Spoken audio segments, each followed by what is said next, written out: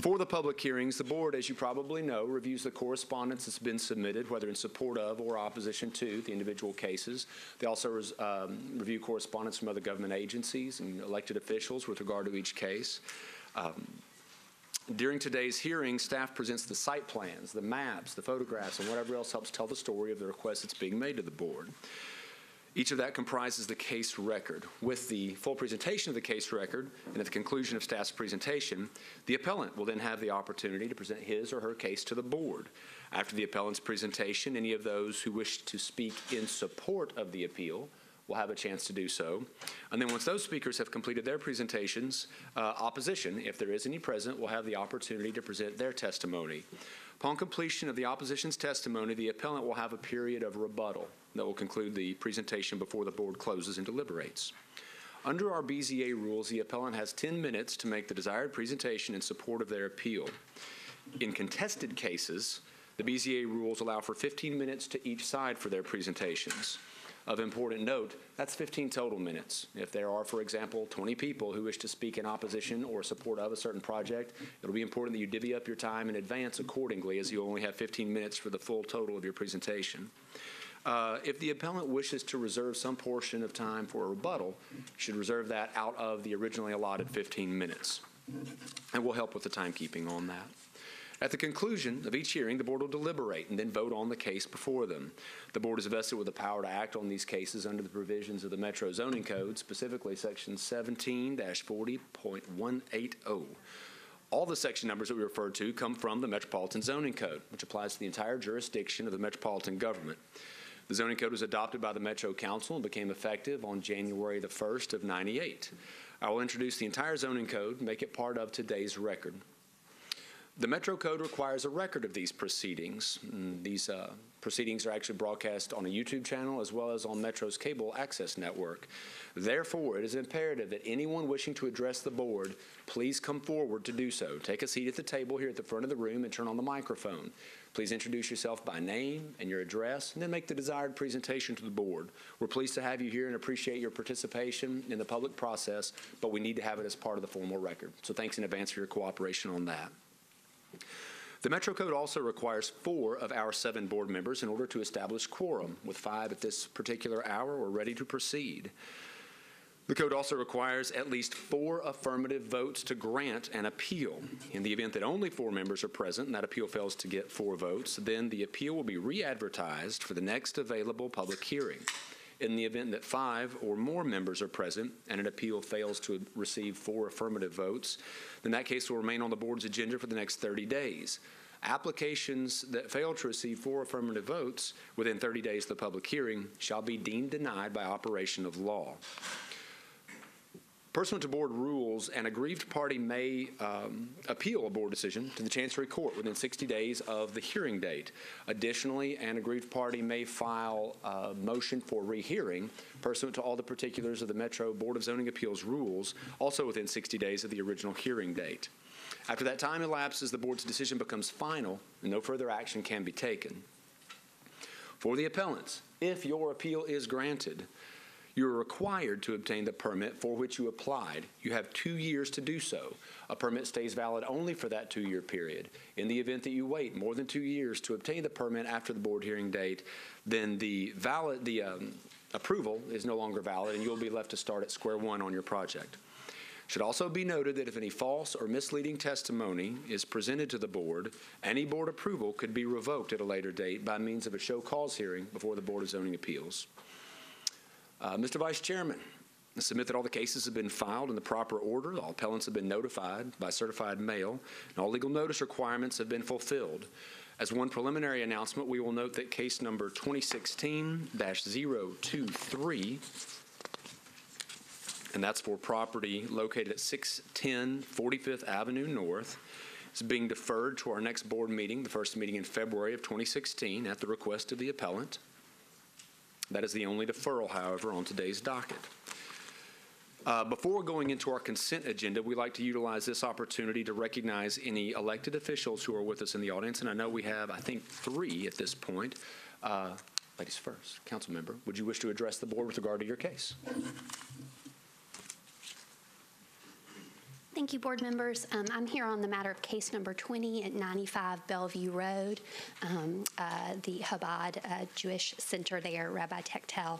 Um, uh, This uh, location is immediately to the south of District 34. So Councilman Rosenberg and I, I appreciate him uh, pulling me into the loop and um, having a community meeting, um, as most of the notified community members were District 34 um, residents. I was in touch with um, the uh, leadership of the, both the HOA boards across the street on uh, Bellevue Road um, to hear their concerns. Went to a community meeting and uh, all those concerns were allayed, and so there is no um, opposition in the community that I'm aware of, so I am in support of the project. Thank you. Thank you. Councilman Rosenberg. Good afternoon. Uh, Thank you for allowing me to speak. I'd like to uh, join Council Lady Henderson in supporting the daycare for Chabad. Um, I know them to be a good good neighbors of uh, high character and would ask for your consideration. Thank you. Thank you so much. Uh, Councilman Davis, do you wish to be heard?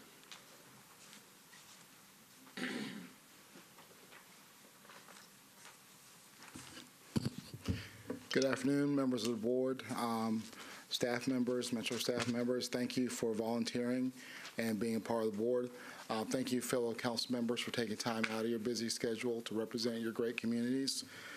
I'm here in support of case number 2017025 off Cherokee Avenue. I rezoned this property and several other properties in this area. This was an industrial area going into a more residential feel, and because of the larger parcel, um, it was ideal, ideal for density and affordable housing. So um, over the last four years, there have been several rezones in this area to multifamily and also to the RM20. Um, Please support the applicant, and I'm in full support. Um, Community has met about this um, a few times. They're fine with the density in this corridor of Cherokee. Um, Highland Heights Neighborhood Association is the organization that's over this area. Um, I spoke with some of the leaders today, and they're in support. And please help them and grant their request for their application, and hopefully everyone stays dry today. Awesome. Thank you, sir.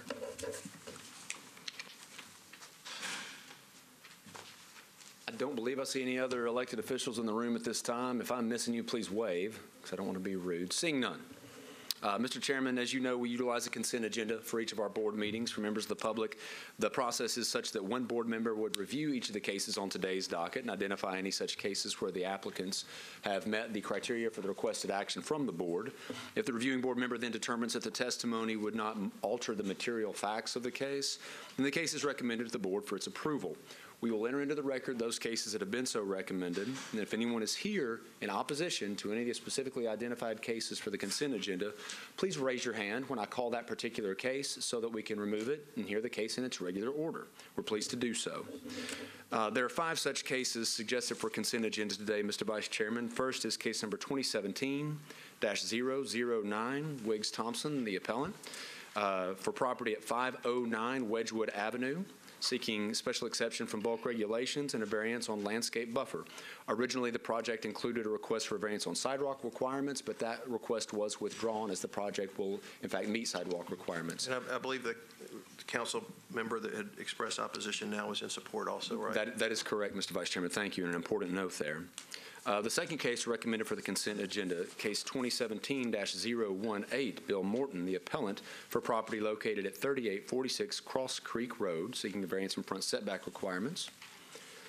Third, case number 2017-019, Arthur Ray, the appellant, for property at 521 Waycross Drive, requesting variances on rear setback and structure size restrictions for a detached garage. Next, case 2017-022, Jason Hitchcock, the appellant, for property located at 2664 Barclay Drive. And then finally, case 2017-025, Frank Smith, the appellant, for property located at 717 Cherokee Avenue, seeking a variance from landscape buffer requirements. Is there anyone here in opposition to case 2017-009, 2017-018, 2017-019, 2017-022, or 2017-025? Please raise your hand if so. Seeing none, that is the recommended consent agenda, Mr. Vice Chairman. Okay, we have a a consent agenda. Do we have, uh, which we will uh, move into the meeting, and is there a second for the consent agenda? Second.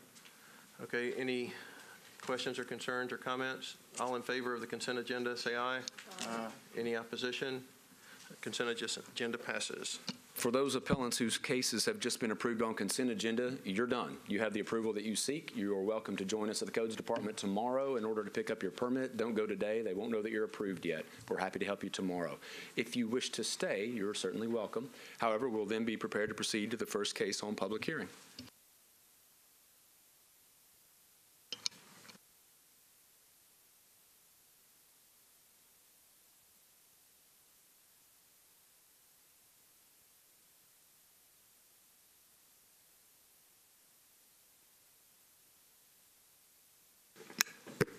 Members of the board, the first case presented today is 2016-127 for property located at 5056 Pine Valley Road. Shown here on the zoning map, this is an AR2A, agricultural with residential component, minimum two-acre lot size property. Although the original parcel is dozens of acres, 60, 70, 80 acres. The portion that's in play is actually about 38 for this project. I've given a second zoning map just to give you some sense of the uh, location of the property uh, terms the county line. That's Cheatham County in the gray area to the immediate west. This is just north of Ashland City Highway before you go out of the county. The request to the board is for a special exception for a camp use. We don't see a lot of these cases, but the Metro Code at 17.16.220 actually uh, gives the parameters whereby a camp use can be considered. The parameters, as you will see from the documents in front of you in your case files, go to everything from setback, or rather uh, setbacks, landscape buffers, uh, access to the property, lot size, and the appellants will have the opportunity to demonstrate that they've met all of those today. As with all special exception cases, if the board is satisfied that they have met all of the conditions related to camp use as defined under 1716-220, then that will be a basis by which to grant the appeal, or grant the uh, permission requested. Um, The aerial gives you a view of the thickly wooded property at this particular area, and the site plan submitted, although small on this particular screen, in your hard copies, members of the board will demonstrate some of the proposed uses and layout of the camp area there on the subject property.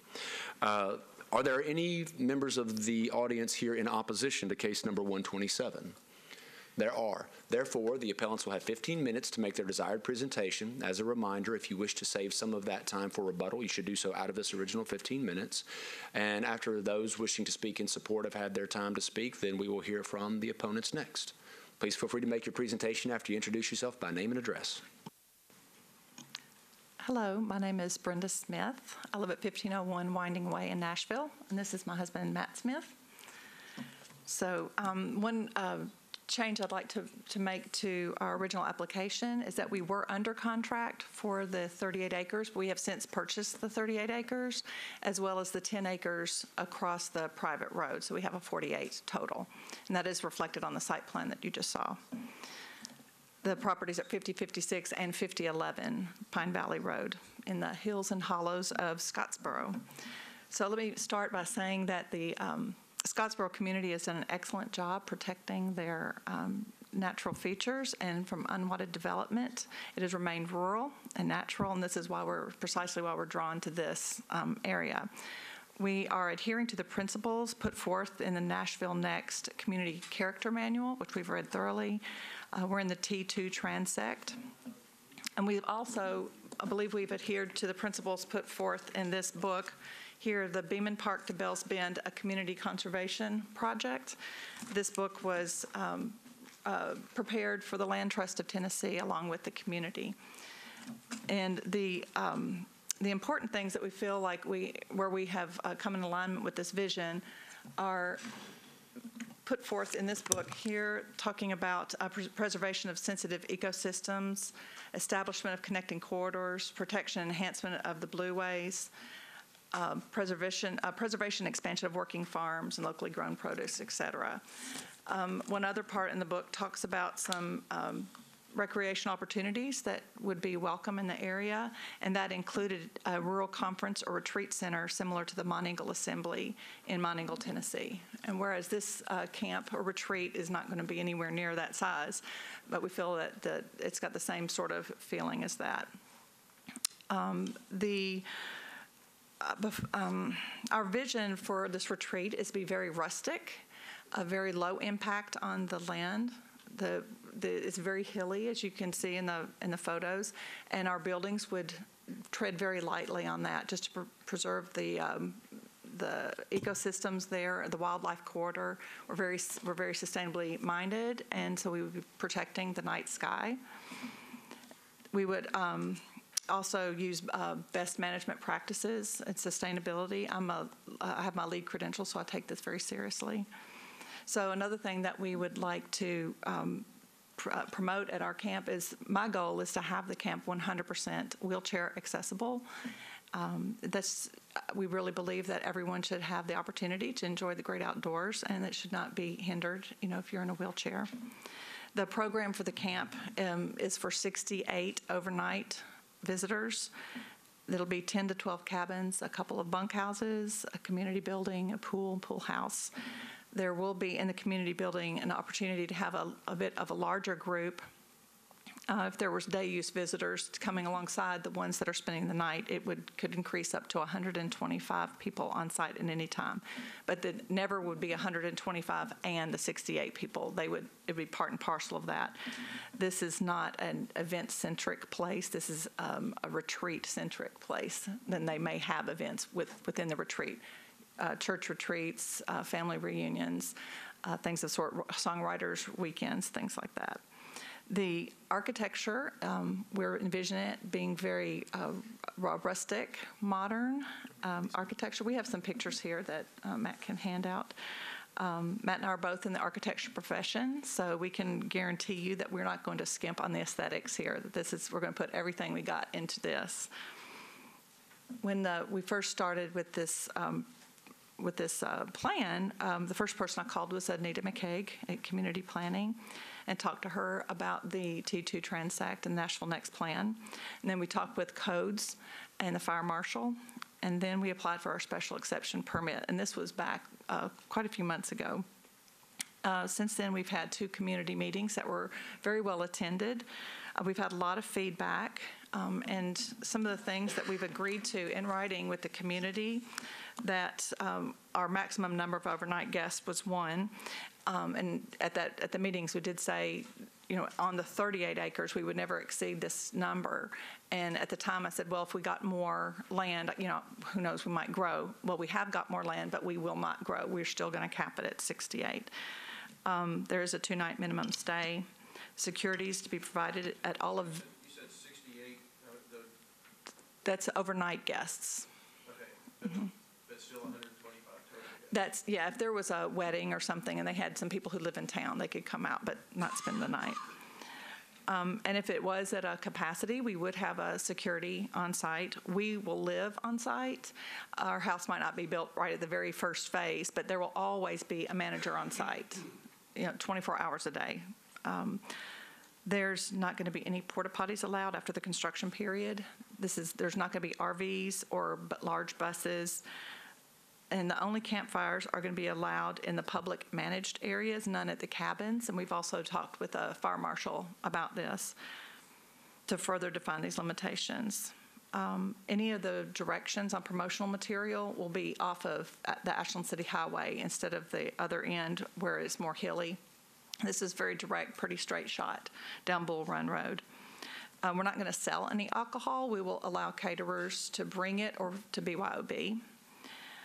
And it's not going to be a farm animal centric place either. At our personal home, we may have chickens, but we're not going to be keeping livestock at this, um, at the retreat. As far as ATVs and things like that, we'll have one for maintenance for us, but the guests will get around with golf carts. And most of the logging roads that are on the site are going to be turned into golf cart paths.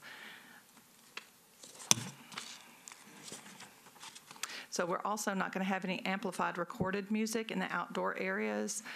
The, the only music, there would be acoustic music with a very slight amplification just to project to just the few people, you know, past them, so the singer doesn't have to project unnaturally.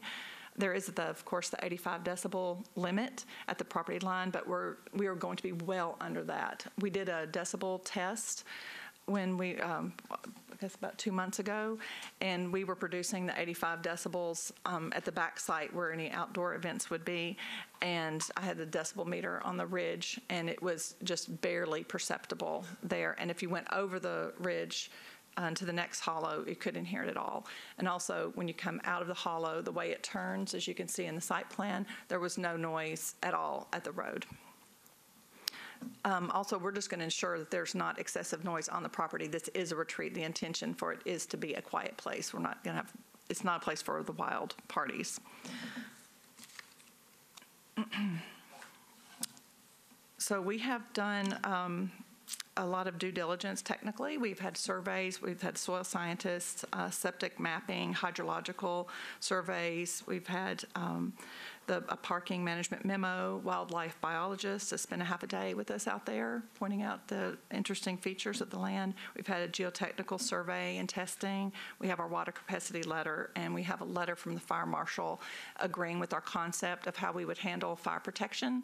And though there are no hydrants on the road, we're going to have a 30,000 gallon pool, which can be used as a hydrant, and which might be common in, in rural areas. Also, all of the cabins um, will be considered single family, and they will be sprinkled uh, using a reservoir because they will be outside of the 150 foot range from that.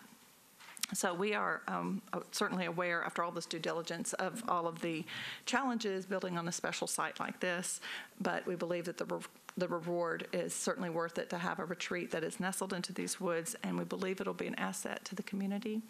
So we appreciate your consideration of our appeal. So I'd like to leave the rest of my time for later. Thank you.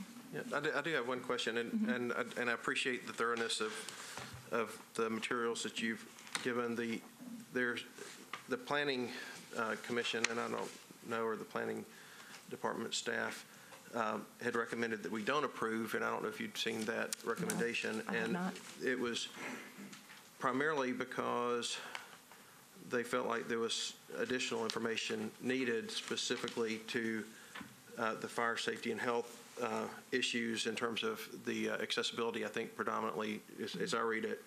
Um, Because they- they- their concern was that there's still a- enough of a mystery to know what you would do to the, you know, to the land uh, to make it accessible, and, and how that might or might not conflict with the rural maintenance policy that a a good portion of your land is, is under.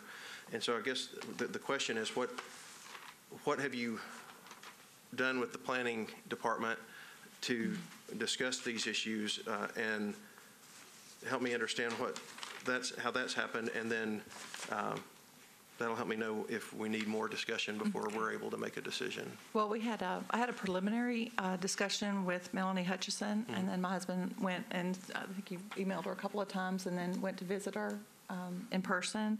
And, you know, we went over this plan, the one that you see here, and then she did send, there's a, did you hand the packets? Yes. Yeah, the package you have has a, a- the text from her email in there, um, that we would be allowed to, um, the part that's in orange would be a fire access road coming to the circle, and then the spurs that go off of that. Any of the buildings would be within 150 feet of all sides um, there, so they could reach that with the fire hose. And then the, the long road that goes down the um, valley would be accessible by a truck. And, uh, and she said that it was more of a pickup truck um, at that point. And the, anything on the hills were going to just be handled with the um, sprinkler system. And they're just one-room cabins, so it's very, they're very simple. It's just basically like a hotel room, you know, and then there's, there's a, a, you know, microwave and a, a refrigerator and then a bathroom. So there's not, there's no open cooking, no open fires there, and they thought that was acceptable. Yeah, and I mean, I guess but that was, you said that was with the fire folks, right? Yes. And I, and I think that this is really more the planning department saying, I mean, I, I'll just, and you may have seen it, you may not, have but just as a quick paragraph, I'll say, um, you know, there's, uh, let's see, there's a conservation policy covering a majority of the property. This camp as a use may be appropriate for a rural maintenance policy. However, there is insufficient information to make that determination, and staff is concerned that the life safety improvements uh, that may need to be made would make this inconsistent with rural maintenance and conservation policy. In summary, the plan as proposed may not be achievable given the existing infrastructure, and without more information, the staff recommends disapproval. So it, it sounds like that the planning staff would like more information. Okay.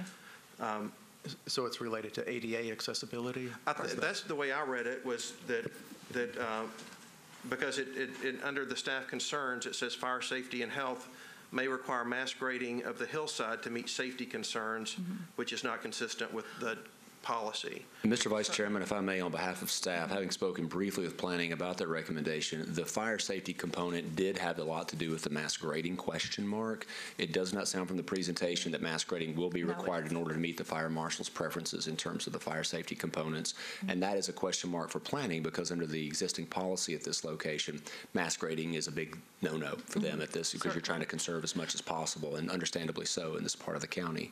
That was one of the key bases for that component of the recommendation from planning. So perhaps if the appellants probably have more information about their discussions with the fire marshal with regard to whether or not mass grading would in fact be required to achieve the objectives identified by the marshal. We were not planning on doing any mass grading with our uh, discussion with, with the fire department. Um, It was determined that none would be required um, because the fire trucks will not need to gain access to the upper ridge, to the upper road. Um, The uh, sprinkler system being sufficient for that.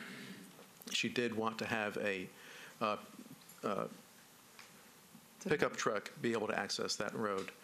Um, and it's an existing logging road, and the only modifications to that road that would need to be made are indicated with the, uh, the green lines on the plan, uh, uh, which are switchbacks at the steepest parts, which are currently at approximately 50% grade. Uh, That, those interventions are uh, not what I would consider to be a, a- a major intervention. And then regarding accessibility to the units, we will be utilizing, um, excuse me, um, sorry, golf carts, uh, accessible golf, golf carts for patrons to be able to access the cabins. And then uh, the buildings uh, of more public nature, the, the gathering room, the pool house and whatnot are on the lower, um, flatter parts of the site that are near the road. And they're all within the 150 feet. But the the egress from the cabins will be by way of a, you know, a boardwalk that comes out and goes along with the grade out to an area of refuge out there. Does anybody have any, any questions of the applicant? Okay, you all have six minutes and 24 seconds to rebut anything that the folks in opposition may have to say, and they will come up next. Okay, so do we go sit? Yeah, you can just ta- take a seat and, uh, and allow the opposition to come forward, and then uh, you'll have, a- have six minutes and 24 seconds to uh, talk afterwards.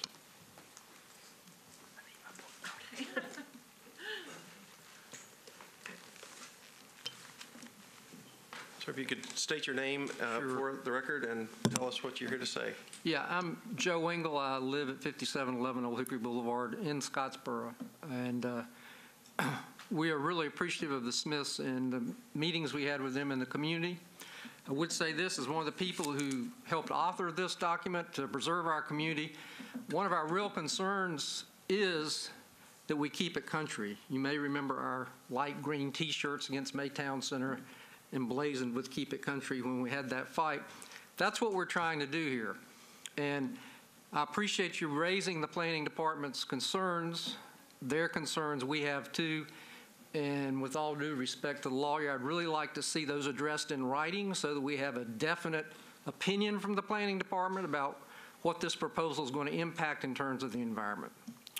Uh, My main concern beyond that is this. Uh, I think there'll be great neighbors, But we're concerned, what happens if the property passes on from them? So we want to be sure whatever we agree to here is nailed down so that the future of our community is protected.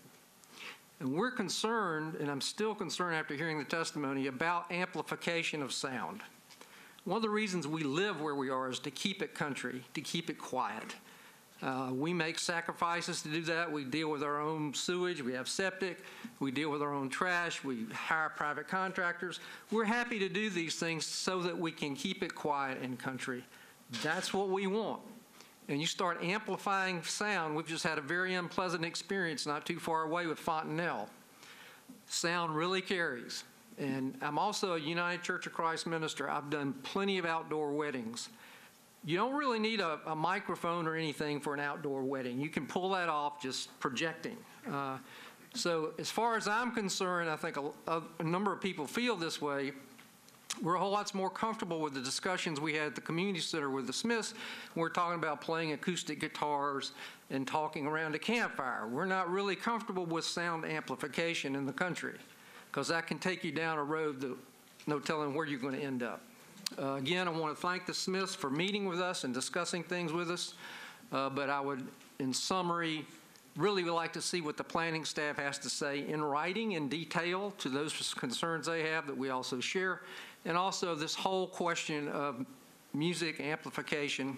I was a camp counselor in a camp outside of Richmond, Virginia for four years.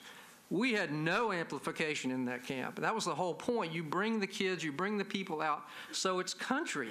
You don't want to be projecting sound out into a rural environment. So just want to lay that out there for your concern. I appreciate your time, and again, thanks the Smiths for meeting with us and discussing this with us. So, so you're, you you object more to the lack of details today than the concept of a camp on the property? I have the, some of the same concerns that the planning staff has about how the camp's going to function and how all this grading or not grading, et cetera, is going to be resolved. I think we need to have that hashed out. Having said that, once those environmental issues are met and we have it in writing and say, yeah, this is okay, then we can move on and talk about the whole sound question and what's going to happen with that. So, again, in principle, we're not opposed to this. We have specific concerns that we want to be sure are addressed before the camp goes forward. Okay, and, and that, that's really helpful because, you know, sometimes people come and they absolutely don't want what someone's trying to do. No. And sometimes people come and they say, well, it's, you know, we're not opposed to it, but we really want it to go a couple, a little bit longer and flesh it out a little bit longer before we can, you know, can agree, and that, that seems often fair enough, too. So- Exactly, and again, we're grateful for the Smiths and meeting with us. We just have these two remaining areas that we're really concerned about. Okay. Thank you. Eh, are there any questions for this gentleman? All right, thank you so Thank you. much. Is there anybody else in opposition that would like to speak?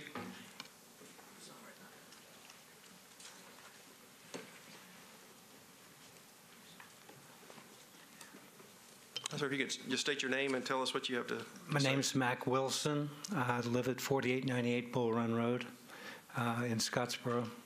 And I share Mr. Engel's concerns.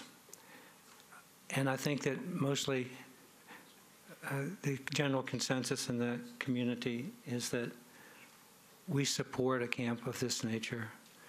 Mostly we're concerned, I- as I say, I share Mr. Engel's concerns, but very much I share the concerns of amplified music.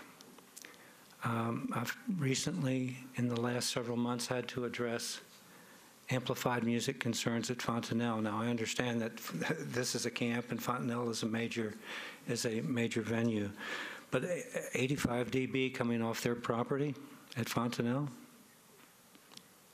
has echoed into uh, the hollers upwards to two miles away. So my concern is that, is that, that, that we can't hear, that the music is, is, it is performed in such a way that it can't be heard off the property. So thank you very much. Awesome, thank you Appreciate so much. Anybody have any questions? Great, thank you. Is there anyone else that would like to speak in opposition of this case? If not, we'll have the applicant uh, come back. Mr. Vice Chairman, once the rebuttal period is completed, the district council member has made it in for the meeting, Councilman Leonardo, and he wishes to be recognized after the completion of the rebuttal comments from the appellants. Okay. We are in full agreement with the uh, acoustic levels and uh, wish to uh, assure people, uh, whatever means is necessary, that we would establish uh, strict requirements regarding that. A lot of our people that would be staying here would be people that are seeking the quietness of the, of the countryside, and we would not want to compromise that in any way. Uh, When we talked about gentle amplification, it would be, let's say, a person with a guitar with a circle of people at about our distance. Um, Sometimes uh, acoustic performance, performers uh, like to have a gentle amplification just to reach their audience. But we would uh, be in agreement that no noise would um, leave the, leave the property lines. Yes, when we did the uh, decibel test, the ambient forest noise was about 35 decibels, and Matt was uh, creating 85 decibels at the area what we think that the outdoor, any outdoor music would happen. And I could only pick up a penny whistle. Um, The other instruments I couldn't pick up on the ridges, and it was at 40 to 45 decibels, so it was just barely above that. Um, And then as I went out the property, he was at the very, very back. Um, and then I went out to where the orange circle is, and it was about 40, 45. And went out to the street, it was just ambient forest noise. I couldn't hear anything. But we would be more than happy to do additional tests and, and um, to make sure that whatever, you know, we're allowed to do works. Yeah, and, you know, one of the things that, that we've dealt with, especially when there's special exceptions, either for this type of, of use, uh, it's the first camp that I've heard, but there may be others that have come before this board. Um, We've had historic home events, we've had other special exceptions for um, assembly space and event-type space, and, and they're very specific uh, to the locale, to the, you know, the, the concerns of, of specific, uh, the- the neighborhoods, uh, neighbors of the specific areas. And often it, uh, it comes with, you know, just kind of that list of things. You, you have certainly done a, a good job of starting a list, and I think the fact that you had neighbors uh, that come with concerns uh, about specifics but not concept is, is is certainly to your credit uh, for the homework that you've done. Um, But it does seem like that with the, the planning department, uh, to me, and I, I can't speak for my fellow commissioners, but with the planning department recommendations wanting a little bit more information and your neighbors, that it, it, it would be something that um, would be right to defer for some period of time to say, hey, let, you know, because you've, it, it sounds like you've done a lot of homework, especially with the fire uh, uh, marshal's office, that, that might uh, address some of the planning de- uh, commission or planning department's concerns. And I think that with some additional discussion with your neighbors uh, and maybe with the help of the codes folks to say, well, what have other folks done? You know? Right. How, how have they, you know, we've, we've had some that are in downtown that have said, well, no, no amplification in the backyard, but you can have a wedding on the porch in a, a certain amount of, you know, certain periods of time during the day. Um, But just, just to kind of flesh out some of those things that, that really give uh, your neighbors ease, since one of the criteria for the special exception is kind of the impact in the area and the neighborhood. So I think that, that neighbors' concerns are important in special exceptions. Oh, Yeah, absolutely. And, and, and I do applaud you for addressing uh, so many of those ahead of time um, and, and for the homework that you've done. But that, that just, that's how I'm, I'm seeing it. And I don't know if, ever- if anybody has any other questions or if they, or comments about that too. But Well, I have a question. I, you've given us a lot of information, great presentation. I just don't recall, were you planning on having weddings at this camp? We keep talking about it. but- Yeah, everybody assumes everything is wedding oriented because it's such a big business. Um, We would allow, I mean, wouldn't turn down weddings. That's not our focus uh, to do that. Um, It would, I mean, it's, We would not want the wedding with the big DJ and the dance floor and the loud music. Um, If someone wanted a mellow wedding, that'd be that would be more appropriate what we for would this. draw. We- And we would say, well, we have a decibel limit, and so you can't have your DJ or, or whatever. So we would, we would pre-qualify And we would be people. living there. I mean, we don't want to, So we'd be the closest neighbor, Yeah. and we covet quiet. So we'd be the first to complain. I have a comment. I was um, interested in what the pastor said about future owners, you know, 50 years from now, what's going to be happening there. And I would like you to pay attention to that Certainly. if you do make more plans or Okay. make some, you know. And I do know how difficult it is, and many of the lawyers here will tell you to put any kind of um, um, things on property transfers, but that needs to be addressed. Mm-hmm. Okay. Because I appreciate the neighbors' concern there. I grew up on the farm, and I like peace and quiet as Certainly. well, so I appreciated that comment. Okay. And with the, with the uh, limit, of- with the size of the valley, we would not want to grow the camp further than uh, what we're proposing. Well, I don't It- think, we couldn't with septic limitations anyway. If we were to buy 10 more acres, we wouldn't want to put more people out there because we, we want to keep an appropriate scale.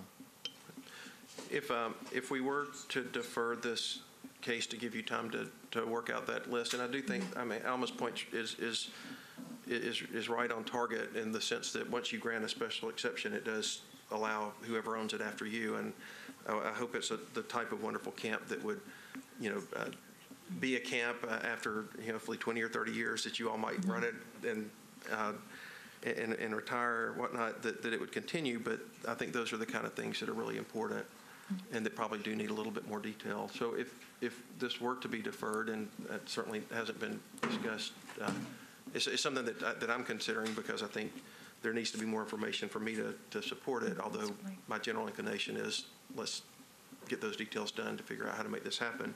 Um, Is, is a- is a month, two, uh, you know, we meet again, uh, I believe in maybe two and a half, three weeks. Um, But we meet on the first and the, and the third Thursday. Uh, And given the codes department and, uh, and how busy everybody is, it seems like two, two meetings might be more appropriate than one. I But think- it can be three, it can be whatever you feel like you need to do to, I think a, a month feels like it would be okay, Okay. because we would like to do some sound testing, you know, s- with uh, outside consultant and there. maybe even with your neighbors too. Yeah, meet with the neighbor, of course, yeah. And, And- and we, that was a public invitation when we did the first sound test. We invited folks out. Um, Nobody was able to make it to that one. Okay. Um, We would want to get some more clarification regarding uh, the grading. Um, Just to clarify, we're, all of the buildings will be on piers and with minimal site uh, intervention. We want to do as, as little uh, disturbance of the soil as possible. And any accessibility to the structures would be with ramps and, uh, as I mentioned, with the golf carts. And I think those are the types of things that if those were uh, outlined in, in- in some type of agreement or, or list that, that Alma was referring to, that, that would be part of the condition of the special exception, that would also protect it down the road too, when uh, it would, it would give those, um, those construction guidelines. So I think that would be really, really helpful. Well, it'll give us time with a civil engineer to have the, the grading plan for the switchbacks, so that we'll know exactly what we're talking about as far as the- Okay. how that's going to be constructed. Does, does anybody have more questions? Yeah, I guess, um, you know, I'm not a musician and, you know, I don't know much about amplification, but when I read the, um, what I, and this might be an old version of the zoning code, so the zoning um, department will have to verify this, but um, under the special exception for camps, it does address outdoor loudspeakers. And um, it sh- says there shall be no outdoor loudspeakers or public address systems except as may be needed for emergency purposes. So if you were to defer today and come back to us with more information, can you address that um, specifically? And the codes department can verify if this is the right. um, Okay. The zoning code is updated often. I might have an old version, but, but if you could specifically address that when you come back. I will do. Are there any other, any other questions for the applicant? Did you have anything else that you'd like to say at this point? No, sir. Uh, No, there were, uh, I think, a couple people with uh, comments to say in support of it, and I didn't know if there was time for that or, or not at this time. Um, Well, we normally, um, if you, for, in the- the rebuttal period, if you, uh, they needed to speak in the front Okay. part of the hearing so that if the opposition had anything to counter, so if you, if you don't speak first, you can't speak second. But we're happy to have a show of hands of the folks that have come out to, to support this project, if you'd like to raise your hand. Great. Thank you. And then I know that the council person for the district wanted to, to speak, and so this probably is the best time for you to come and and speak. Thank you so much for being here. Well, thank you guys, and I, and I apologize for uh, being tardy. I was in Fourth Circuit Court and uh, long hearing, and I couldn't just very well get up, but I did let Mr. Herbert know. Uh, I will say that uh, we like the Smiths. We think that they're, they're good, they're good people, and they're trying to do a good thing. Uh, We've had three community meetings uh, where we were trying to come up uh, with conditions, and we've really kind of agreed on just about all the conditions, except there's a couple of concerns uh, that you heard from Mr. Wilson and also Mr. Engel about uh, the the noise, as well as, uh, it was our understanding there was going to be someone on the property at all times. Uh, And I know that the Smiths intend to move there once they uh, maybe retire and back off uh, from what they're doing presently. But um, I would ask uh, this honorable commission to, uh, to defer this, to allow us to make sure that we get all the conditions right, because we are really playing very well, okay? Um, And, and I think we can do that. And I also want to make sure that, uh, that the Smiths have an opportunity uh, to uh, satisfy planning, okay, and whatever the recommendations that they may have, because overall, the community does support it. And I will say that it's, as you said, it's not, we don't see a lot of these. And given District One's rural nature, uh, this will be something after the Smiths get done that I will definitely be taking a look at and examining to determine if there needs to be some changes made uh, to that special exception because it, it- but the Smiths aren't the kind that are going to abuse it, but uh, I would like to give them an opportunity uh, and to make sure we get our conditions together. And I can submit that to Mr. Herbert prior to the next meeting and they can do what they need to do at planning uh, and, and move, and try to move this forward uh, for them. So and I appreciate your time and appreciate you allowing me to speak. Great, well, thank you for all your work to, uh, to work with the both, all the interested parties in this, in this project. Uh, Does, is one month, is that acceptable to you? Do you think that's enough time for? Yes, sir, I believe that's enough time. I know they'll get on it, and uh, I'll get on it with them and along with Mr. Engel and Okay. Mr. Wilson. So we'll make sure that we get those conditions finalized uh, Okay. and submitted to Mr. Herbert. Okay, wonderful, thank you so much. Okay, thank you. Okay, with that, I'll close the public hearing, and it sounds like uh, everyone's in agreement that we should defer this a month. Is that in agreement with this body? I agree. I'll, I'll move that we defer it for one month. I have a motion, is there a second? Second. Uh, There's a motion and a second, all in favor? Aye. No, any opposition? Okay, this case will be deferred until the second meeting of February. And that's going to be February 16th, 1 o'clock at the same location, Mr. Vice Chairman. Uh, We're ready to move on to the second case of the day after that deferral, Case 2016-158. This involves property located at 1806 Hyman Street. Council District Number 21, EDH Properties Group LLC is the appellant and owner of this property. They're requesting um, We've got them kind of in reverse order. There is a request for a variance from a side setback, but the first portion of the case involves an item A appeal on a property that was once a legally non-conforming duplex in what is now an RS5 zoning district. The request for the project is to build a new duplex at this location. Uh, So the first item taken up by the board will be the question of the item A appeal, whether or not there was an error by zoning staff and zoning administrator in determining that the legally non-conforming status had in fact been lost. Uh, And then if in fact the board determines that that was an error and that the item A should be granted to the appellant, then you can- should take up the question of the proposed variance from side setback requirements at this location. The zoning, the zoning map shows you the strip of uh, Hyman Street here and highlighted at 1806 where the subject property is located, all of that block face being RS5 zoning. The current condition of the property shown here on the aerial map as it is sitting just a couple of blocks off the main intersection.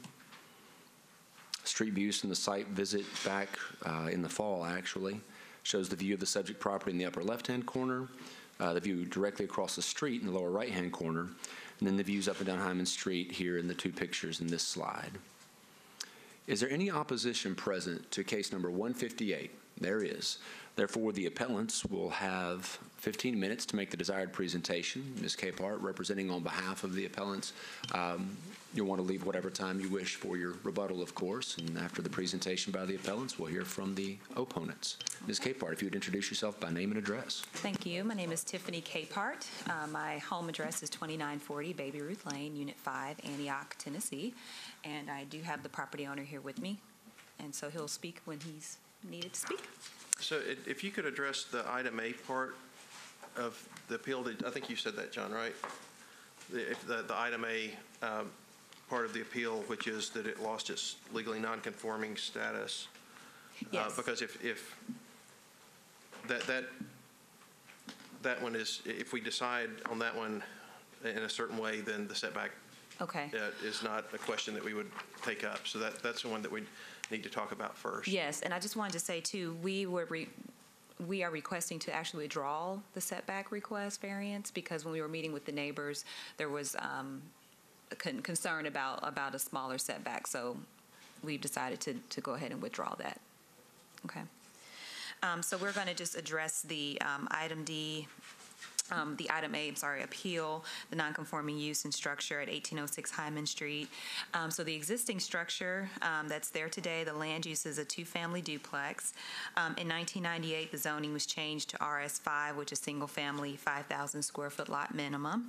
Um, The duplex existed prior to that date with property tax records dating back to 1936. Um, The duplex has been vacant for longer than that 30-month um, per- period and therefore has lost its legally nonconforming land use rights. So the, the question I have for, for you is, when the zoning administrator says that it's lost its legally nonconforming use, and you just made a statement that said it had been vac, it had not been used as a duplex for 30 months, and therefore it lost its, its use, I'm not sure what the basis of your appeal is on the item A, to say that the zoning administrator erred or uh, made some other kind of error in that determination. So what I have here is item D, appeal nonconforming uses and structures. So the, when we went to pull permits to be able to either tear this down and rebuild two units, they were saying that, well, this structure has been vacant for longer than 30 months, and so you Sure. have lost your ability to build two units. Well, let's ask John Michael for some clarification here. Item A versus item D and what's really Sure. front Item D is typically, we refer to it out of 17.40.650, where we look at legally nonconforming uses. So an appeal with regard to a change in a legally nonconforming use or an alteration of a legally nonconforming use, here, duplex use in single-family zoning, would be governed as an item D case, as we call it. And it just has to do with the alteration of either the structure or the use itself that's presently not conforming to the base zoning code. Um, The item A component of this is important. If the legally nonconforming use continues without interruption, with no breaks in such use for a period of 30 months or more, thus meaning maybe you've changed tenants in your duplex, uh, maybe even had six months, one year, one and a half years of absence on Part B of your duplex, but you've never gone more than 30 months interrupting that continuous duplex use, then you maintain your legally nonconforming status. Uh, We kind of carelessly overuse the term grandfathering, but that really is the concept there. If you go for a period of 30 months without both sides of a duplex being used, meaning one of those goes without use in that 30-month window, then you're, you've lost the legally nonconforming use. The item A component of this case is whether or not the zoning staff, zoning administrator erred in determining that there had in fact been a lapse of 30 months or more with one of the sides of the duplex use, such that the grandfathered or legally nonconforming use had been lost, and restoration of it, meaning a tear down, rebuild, alteration, or even continuation at this point, um, if, if the zoning staff, zoning administrator were right, then that legally nonconforming use is lost, and we don't get to the item D analysis. Only if the board determines that the zoning staff, zoning administrator were incorrect in determining that there had been that discontinued use for a period of 30 months or more, would you then be able to get past item A and into the question of alteration of the structure and uh, continuous, or rest- restoration of duplex use at this location? Very simply, you got to get over the item A hump to get to the item D discussion. And, and on our, on our agenda, it only talks about an item A and then a potential side setback, which the applicant has said they're not interested in pursuing today. But in their material, in their letter that they submitted to us that uh, may have been in the material, but we got another copy of it today, it talks about an item D. There's no item D on the, on the, I mean, if. If in fact the zoning staff was wrong about the determination that there was a discontinuation of use for 30 months, therefore it means it has not lost its grandfathered rights or its legally nonconforming rights, then there's no appeal needed at the board. It would have been approved at a staff level. So that basically means you wouldn't have to take formal action on an item D at that point. It's just the analysis that is left after you make the determination on the item A. And because that can be handled at a staff level and does not require um, at least I'd have to review 617, 4650, and the zoning administrator may need to correct me there. But if it could be handled at the staff level, then it would be nothing for the board to have to hear. Okay. So I- I guess I'm back to my original question, is if, if the zoning administrators, if they determine that it's been, it has not been used for a duplex for more than 30 months, and your materials confirm that, I'm just, I'm not sure what your case is on an item A. I mean, it sounds like you both are in agreement that it hasn't been used for 30 months, and so, Yeah, so when I went to codes, um, I'm sorry, the item A appeal wasn't explained that way. It was just explained that, hey, it's been vacant for more than 30 months, so now you have to go and, and make the case that it will not be uh, um, any additional nuisance to the neighborhood to have it continue its use as a duplex. So that's why we're here. Yeah. So are, and, and I will, I will say, our, our chair, David Ewing, is here, so I- I will, I'm not chairing the Okay. meeting anymore. I'll turn it Okay. over to- Okay. to our, our wonderful chair. Questions? so are, are you saying uh, the entire building has been not in use for 30 months, or just one of the units, or? The both? entire building has been vacant for longer than 30 months. There, um, I know the property owner has tried to pull, you know, NES records and like that, and there, wa- it's been, it has not been used for, for longer than that period. And so that's what we were told when we went to, to codes, and so we immediately went ahead and filed for the item D appeal to be able to continue the use, yeah.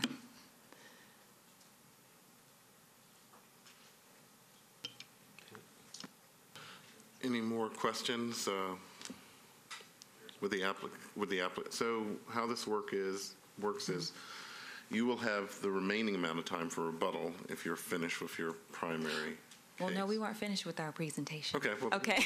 Well, then continue, continue, please. So, um, so as part of the item D, we had to, you know, show that uh, by this continuing as a duplex use, that it would not be a further nuisance to the neighborhood. And I did want to address how we think that it would continue to be an asset to the neighborhood.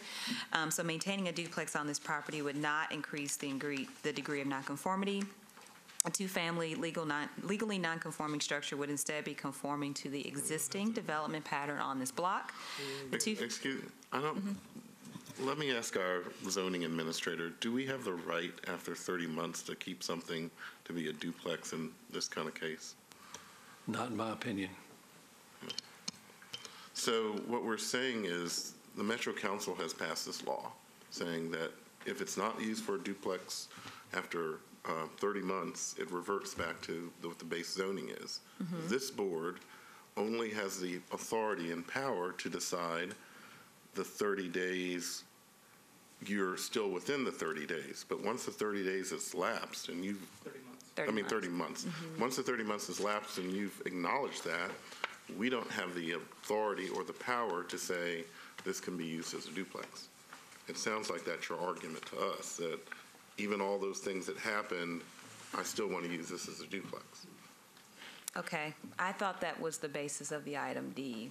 Appeal is to come in to t- discuss why, Right.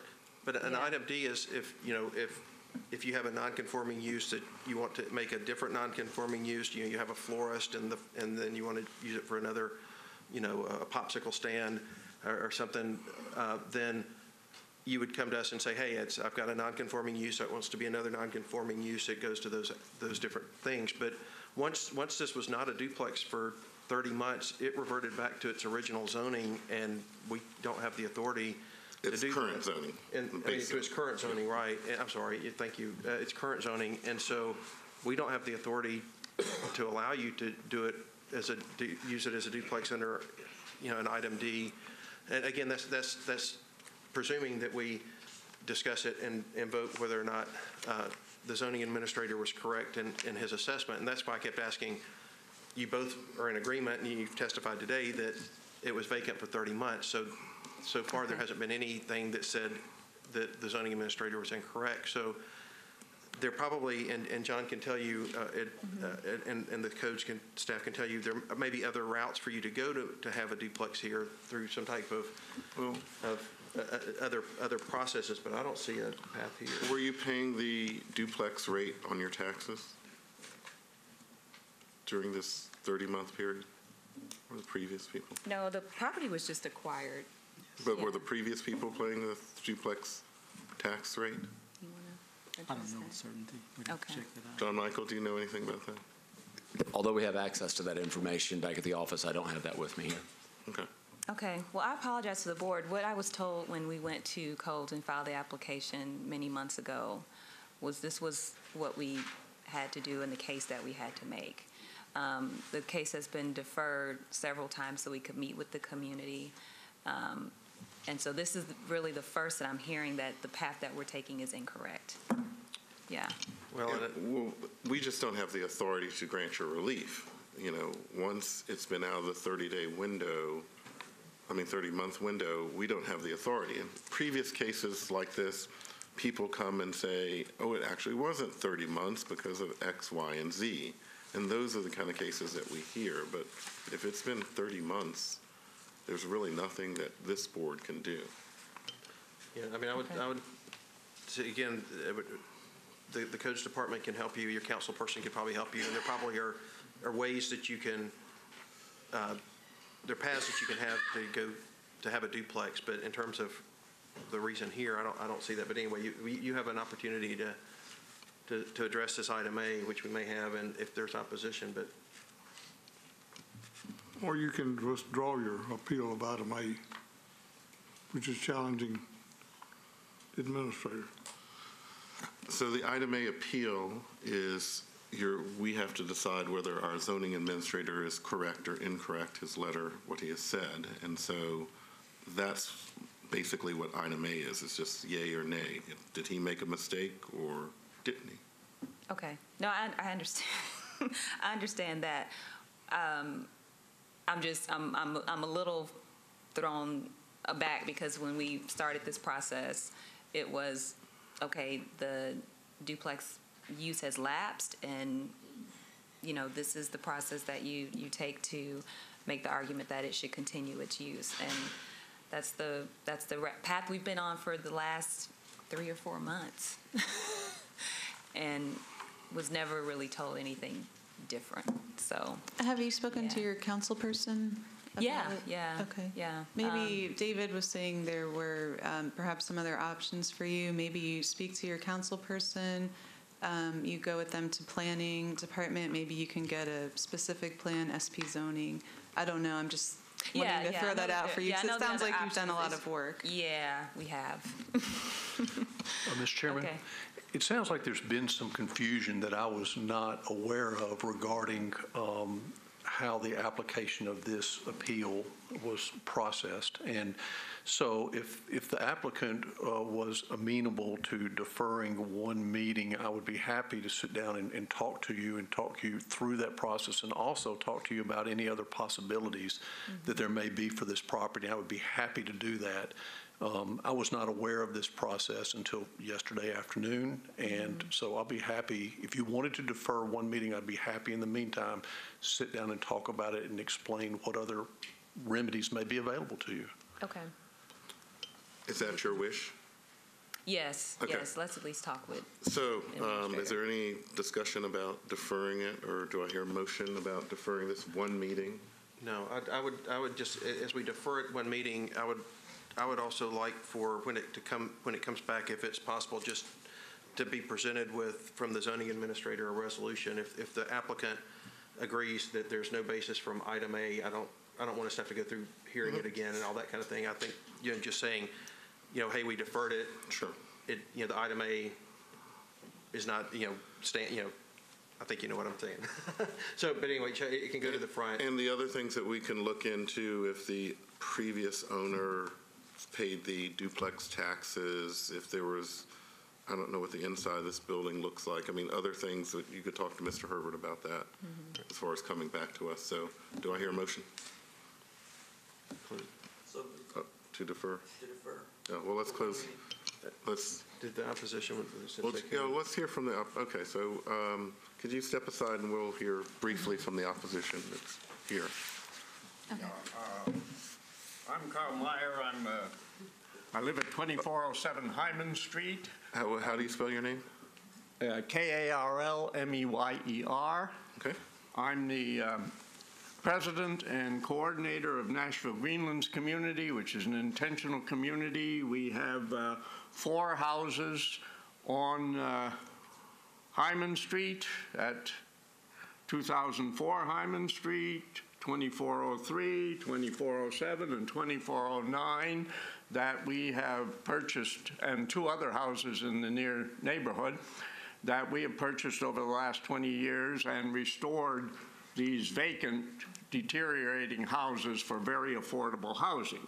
I'm also the uh, uh, elected recording secretary of the North Nashville Organization for Community Improvement.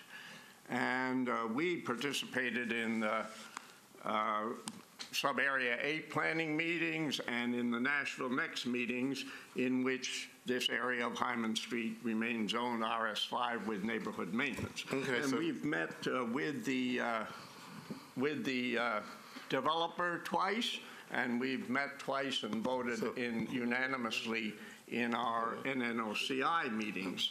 So, Mr. Meyer, I have two questions. Um, Yeah. And we're, I would be, I would say that I don't see any point in deferring this, since the, we didn't know about this technicality when we met with the developer. I've even suggested to them today that uh, an SP zoning we might go along with. We negotiated with them, we were kind of willing to go along with this, uh, Okay, well, um, we could defer, houses. we could defer But I don't see any point in deferring it. Okay, well, um. But uh, since- of course, I'll be back if you do defer. Yeah, since there was some confusion, we're going to err on the side of hopefully they can kind of talk to our staff and maybe the council member and you again to come up with some solution or resolution to this or some other scenario. And, and in regard to the condition of the building and whether it has been vacant for 30 months, we, we live right, one of our members lives right almost next door to this, and we pass it every day for years. This house has been vacant.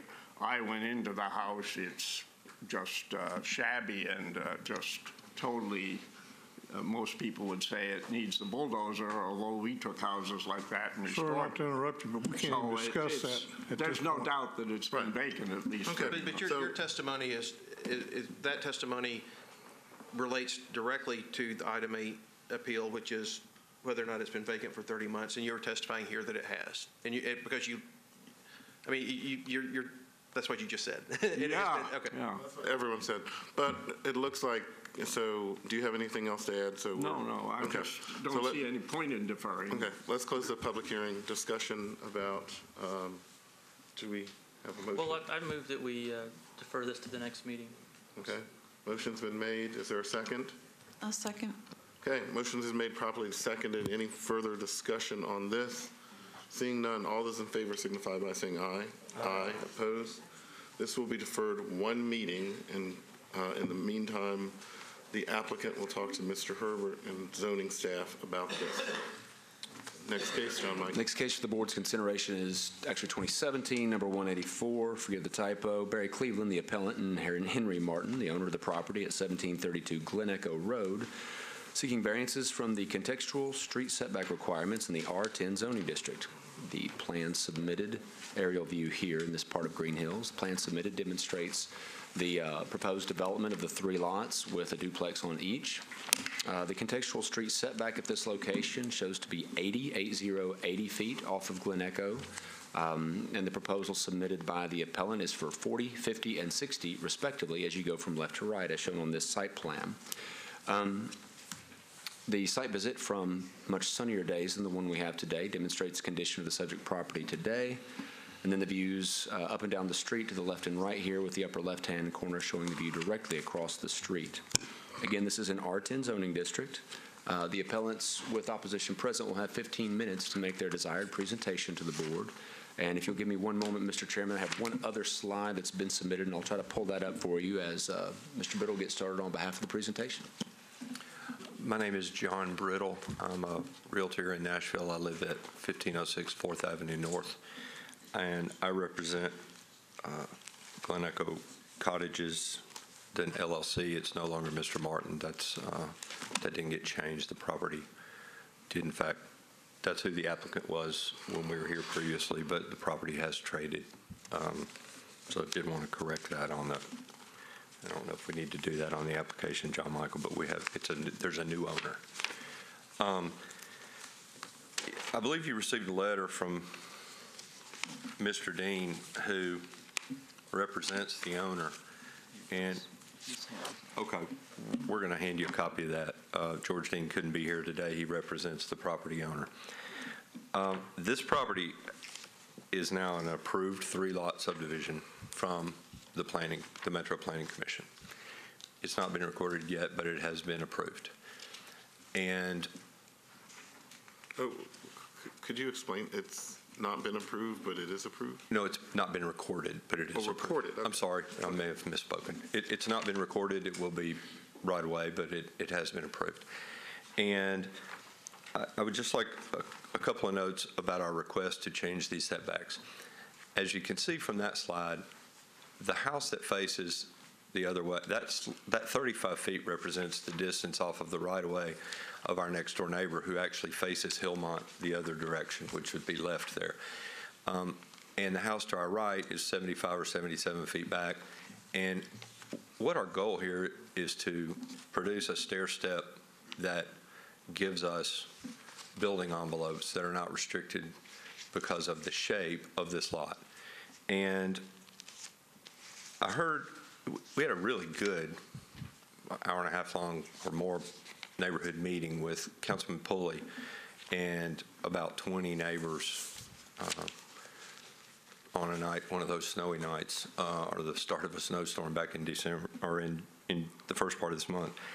And some, some of the comments that we heard was that this was a self-imposed hardship. And so we went and talked to Mr. Dean about what a self-imposed hardship is, and he explains it to me, and I am not an attorney, um, that this hardship of this lot, because it's 130 to, it's 130 feet deep on the left side, it is the only lot in the entire neighborhood shaped like that because of the way the roads curve. And that 130 feet with an 80-foot front setback and a 20-foot rear setback is a hardship whether this was one lot or two lots or three lots. And that the shape of the lot, when it was created in 1948, is what created the hardship here. And we, whether we put one house or two on that left lot, or whether we created two homes here or six, the whole left half of this lot has a hardship. That is why we're asking for different depths, because the only trees that really deserve to be saved that aren't hackberry trees on this property are in the back left corner, right in the very back left. I wouldn't really call it a corner, but in that back piece is the three trees we're trying to save. And so what we've done, um, after the neighborhood meeting, the majority of the neighbors said to me and the council member that their concerns were about front-facing driveways, I'm sorry, front-facing garages and parking pads out in the front of the building envelopes of the homes, that they did not want that on Glen Echo. I understand that. We went and hired Mr. Cleveland, our engineer, to show us what the footprints, what the site plan could look like, because the planning department was very clear when they approved our subdivision unanimously, and that was that they don't want parking pads out in front of the front of these homes. I, as a residential realtor, I agree wholeheartedly. We, we don't need to drive down streets and see 12 houses parked out, 12 cars parked out in front of houses. So we have agreed to a 16-foot max on driveways, and we have shown in this drawing that is not what we know we're going to build, it's just a concept plan to show the councilman and the neighbors that in fact, we can get side load garages or even get around to the back potentially if we have setbacks of 40, 50, and 60. And so we took that to them, and with the exception of two or three out of 20 or 25, everyone said, if you make it where there's no parking pads out front and we don't have any front load garages, we're okay. In fact, we added an additional, we're proposing adding an additional 10 feet to the rear and giving us a 30-foot rear setback because our neighbors on the left and the first two on the back corner have told us in no uncertain terms, if you can get them a little further away from us and save some trees, then we, you know, we're okay. We don't want to see cars, we don't want to see garage doors facing the street, and so we did that. And I would like to note that this is a neighborhood evolving policy, not neighborhood maintenance, and this is a collector within a half a mile of the regional activity center, and that we met not only the requirements, we didn't have to meet the lot comparability requirements, but we did and would have, even if this had been neighborhood maintenance. So the lot sizes were perfectly fine with planning. The shape, because of the way it was shaped in 1948, means that we didn't create the hardship. And I, I would just like to make a note that I'm disappointed when I'm told that I'm threatening neighbors or an association or anybody when we tell what the builder or the owner of the property can build in the current situation. And with this limited envelope on at least the whole left half of this property, the developer is very likely going to go to codes and get a permit for joined HPRs, which can be three stories and 45 feet tall. And, and he asked me to come here again today on his dime with his engineer and his attorney and to meet with the neighbors and show that we could do something that was better and looked better because when we separate HPRs in Nashville, in this part of town, their height is determined by one and a half times their width. And so we want to detach them. We want to have garages that don't face the street. We don't want parking pads in the front of the houses. And we respectfully request that due to saving some trees and for configuration purposes and the shape of the lot, that you grant our variance on the front setbacks.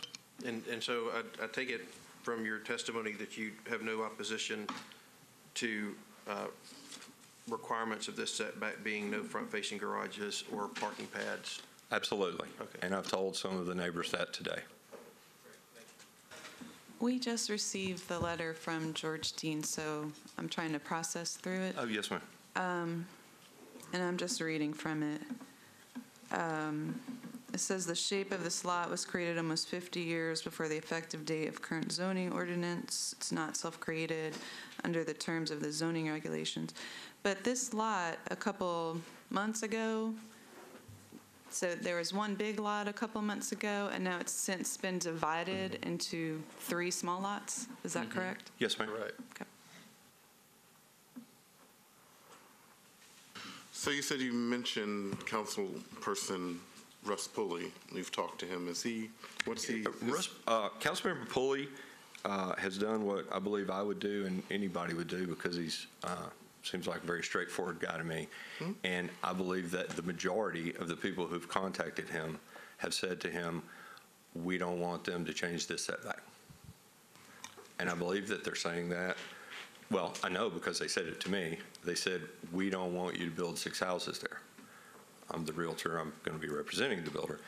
Um, That, that has been answered by the Planning Commission, and we have the ability to do that. What we're trying to do with the neighbors who wanted to make it look better and fit their community better was take the front load garages off, not have parking pads out in the front, and get them separated, which will also bring the height down and save the trees. And the, I don't know his opinion exactly personally, but I do believe that the majority of people told him they were not for this setback change. Mr. Chairman, uh, Councilman Pulley contacted me immediately before the meeting and said that he wishes to stand by his previous letter that should be contained in the file from the previous hearing, that he stands by that letter in opposition. Okay, thank you. Anything else to add? Um, Or, No, sir. Thank you. so you'll have seven minutes and nine seconds left for Thank you. rebuttal after the opposition. Uh, Thank you very And please identify yourself. Uh, Barry Cleveland at 95 White Bridge Road, Nashville. Okay, and you are the applicant. Yes. Okay, thank you. We'll see you soon. So here from the opposition here, you will have 15 minutes combined, so come up front. And if one person speaks or five people speak, combined, you have 15 minutes. Hmm? No, come on, you all could come up. There are three seats here, four seats, you could sit. I'm Susan McDonald, and I live in the neighborhood directly across the street. I'm Glen Echo. What's your address? Um, 398 Glen West Drive. Okay. The homeowner association board of directors authorized me to speak for the HOA, at least at the last meeting before it was continued, but I think that authorization continues. Um, I think we all had a lot of different issues, so I want to address my main one, which is that for this matter, the developer owner, I'm not sure who the players are, but whoever went to planning and devised the three lots to divide the parcel, and then also, according to the Planning Commission minutes, accepted the conditions imposed by the staff, which were no front parking and one other condition. So, um, but now, those two conditions imposed by planning are the basis of the hardship in the initial letter for this appeal. Um, So here we have a developer owner who created the lots, devised how the lots were developed, who arranged, sized, and accepted the conditions, and now comes and says those lot sizes and the um, conditions that they accepted at planning constitute a hardship. I think that ends the question because I haven't seen the letter that they circulated a few minutes ago, but it seems that um, that's not a hardship, as this board has explained in the standards for a variance. It's nothing but self-imposed, apparently for financial gain. And um, I think if there's not a hardship, as that term is defined, I think the board cannot approve the variance. And that's my primary issue. So the applicant basically said, you know, if he doesn't get the variances from us, he's just going to build these houses the way he described. So what do you think about that? Um, I think I'm the one who considered that a threat because I felt like he was saying, if you don't agree, if you don't um, withdraw your objections to the variance, we will build six skinny, flat-roofed, three-story buildings.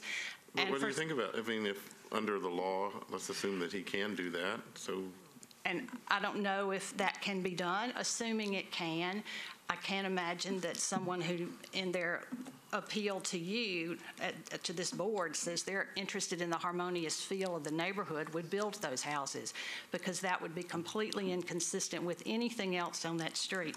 In my objection, um, that I think y'all have, I walked up and down the street and took pictures of how lovely Glen Echo is. Um, There are no houses that have front parking um, and a reduced setback. It's a lovely street. If you put these, um, if you crowd six houses into a lot that doesn't need six houses, I mean, I, I would prefer that the builder go back to planning and say that he now objects to those conditions and divide this lot properly into two lots rather than three. It's that, that is the self-imposed, self-created hardship. No, I guess the, the question I have was that, um, let, let me hypo, and, and I don't think that that's possible. It, it, it might be wonderful, but I'm not, I, but, but let's say hypothetically, this were two lots instead of three. The one on the left, still, if it's bound by that setback requirement of 80 feet, makes it essentially an unbuildable lot. And, I mean, this, this board has been very sympathetic to folks that come with unbuildable lots based on a countywide rule that uh, creates averages that sometimes on lots like this uh, make that uh, inappropriate. And so what would, what would the appropriate setback be for a home there? If there were just four, four houses on that primary lot, um, I think they could build, be built in a way that was consistent with the, the street. And even if they had reduced setbacks. There are houses with reduced setbacks on the street, they just don't have front entrances for cars. And I think a si, the, the revised plan that the developer submitted does have um, garages in the back for the two, those two lots. And on the left-hand lot, though, there is a garage that is in the front of the house, so there's still going to be the parking And- and mess I'll- right there. Right, so it's, at some point, we will have to determine what is the appropriate setback for the, the three lots or, or two lots. We don't have any control over someone's ability to build one or two homes on a piece of property. Um, I mean, that, that's set by code, and so we, we, it- a density question really isn't something that we can address because it's not what uh, we have the authority to address today. It's really what is the appropriate front-back setback. Uh, If they'd come and, and ask for a side setback, I, you- I think an argument of, of being uh, self-imposed might really apply because they're the ones that divided it into three. But they're not talking about side, they're talking about front to back. But, so I guess the question, I mean, I- when I looked at the site plan, um, as far as these things go, and it's happening all over town, and it's a a concern for a lot of folks, and um, I've expressed concern about this type of thing before, but at the same time, we have rules that everybody has to, to follow. And, and when I look at the site plan and I see six homes with only two driveways and, and most of the garages, you know, three of the six garages in the back, I think, wow, nobody really does that. That seems kind of nice. And, and when I looked at the overhead and I saw the three houses to the right of it that had three big driveways and parking pads, I thought, man, this may, you know, this, this might actually be something better than what other folks have to do based on their lot. So I guess I really do want to understand what, more the opposition, what, what is the basis of this? And, and if 85 feet makes these lots unbuildable in a front to back setback, what is acceptable and what? Because you, you can't, we can't just say, hey, you, you can't build on your lot. If you have a lot that big, you know, whether you build one house or two houses, that's up to them, but there has to be some ability to say, where can you build? And my question would be, can any developer divide a parcel into lots in a way that, that makes it hard to build as a justification to get the variance the developer wants? I guess I'm, I'm not, and we can talk about this as a, a board, I'm, I'm not hearing the, the hardship in, in the same way. I'm, I'm, I'm not hearing a narrowness, I'm hearing a front to back and, and the fact that it's kind of, I don't remember what kind of shape you'd call that, but where, you know, even, even if it were one house and, and, you know, the house that was there, it appeared didn't have much of a backyard at all. If, if they were to build one house on the old lot, I wouldn't be surprised if they came and said, we need a front setback because we can't go back 85 feet to build a single home. And so that, their hardship really is, has to do with that diagonal line in the back of the lot as, as I, as I read it. And so that's really kind of where I'm struggling. And, and don't get me wrong, I understand the concerns that you all have, and there's an awful lot of folks that have those concerns, and I appreciate that too. I just, I really want to understand if they have a right to, to build certain things that we have no control over, uh, this really is about how far away from the road can they build. And I said at the community meeting, I do not have an objection if the garages are in the back. And the developer builder said that he would come up with a plan for that, and he, the plan he came up with had the um, garages for the far left house in the front. But I would not have an objection with the reduced setback if all the garages and entrances are in the back, because that's consistent with the way the street looks.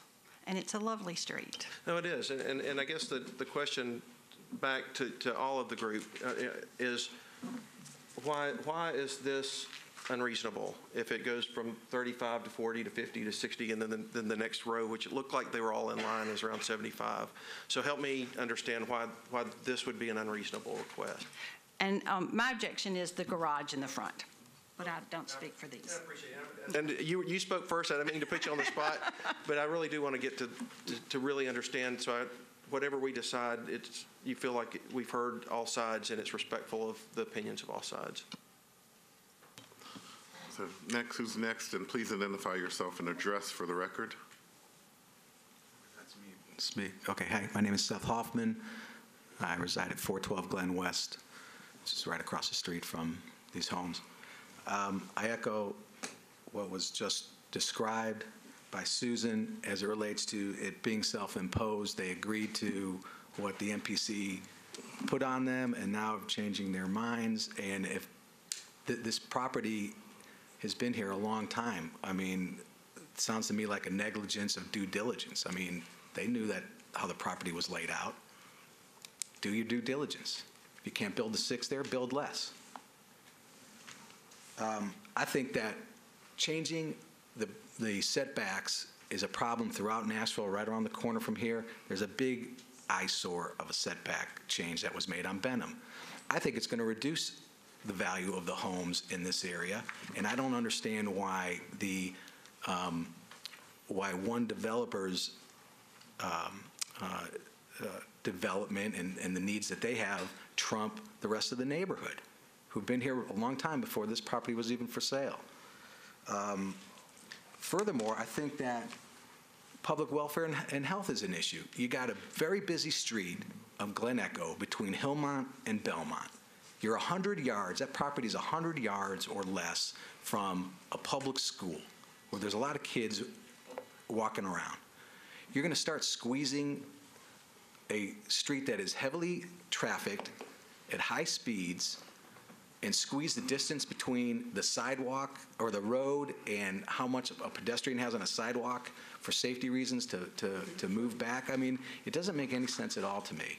And I, I just don't understand how um, this could be approved, given that 75 setback and, you know, the discrepancy in the neighborhood. Let's have a little continuity here. Six houses on one lot, if he's got the right to do it, go ahead. If he wants to build three, or those six in a, in a manner which he claims himself, it sounds like he doesn't even think that that would look good. Go ahead. I don't know why you'd want to do that and come in here and claim you're trying to be harmonious with the neighbors.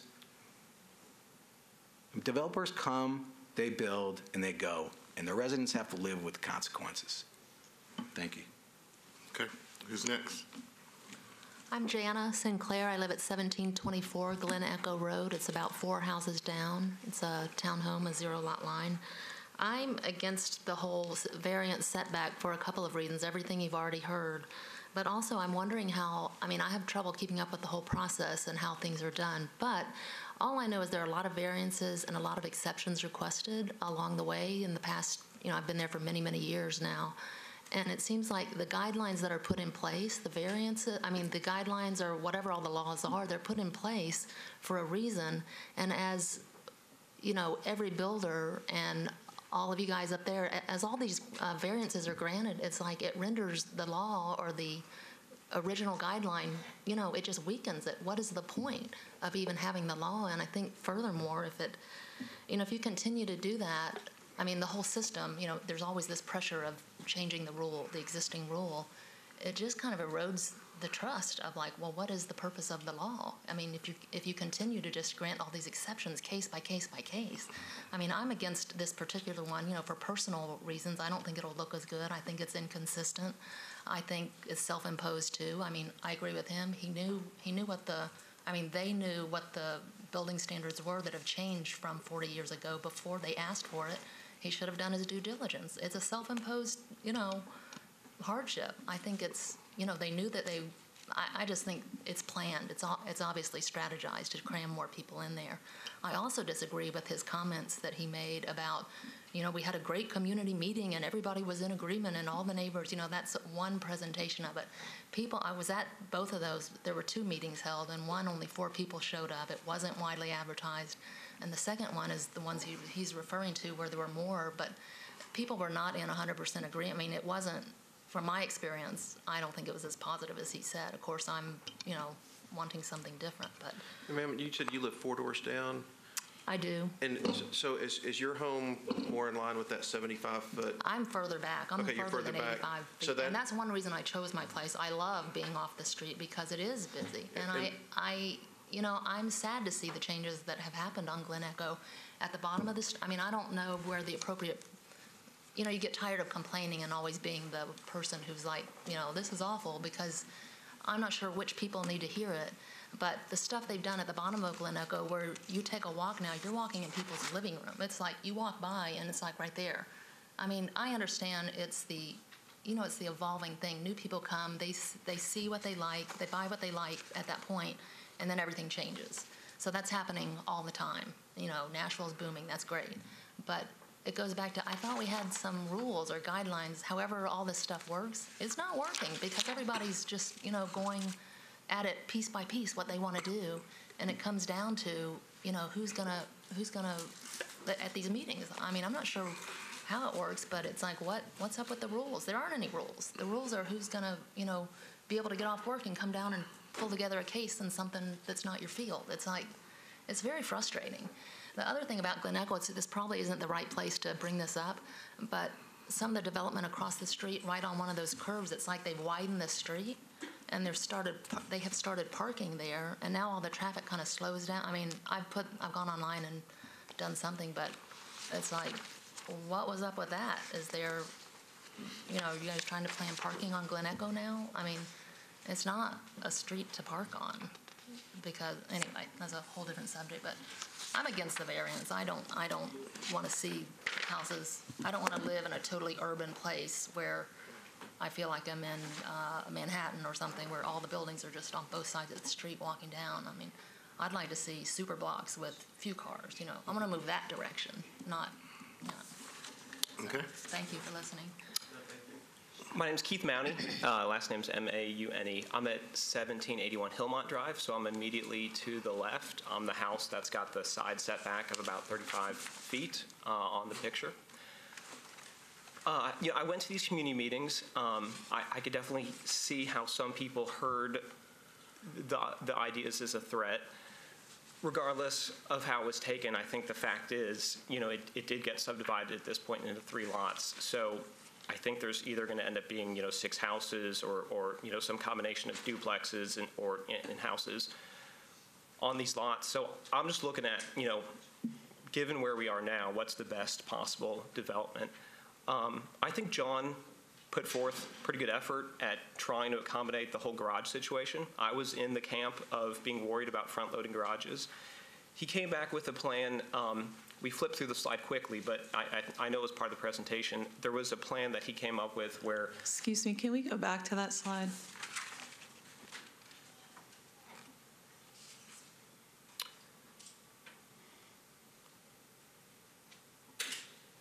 Well, You can uh, keep going, I'm sorry. Yeah, so uh, while you're pulling that up, um, I think the three on the right had rear loading garages. The three on the left did have garages in front, but they were side loading.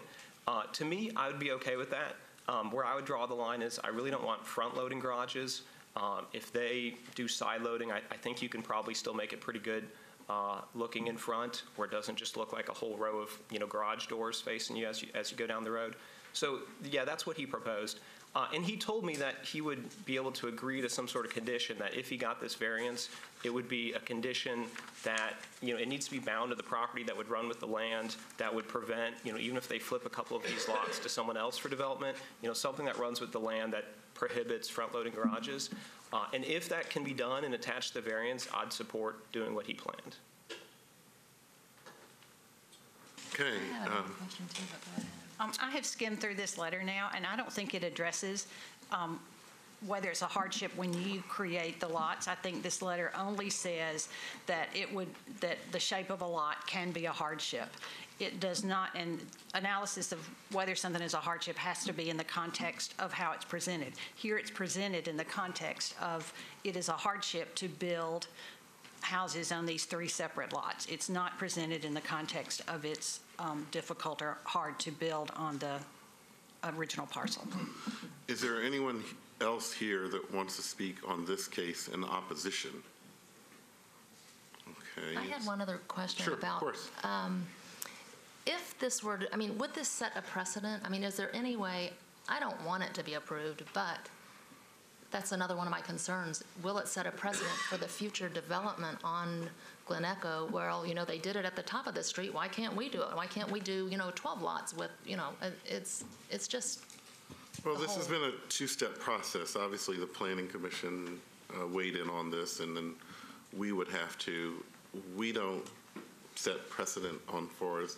Each individual case is stand on its own and has its own set of facts. That doesn't mean some developer comes along and sees what the trend in the neighborhood will come by and try to do that or attempt to do that, but they have to go through the same process if, depending on the zoning and the street and the lot. Any other questions for the, op- I yes? have another question. Um, Will this, if y'all approve this, will it go back to planning to confirm whether this particular plan is consistent with the conditions imposed by planning? Because I'm not John, sure. Mike? No. Yes. Yeah, but the, were the conditions, the conditions were no uh, front-facing garages and no parking pads in the front, I believe. Is that, It was limiting the cuts on the street to two and then also said, um, I'm sorry, it was limiting to what? limited the cut, the driveway entrances Okay. on the street The to one cuts. additional. And then also no non-permeable parking in the front, and I'm, I can't tell from looking at that plan if the little speckled area, which I assume is concrete, is, um, would constitute a non-permeable parking pad under, in planning's view. Okay. Any questions for the opposition? Do you have anything else to add? Okay, thank you. Let's hear from the applicant again.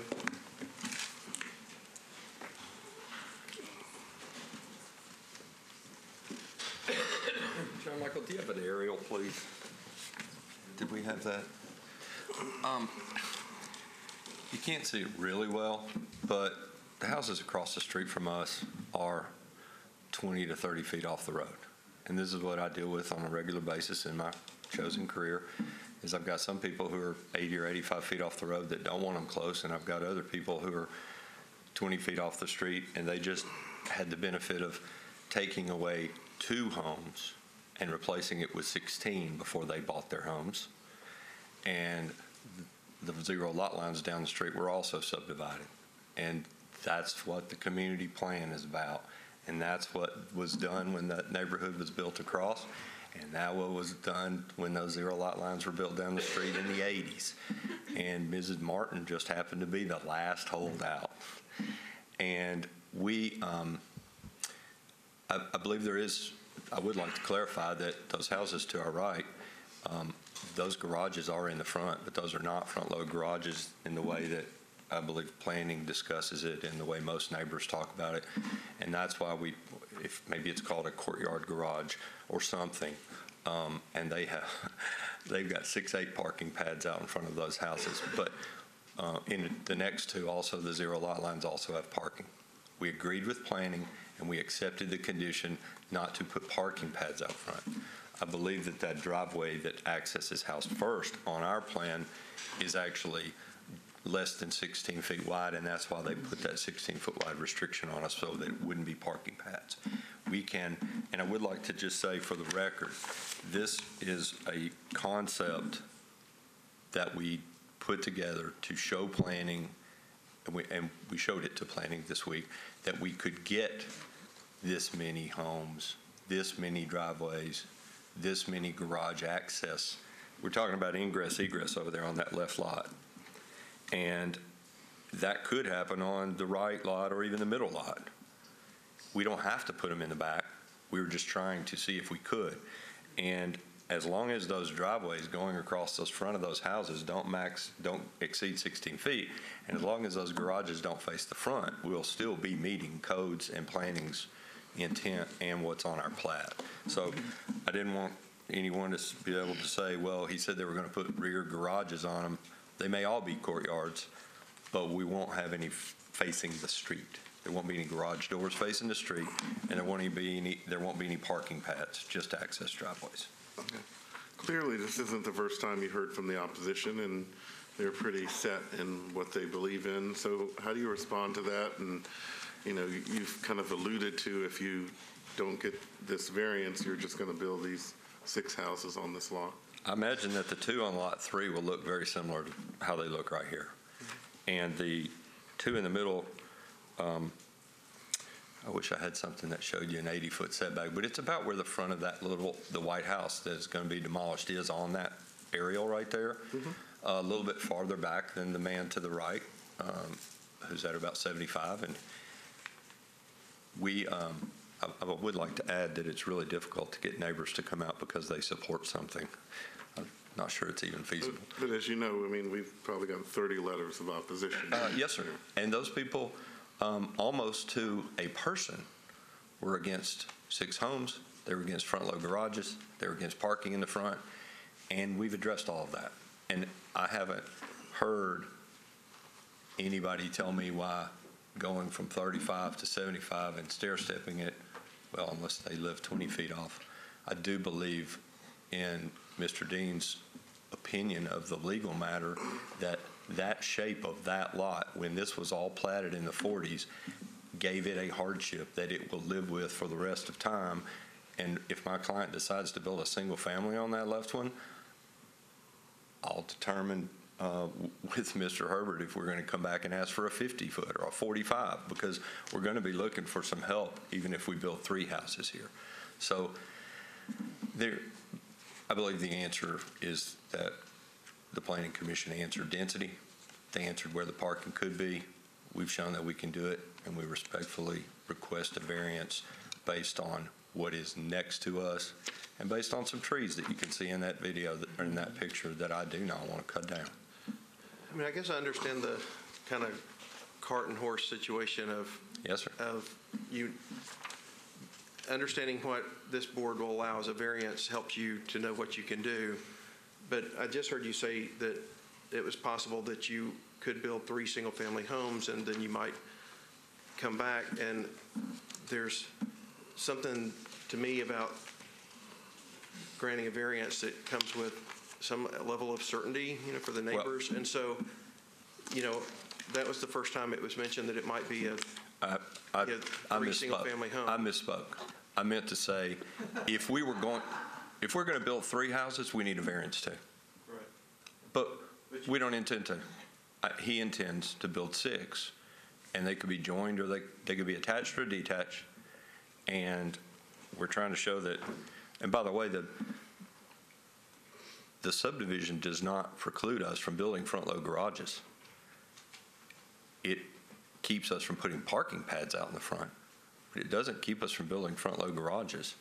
And it just limits us to 16 feet of width.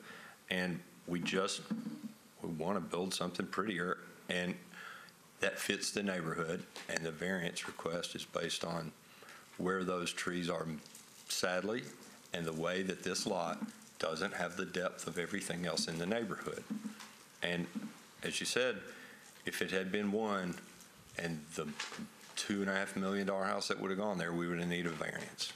so I guess the question is, what, um, the question I have is what, you're asking for, you know, for, uh, 40, 50, and 60. Um, What is the most that it could be and for you to still do what you want to do? Well, I appreciate that. I, the architect has not worked on this yet because we were trying to determine what um, the minimums. I believe we could do 45 and 55 and 65 and still give the additional 10 in the back. If we, if I back it up any more, I'm going to need to take away this, making the back setback 30 feet. I'm going to need to just keep the 20. And that, and, and just let me speak, and that is coming from the rear property owner's perspective, you know, not wanting to see, you know, a big, uh, house in their backyard. Um, and we understand that, and so we're trying to work both, both sides of the road, if you might say, the rear property owners and then the front ones as well, try to make a, a good, clean, uh, transition from the corner lot house all the way up to the existing home on the right of our development. So, anyway. I think that's what I had. Any other questions for the applicant? Okay, we'll close the public hearing. Thank you. Thank you. Discussion. Well, I am not in agreement with the variance request. Um, I did my own, I know this is not official, I did my own look at it using this graphic scale on their survey, and I don't think the lots are unbuildable. Um, I mean, the one, that's number one, it would be very tight, so, but the other two are, they have a buildable footprint may not be two houses, it may just be one house, but it's buildable. Um, Also, the odd shape of the lot at the back was a known condition when the property was subdivided. So to me, that's still a self-imposed hardship, or it was a known, it was something that was known um, before it was subdivided. Christina, uh, will you tell me, I mean, since you've done the math, how, how, when you say buildable, I don't know. Okay. All right, My, my eyes aren't as good, but I can still see what you say. Okay. Yeah. Yeah. And, and I tell you, the one thing, you know, it- does it, and- and I don't, I didn't get the council member's letter. I mean, I've looked through my, if, if someone has it, I- Yeah, I would like I- to see it. I- And I've looked through that packet twice, and I really wanted to see what the council member had to say. Here, Uh, I have it. Um, he says, or do you want to pass it? Mhm.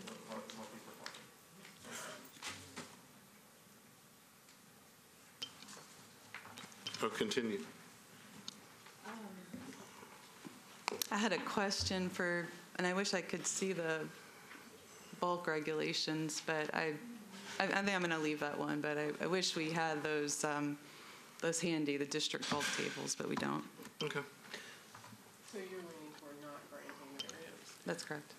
I mean, I, I, I tend to always think, I mean, I, I- I do appreciate the, the sizes of the lots. I do think that people have a right to build uh, on lots that are, you know, .2 acres is certainly a, a- a buildable lot. And I also very much appreciate the drawing that you shared to say, hey, no, this, is it buildable or not? But the thing that is um, bugging me a little bit about this, especially given the, the council members' opposition and the substantial number of people that, uh, neighbors that are opposed to it, is the hypothetical nature of the proposal. I mean, if, if this specifically was absolutely what was going to be built and they'd done the neighbors, and we talked about 45, 55, 65, or 40, 50, 60, uh, it's a little bit different than saying, well, give me that setback, and then I'm going to go see what the demand is, and, and then I'm going to decide, you know, we, we, I know that the applicant said they misspoke, but is it one, two, or three? But they also said, is it detached or not detached, which doesn't seem to, based on their testimony, to be settled. And there's something about that that, that, um, again, given the impact that the neighbors have expressed that it will have on their uh, situation, it, it makes me a little wary because I, I do think people have a right to know what, what's going to happen. And this is a, maybe not, this might be a typical kind of case that here you have a developer that wants to build some way and needs some variances. But if they don't get the variances, they could still build on the lot. It might not be aesthetically pleasing to some. And the neighbors or the people in opposition, you know, know that and they're still in opposition. I didn't really hear anybody saying, well, you know, I'll go with what the developer said because I think that that's a better option than the base zoning on this property. So as you noticed in our packet, we have over 30 letters of opposition of people who live in the neighborhood and including the council person. So this is one of these cases. Like you said, you don't really, the developer can build something and probably will build something on this lot. So it's, but when you ask for a variance, a variance is deviating from what the law says. And you have to have a hardship and you have to have a good excuse. And for many cases, you have to have community support. I, I agree with that, but I would comment that all, a majority of the letters of opposition are opposed to having six homes, which is allowed. I mean, so the opposition is really driven by the number of structures and not as much by the variance, the setback, although that's part of it as well. And so we often are faced with these cases where the developer has the ability to build six homes, period, whether we grant the variance or not. They can put something on that property, as I understand it. Can I, uh, do you mind if I interrupt? This is why I was wondering about the, I think it's the district land use tables. I thought that something that zoned R, like R eighty through R six, I think, you're not, you're permitted to build two families, two-family as long as you meet conditions. You're not permitted by right to build two. I see John is checking. Let's hear from our zoning administrator.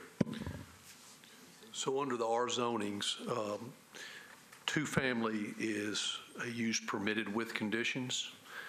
The conditions generally are and John, you can read them specifically, but generally, was the um, lot created and of record prior to August 1 of 1984? And can I ask you there, this, these are three new lots, so they weren't created before 1984, is that right? So there's other conditions. The next one um, says that, or you have a lot that has been subdivided into no more than three lots when the original piece of property was created prior to August 1 of 1984. Now, I'm paraphrasing here. And then there's a couple of other conditions. This one, um, I'm pretty confident that the planning department looked at that when they considered the subdivision process. Um, So, And originally, Green Hills had at least one acre lots. It was not part of Nashville's in Davidson County, and you had septic tanks. That's why you need your acre lot. So that's the original part of all these old lots. I, I think that, uh, I, I- think the letter that we got uh, explaining their position from Mr. Dean on the, uh, on the hardship, I think, I think that would apply at minimum to the lot on the, on the left, uh, because it, it is unique in an odd shape in, in the neighborhood.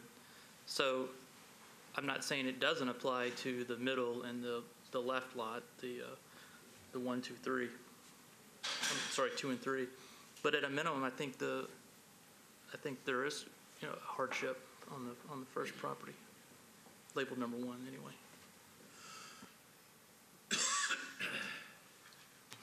Is there anyone that wants to make a motion?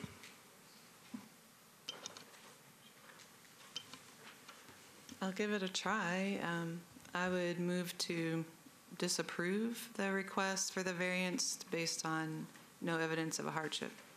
I second. Okay, motion's been made and properly seconded. Any further discussion? Seeing none. All those in favor signify, vote by, signify by saying aye in favor. Aye. Opposed? Five, two. Okay. John Michael, or do we want? Mr. Chairman, the next case to be presented to the board is 2016-191. This is a case that came to the board Okay, John previously. Michael. Yes. Quick five-minute break. The board will take a brief break and reconvene in about five minutes.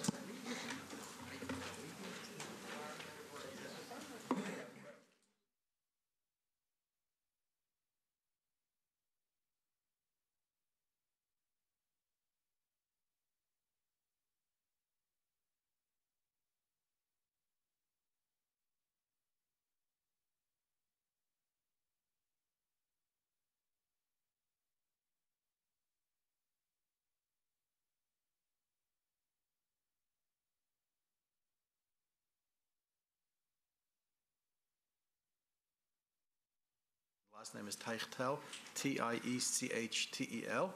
And I'm the rabbi and the executive director of the Center for Jewish Awareness. I'm here with Esther Tiechtel, who is going to be one of the directors of our proposed daycare preschool. And I'm here with Cherie Lindsley, who's our consultant director, who's helping set up this preschool. We're in existence in this building. We moved in almost five years ago, and uh, we have um, the community has grown since we have been there. Um, a lot of members have of the community of So- all of So quickly, how many people are going to be there, and why do you want to very have a brief- very- daycare? Very briefly, so we are proposing to start a preschool, and um, we are, it's in an existing building, and I'm going to ask Cherie, who's consulting and setting up the preschool, to tell you about the program. So the program will be designed to serve 28 children approximately in two classrooms. This is a beautiful new building. The classrooms are pre-existing, were designed for education purposes for the synagogue Sunday school program and summer camp, Wednesday night programs, things of that sort. So our intent is to utilize existing classroom space within this building to serve the community in yet another way. And that way is to provide the highest quality preschool setting for children from the surrounding area. Okay, tell us a little bit about your background and expertise in daycares or children. Absolutely. So my name is Cherie Lindsley, and I reside at 704 Glen Iris Court, and that's in the Bellevue community. I have over 30 years in the early childhood community. I have a master's degree in education. I teach early childhood education classes at Nashville State Community College. I am the past president of the Tennessee Association for the Education of Young Children. In addition to consulting and training, I also serve as the director of the preschool at First Presbyterian in Franklin, Tennessee. Okay. So this is my life work and passion. Wonderful. Rabbi, anything else to add about your school, and when would you hope to open if you have approval? We hope to open August 1st. If all goes well, I do just want to add one thing. I mentioned we had a community meeting, and they asked how many children is, will you be having? We do, we were approved for two classrooms, each classroom 14 children, it's 28. We have the potential to add one more, so within the existing building, the most that we can have now is up to 42 s- students in the preschool. And you have plenty of parking? Plenty of parking. Okay. Any questions by board members? We appreciate you being here. Uh, We're going to close the public hearing. Discussion or motion? Well, I'll move we approve the special exception. Uh, espe- you know, It it got approval from the planning department, and we've had uh, two council members come and support it, and uh, it's a it's a great plan. So I I will move that we approve the special exception. I'll second. Okay, motion's been made and properly seconded. Any other discussion? Seeing none, all those in favor signify signify by saying aye. Aye. Opposed? Passes unanimously. Thank you. Good luck. Thank you so much. Mr. Chairman, working our way back to case 2016-191, Nathan Nelson, the appellant on behalf of l and D Hospitality LLC, the owner of the property, for the property located at 2004 Third Avenue North, just as you leave the Germantown area and head into the edge of uh, the Metro Center area. As you'll recall from prior presentation to this board a couple of meetings ago, the request is for a variance from first, parking requirements, two, landscape buffers, three, lot size in the MUGA district, all in order to construct a new hotel at the subject property, shown here in aerial view.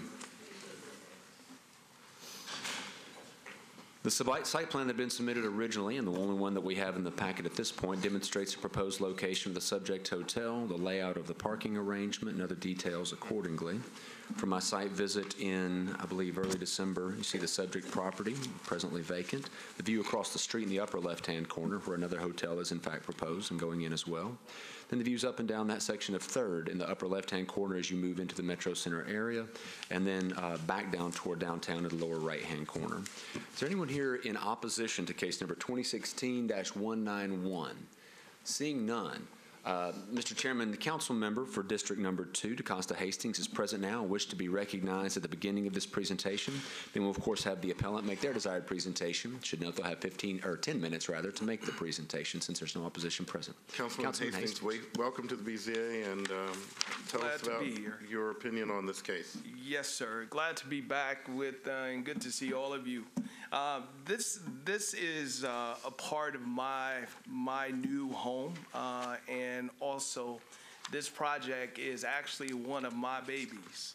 I was the individual that found the, uh, the property for the builder. I actually uh, went out to find a developer that we could work with because of our district at one period of time was was not the place to be. Uh, but right now, everybody and their moms and cats and dogs want to be where we are. But uh, actually, uh, Mr. Patel, which is the the property owner, uh, actually um, had a really, really, really good plan, and uh, we saw that where the BZA we're talking about buffers and all of that that good stuff. I want to encourage you guys to know that this is a part of a plan that I I directed, and I'm looking forward to this this development being something that is going to move our community in the right direction. Uh, on one side, as we know, is the highway. Uh, The other uh, side, as far as the entrance of this, this facility, is adjacent to another facility which we know, which is uh, dealing with families and individuals from, from some uh, terrible things happening to them. Uh, The builders and the developers do understand that. I made it very, very, very, very clear to them. Uh, And uh, we do understand that the property that they are building on is actually an old, old, actually Metro Center was the dump at one period of time. Uh, So there are some challenges with building there as well. We want to get something really nice and uh, that's going to add to our, our community uh, because it has been a place to harbor uh, a lot of homeless and a lot of those things that have been been there. Uh, we have other things that are there to be able to help them. It's helped a little bit with knocking down trees that are there, but we want to make sure the right type of development in bus- business is there. The, uh, the actual owner and developers of the property have worked with me hand in hand. I don't know all the dimensions, but I do know on the side of the council and the planning aspect of this, I think this is a really, really good thing for us. And I, I hope and pray that uh, today that you guys will be able to, to work with these guys to make sure that we get the right, right things in place. And uh, that was my, my will and my, my lear- last sermon. I have to go over to planning now. I have a hearing over there. But I really appreciate you guys. Thank you very, very much. Thank you, Councilman. And please identify yourself for the record, your address. Yes. Uh, Good evening. Uh, My name is Nathan Melson. Uh, I am with uh, Site Engineering Consultants. We are the civil engineering consultant for the, uh, for the owner on this project. Uh, Previously, at the, during the December meeting, I had, we had requested four variances, one for parking, two for landscape, for two separate landscape buffers, and one for build-to zone. Now, uh, I have since submitted documents uh, that we are no longer requesting for variances. We have been able to achieve, meet the requirements for parking, as well as uh, shifted some of the site layout to uh, provide the buffer for the adjacent uh, sexual abuse center, which is the 10-foot buffer along the uh, western side of the site. Um, So Tonight, we're only requesting the a variance on the uh, build-to zone and the uh, 30-foot landscape buffer, which is at the southwest corner of the site next to the main entrance um, in the bottom left-hand corner uh, of the plan, as you can see. So as our agenda, I'm sorry to interrupt, our, our agenda says parking, but you said you, you were not asking for a parking variance. Yes, I, I tried, I had resubmitted a new letter stating that we are no longer requesting those four uh, variances, but now we're just requesting two. John Michael, I have a question about that because what's on our agenda is different. So if he's saying something different, how do we handle that? Or can we proceed with him withdrawing something? Or if it's modified, does it have to be re-advertised? Probably don't need to re-advertise since it is a decrease in the ask, so to speak. They're asking for fewer things. If they were coming in saying, not only are we asking for the original four variances, but also we're going to need something else, we would have to kick that out and re-advertise it. But since it's less, it's perfectly fine. It's effectively the same notice. Uh, Perhaps good news to the board to have one less variance to have to contemplate. Yes, and we're not requesting like a change in a- the type of variance or anything like that, so. So remind us again what variances you were asking for and why. Uh, So we're asking for the variance on the build-to zone, uh, which is the zero to 15 foot, because it's an MUGA zoning. There's a zero to 15 foot build-to zone that the building needs to be built within along the frontage of the site. And why can't you do that? Uh, We are to accommodate the number of parking, uh, but with that build-to zone, there is an allowance within the code that a module of parking, which is a drive, a 24-foot drive aisle with two parking aisles, or uh, two aisles of park, two rows of parking on either side of the drive aisle, is allowed uh, between the frontage and the, uh, and the building facade. So our request with regards to the build-to zone is, is in our mind that we, or in our opinion, that we are meeting the build-to zone requirements with the exception of the uh, portion of the site that is in the bottom left-hand corner with a little triangular piece where our main entrance drive Okay. comes in. So last time your client, I asked question, how many employees work there? I'll ask you that. How many employees are at this hotel? We had, uh, when, whenever I, we were first talking about 15 employees, which for parking requirements, uh, there's 96 rooms planned for the building, 15 employees. So the minimum parking, or minimum parking requirement is 104 spaces. And, uh, but there's an- also a reduction allowed in the code because the site uh, it abuts a public transit route, uh, pu- or bus route. We are allowed a 10% reduction in parking, which drops us down to 94 spaces minimum, and we are meeting that requirement. That is if you get the uh, footprint to where you want it. So I'm assuming if you didn't get the build-to zone, that What- would res- restrict parking too, right?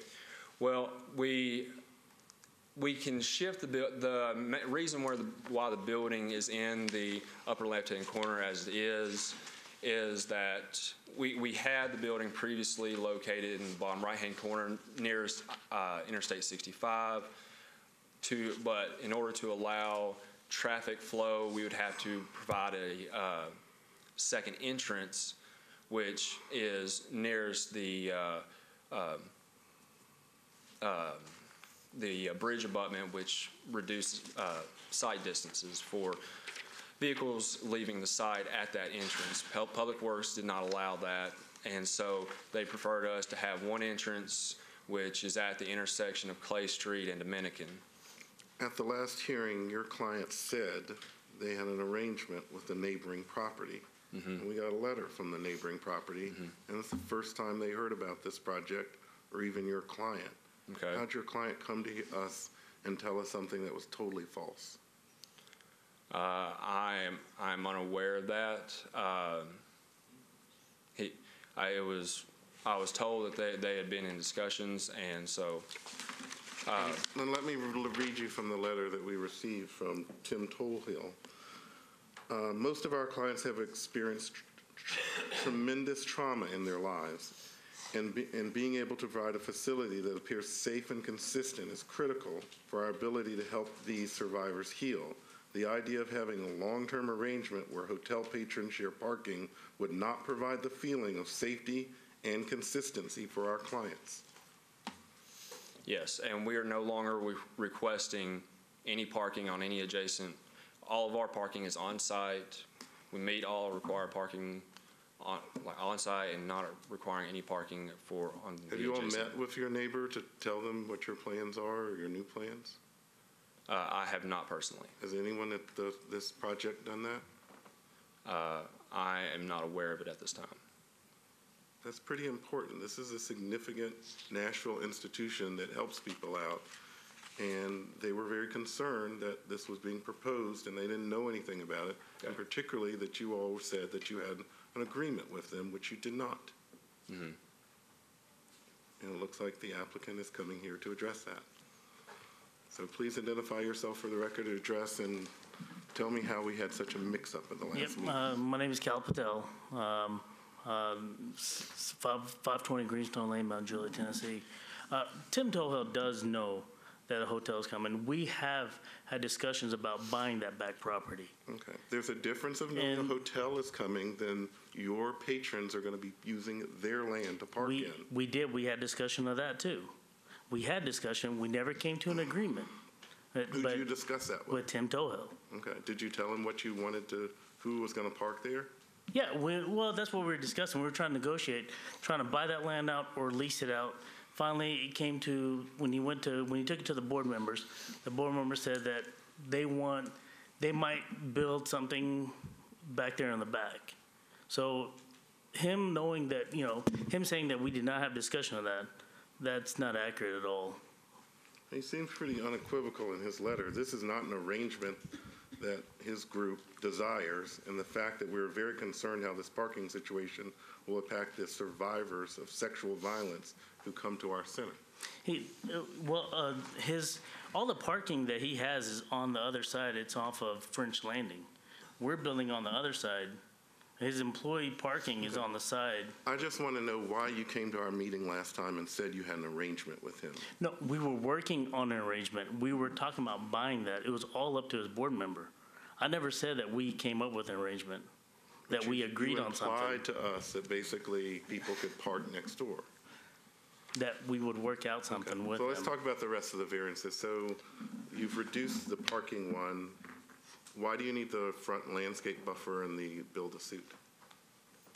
The, uh, The request for the uh, landscape buffer is for the bottom left-hand side, 30-foot wide strip uh, along the bottom left-hand corner uh, along, at the main entrance. Um, The reason for, the reason for that buffer is because an R6 zoning district abuts our property. Therefore, uh, that requires a minimum 30-foot buffer. Now, that R6 zoning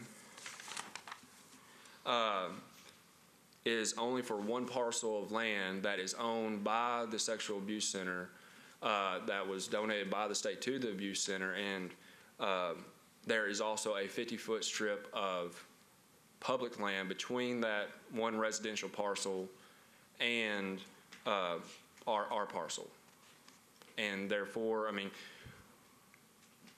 we, we feel that that 30-foot buffer is excessive. I mean, we plan, it is our intention to dress up and plant landscaping and trees necessary to create a screen from the uh, uh, sexual abuse center of the hotel. And also, in addition to helping with that screen, is that we But do you think the 30-foot buffer is excessive considering what your neighbor does and what their mission is?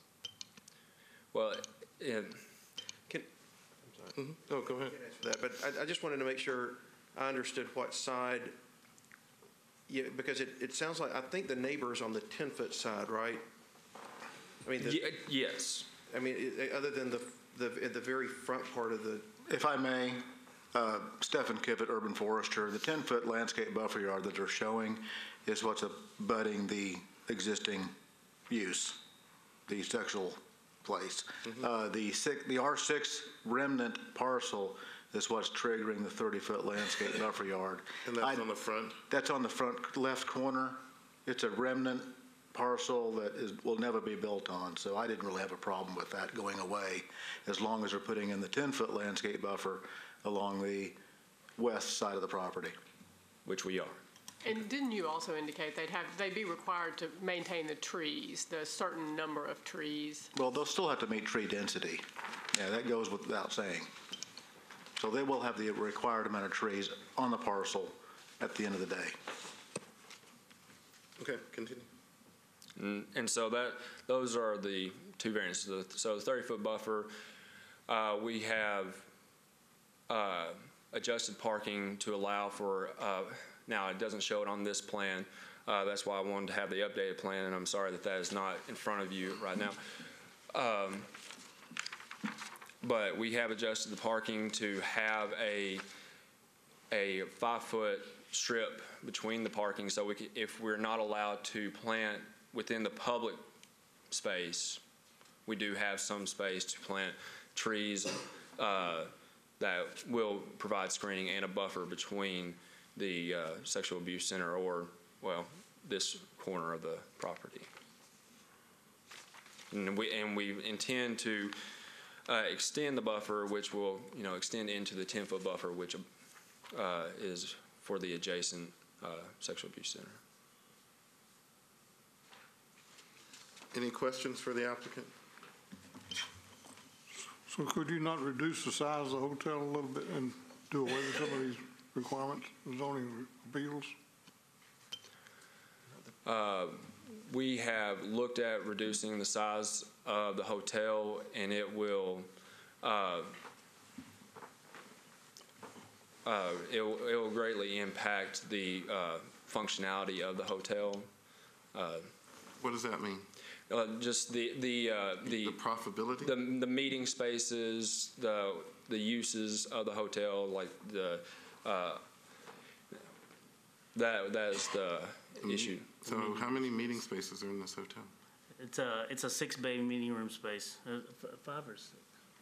I think, uh, I think it's right at, uh, I think it's six, six-bay meeting room space, which is gonna be r- close to about twelve hundred square foot. So why are you still asking for 96 rooms if you could ask for a smaller hotel, you wouldn't need some of these variances? What's your hardship that you're asking for this right now? Uh, Well, the hardship is just that the, it does not seem, uh, seems unnecessary to have a 30-foot buffer with this R6 district, when that, Okay. it won't be used for. What about the other one? The, the hardship is the, uh, the irregular shape of the frontage. There will be some portion of the building, just due to the zoning code and that, we have to have forty-five percent of our building facade along the frontage of, of the property, which we are meeting. Uh, But due to the curvature and irregular nature of the facade, there will be a portion that will not be within that fifteen-foot or the, the allowances given by the code with the modular parking. So it's the section of the property that is the little triangular piece at the entrance, the driveway entrance.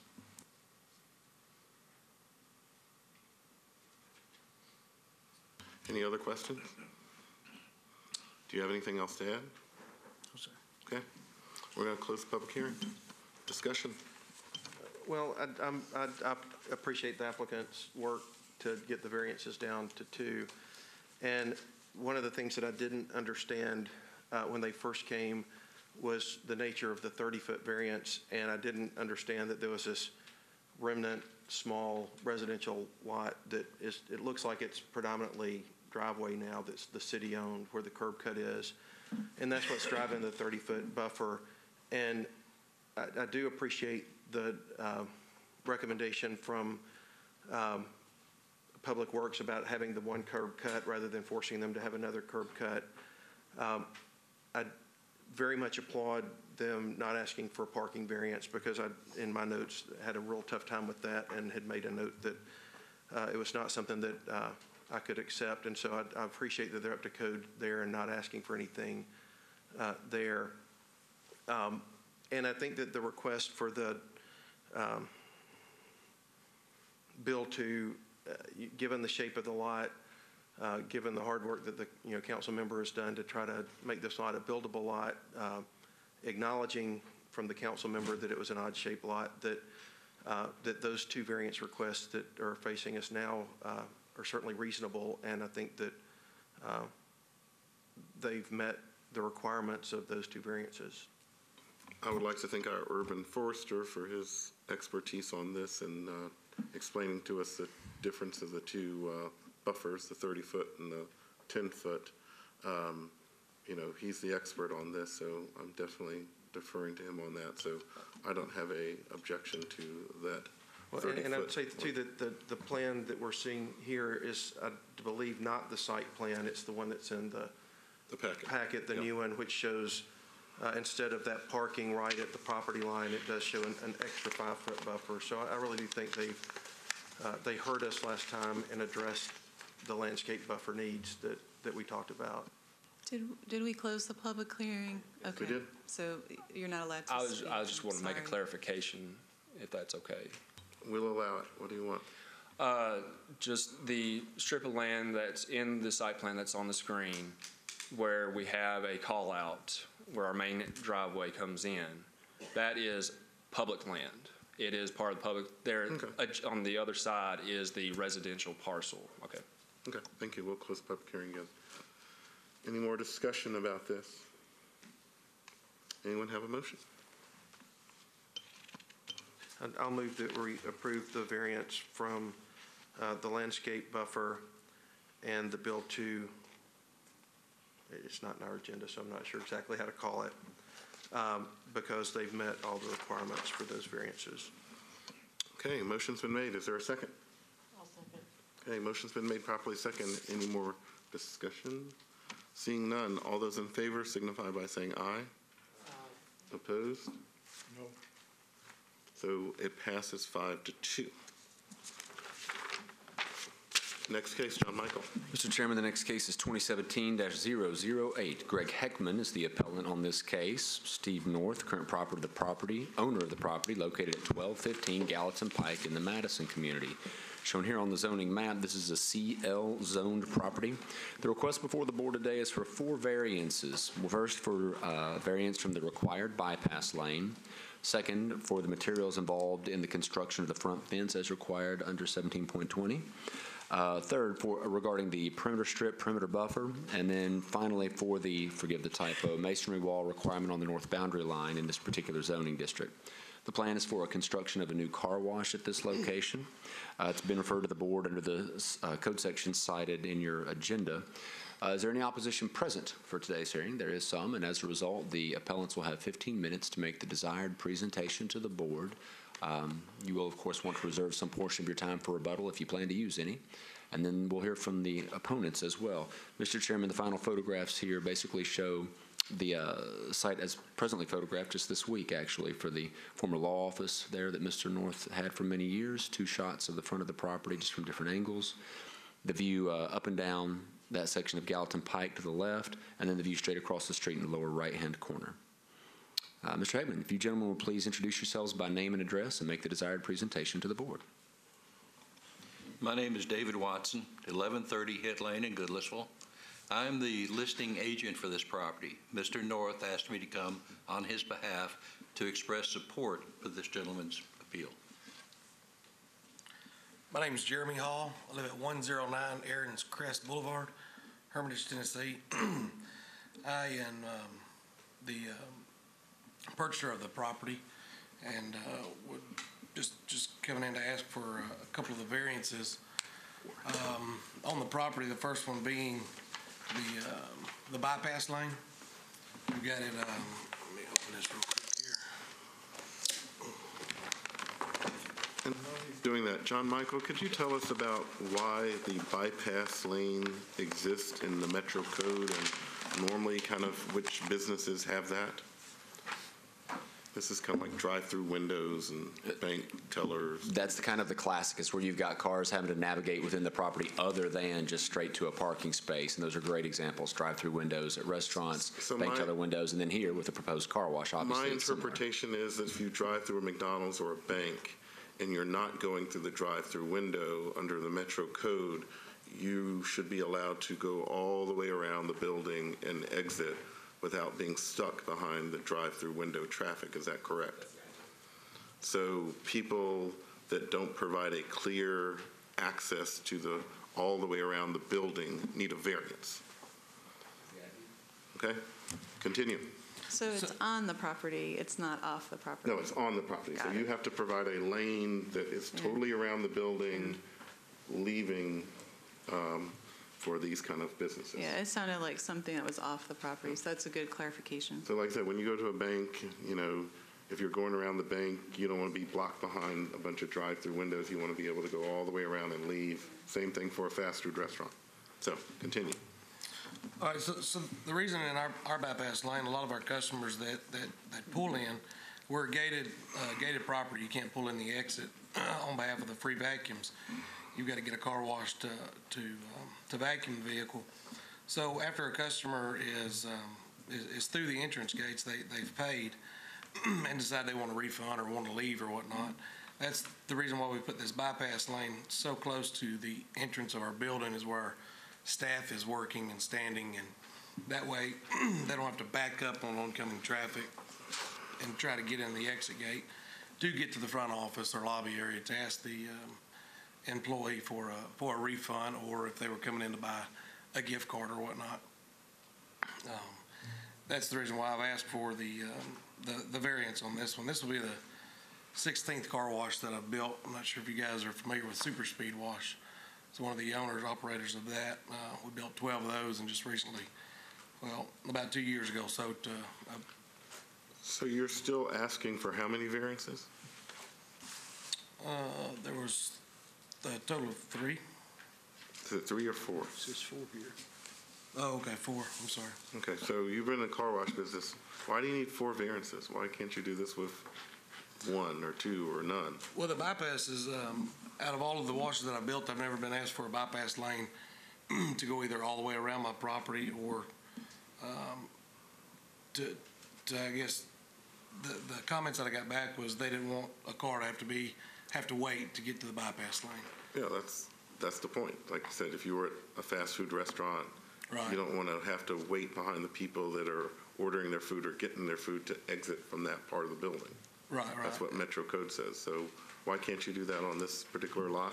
Well, out of the, um, uh, on this particular lot, it, w- it wouldn't allow for the, uh, the, um, the access to go all the way around the back of the property. But it looks like a pretty big lot, so How, how does that work that you're not Well, it's, able to? it's a little bit under an acre, and we're um, ate up by quite a bit of it, excepting the uh, eight-foot sidewalks and landscape buffer they want, um, and along with the uh, adding of the curb and gutter along Gallatin Road. Sure. um, Which, the adding of the curb and gutter, the eight-foot sidewalk, and then also the grass strip, plus the landscaping buffer that we're, you know, uh, not asking for a variance on, has ate up quite a bit of the property to not allow for that bypass lane. Okay. What about the other variances? Uh, The other one, a big portion of our business is um, on um, impulse and. it's on what? Impulse, like, you know, people driving by just don't really plan to go to a car wash, you Oh, see, and you kind of pull in. Okay, yeah. They, Um, they see a car wash, they pull in and say, hey, I could use that. Right, right. So the, um, the masonry wall, two, two and a half foot masonry knee-high wall they call to uh, go in front of the property along um, Gallatin Road. Um, What, what, what I've had happen in the past is farther down the road in East Nashville, I built super speed wash there close to Trinity Lane. And we did the, the two and a half foot masonry wall there. We've, um, we've had a lot of graffiti on it, so we're out there constantly cleaning that. I like the wall idea, but what I would like to do is the um, masonry pillars with like a wrought iron in between, um, or a- an aluminum gate, just to kind of cut down uh, um, on the graffiti that could happen, and then also um, um, open up the visibility of, of my location a little bit more. But the wall is supposed to be used as a screen. You heard us talk about the buffer in the last case. I mean, sometimes these walls screen Mhm. certain activities, maybe like a car wash. So what's And- the and I'm hardship fine- I mean, about I'm- I'm fine with the wall. The, the biggest thing I had is the previous, uh, when I had the car wash down closer to Trinity Lane there on, um, on Gallatin Road, um, it was graffitied quite a bit, so we were constantly cleaning that just to kind of keep it attractive. Um, I'm fine with the wall and I don't have any problem because I've done it before, but Okay. just What- trying to eliminate some of the graffiti. What about the other two hardships? Um, the other one is the, uh, the wall on the, the north side of the property, which, um, is, is behind, I guess, the, um, my, behind my car wash here. It wants a, um, a six-foot masonry wall from the, the front of the property all the way to the back of the property. With where my building is, my building is, um, um, 80 foot long, and then I've got a 30 foot canopy there, so that's a good portion of it um, with, with where I've got it pushed up to the, the, um, the north side of the property, I put my um, reclaim tanks. We reclaim about 75% of our water that we use. My reclaim tanks normally go in the back of the, uh, the building there, which would cause, um, cause me to have to move my um, car wash out a little bit in order to obtain that. um, What's wrong with that? um, it, it cuts down on this, uh, the grass area over here is where we're proposing to put the, um, the retention, um, the water quality and retention area. Okay. And you're asking for, the- what's the fourth variance you're asking for? I, I wasn't aware of a fourth one. Is there four or three? Four. Four, yes. Maybe it's another wall. Bypass lane. Well, there's, Two there's walls. two on Gallatin. I think he's, he's proposing the same solution for two of the variants. Yeah, I'm sorry, uh, the, the one down Gallatin Road and which continues all the way down Berkeley is the, um, where, where I'm proposing to do the masonry, um, pillars with the, with the wrought iron in between versus the complete masonry wall. Okay. And Mr. Chairman, as you recall, you have the urban forester here who is, of course, capable of speaking to the perimeter landscape um, Yes. requirement that's in play there, in case there's uh, questions from the board on that. Let's ask our expert. The, uh, Urban Forester, why this is in the code and. Well, the two and a half foot wall around the perimeter is coming out of the permitted with conditions section, as is the six foot solid wall on the north property line. That's where all that's coming from. It's permitted with conditions triggered by the use of a car wash. So in the code specifically, car washes have this rule, not They have fast screening, food there's restaurants. screening rules, yes. It's very specific to car washes. And why do car washes have those rules when other businesses don't? Probably from the spray, I'm guessing. Okay, a solid wall. And As opposed to something visual, it's probably a spray thing. Uh, Anything with noise or Right. anything light or anything like that? I've got, I've got pictures here if y'all like to see them. The, the car wash we just opened in Dickson, this is a Is identical. it the same kind of car wash? Yes, sir. Okay. But the, the, the six-foot wall on the north, the perimeter on the west and the south, which includes not only the, the uh, strip of landscaping, but also the two-and-a-half-foot wall. And then on the east would be a buffer due to a zone classification change. And that's an A buffer, it's one of the minimal ones. That'd be required on that property line. So tell us the difference between an A buffer and B and C and all that. A is the least intense, it's just, it's for a minor zone change. So A what kind of things do you have to do for an A buffer? What's, uh, well, all of them include canopy trees, understory trees, and shrubs. It's just the numbers and the width that is required. A is very minimal, smallest width, fewest plants. A D would be something, would be like industrial up against residential. Okay. Very intense, lots of plants, very wide. In fact, the widest one, I think, is 50 feet. Okay. Hardly ever gets used. Thank you. Have, uh, have you spoken with Councilman Davis about this? We have a letter in him, from him, from the previous, uh, oh, no, wait, this is for, sorry, I was misreading this. He is asking that we defer this for, uh, till February 2nd. Uh, have you, have you spoken with Councilman Davis about I- this? I did speak with him. Um, I spoke with him, I think, the later part of last week. Um, He returned my phone call, and the, um, he had made no, um, no ask of that. He said that he appreciated me deferring the first one to give him time and uh, to, to meet with his community. And I told him I was more than willing, you know, to do that, and I did that. And I told him I'd also be more willing to meet with him and So his you, community. you've, you've met with some community people? No, sir, I'm Oh, not. you have, okay. Yeah, he I'm said sorry, I that- was, I was confused on the, it, it- it is, the letter's dated January 3rd, so I'm assuming it was meant for the last meeting, but, Yeah, see, we, I, I believe our first meeting was, um, January the fifth. right. And, uh, he, he asked me to defer that to this meeting, two weeks. Um, so it would allow him time to meet with the community. And also, um, you know, it generated so much press that, um, you know, the Patton and, uh, I mean, the old general and Elvis Presley, you know, was managed out of that house. Right. Um, you know, to, to give somebody time to, uh, to come up with the money and buy it to do with what they want. And I told him that there's a price, yeah, I mean, I, I would sell it, but within that two weeks, nobody came and made an offer, so. We have a letter from uh, Jerry and Jane Armour, who live in Madison. And in reference to the masonry wall, they point out the nearby masonry walls that are long along Gallatin Pike of the Spring Hill and National Cemeteries. Are you familiar with those properties near Briley Parkway? Yes. So they obviously have these long walls, just very stately. I mean, I know the National Cemetery was built right after the, or during the Civil War period. Um, Isn't there, you don't have any need to uh, follow the code with that strong of a wall and that kind of look? May I say something? I'd like to point out that the cemetery is not advertising for customers. This gentleman would like people to come into his property. And, and You're saying they another- have a built-in customer base? Is- Yeah, and the, uh, the, uh, the walls across the, um, in, in front of the seminary, they're, uh, they're like a stacked stone, just a, a rock. Um, which, you know, that's something that, um, um, you know, we probably wouldn't, wouldn't carry that through. We'd probably do a, um, So the- masonry block or, um, The pictures that you passed around, there seemed to be some sort of tower and it said car wash or wash and roll. Is that the name of your? that's the name of my company. Okay, so doesn't that attract people, this big, almost a story and a half sign that says, this is a car wash? Oh, it, it does. Uh, I just said, you know, a, a lot of our, um, and, and I'm fine with the masonry wall. I just preferably think that, I've been out there scrubbing and high pressure and off graffiti in the past. And that area there is not too far from the other area that I have in East Nashville. I assume the same thing could happen.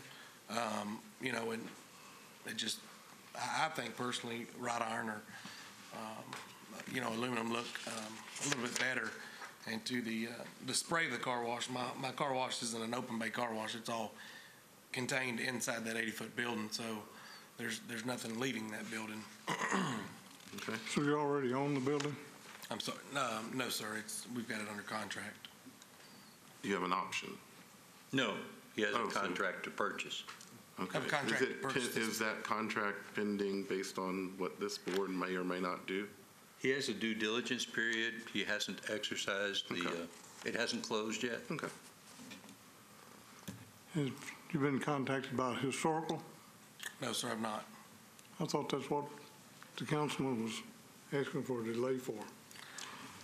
If I could clarify, Mr. Chairman, on that particular point, though the property is not uh, directly under the bailiwick of our historical commission, I think lowercase, lowercase h, historic interest in the property has been uh, a source of community concern and subsequent concern of the district council member and even the neighboring district council member.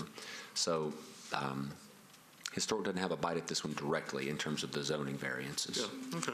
M- May I speak to that? Sure, of course. Uh, Mr. North has had the property for sale for over four years. I think, I am, I think, the third broker who's had this property for sale. Uh, I've listed it in the Wall Street Journal. You listed in the Wall Street Journal? I really? did. I've tried very hard to sell this property. I've made uh, tremendous use of uh, Colonel Tom Parker and Elvis Presley uh, to try and motivate someone to purchase this property with a historical uh, interest. Mr. North would prefer the property were preserved, but no one has come forth with money to purchase the property in spite of all of our many and diligent efforts. The historic people put us on their watch list a couple of years ago. Uh, We've been on TV, we've been on national media, uh, AP carried the story around the country, but no one has come forth with any money except these people. Mr. North has retired, he needs to sell his property, and this is the only buyer we've been able to secure, and we have a binding contract with this gentleman to purchase the property. When all of this um, half-truth media attention came out recently, we were uh, bombarded with people, and we've even received uh, a letter of intent, but it has uh, three due diligence periods in it, and it has as much chance of happening as, well, anyway. Uh, This man has come forward, he's put his money on the line, and he's willing to purchase the property and relieve Mr. North of the obligation of continuing to own it. Okay. Anything else to add? No, sir. So the way this works, uh, we're going to hear from the opposition, and then you'll have 12 minutes of, I, I have a question. Yes, but okay, Thanks. sure. Okay, um, so I'm reading parking required. Can one of you verify, there's a couple of numbers here. To me, it looks like six spaces are required. Okay, and then you're providing 20, 22. 22. Um, so if you didn't provide all that parking, could you provide the bypass lane? I mean, we could try it. I don't believe so because the parking is in line with the building here. So by eliminating some of the parking, um, and, and the biggest thing to, to route around the building would be to build, move the building to the south, which would eliminate the spacing between the parking that, you know, are allowed for a drive lane. And then encroach in the, uh, the green space that we're adding to the property now. Do they have your drawing here? Yes. Okay. Uh, I- I'm not sure what the definition of a bypass lane is, but could that not be considered a bypass lane that allows you This- to to bypass going through the car wash and exit again? It doesn't go all the way around the building, but It it has to does go all the way relieve around. you from the obligation of going through the car wash. And that's, um, So you're using that, you're saying the diversion right before you go into the car wash, you turn to your left if you change your mind or whatever. That's correct. correct, yeah. And that- that's like I not a said, that- true bypass lane.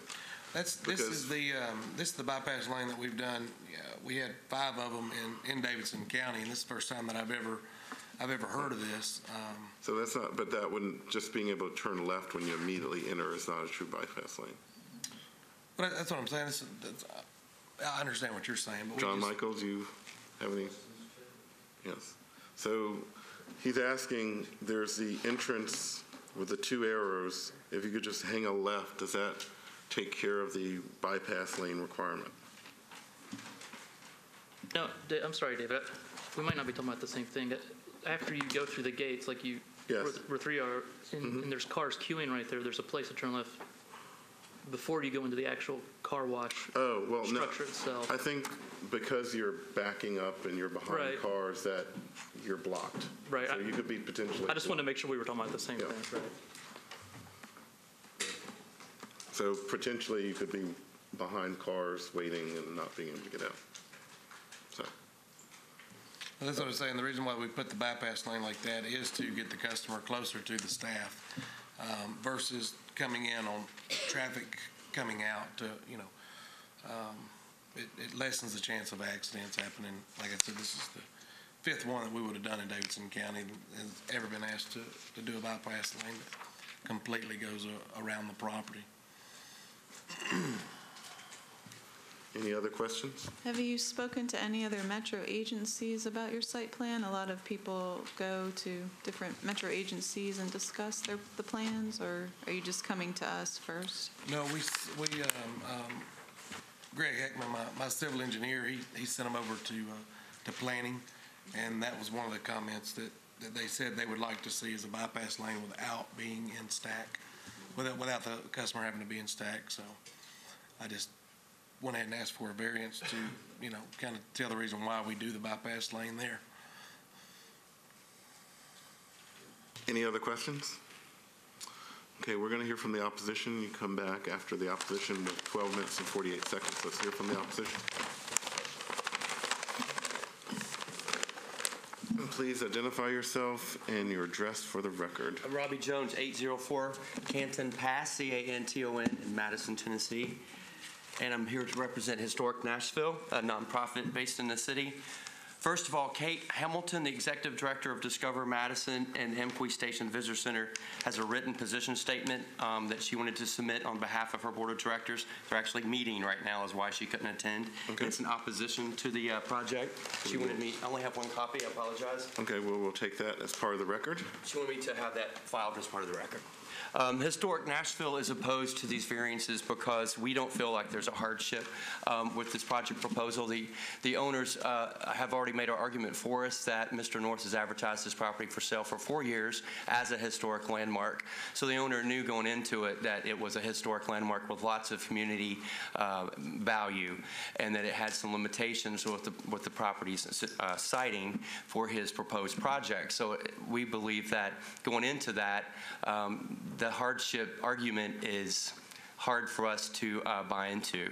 Um, we also have worked with Mr. North for a couple of years. As you know, the property is eligible for the National Register of Historic Places as a music industry landmark.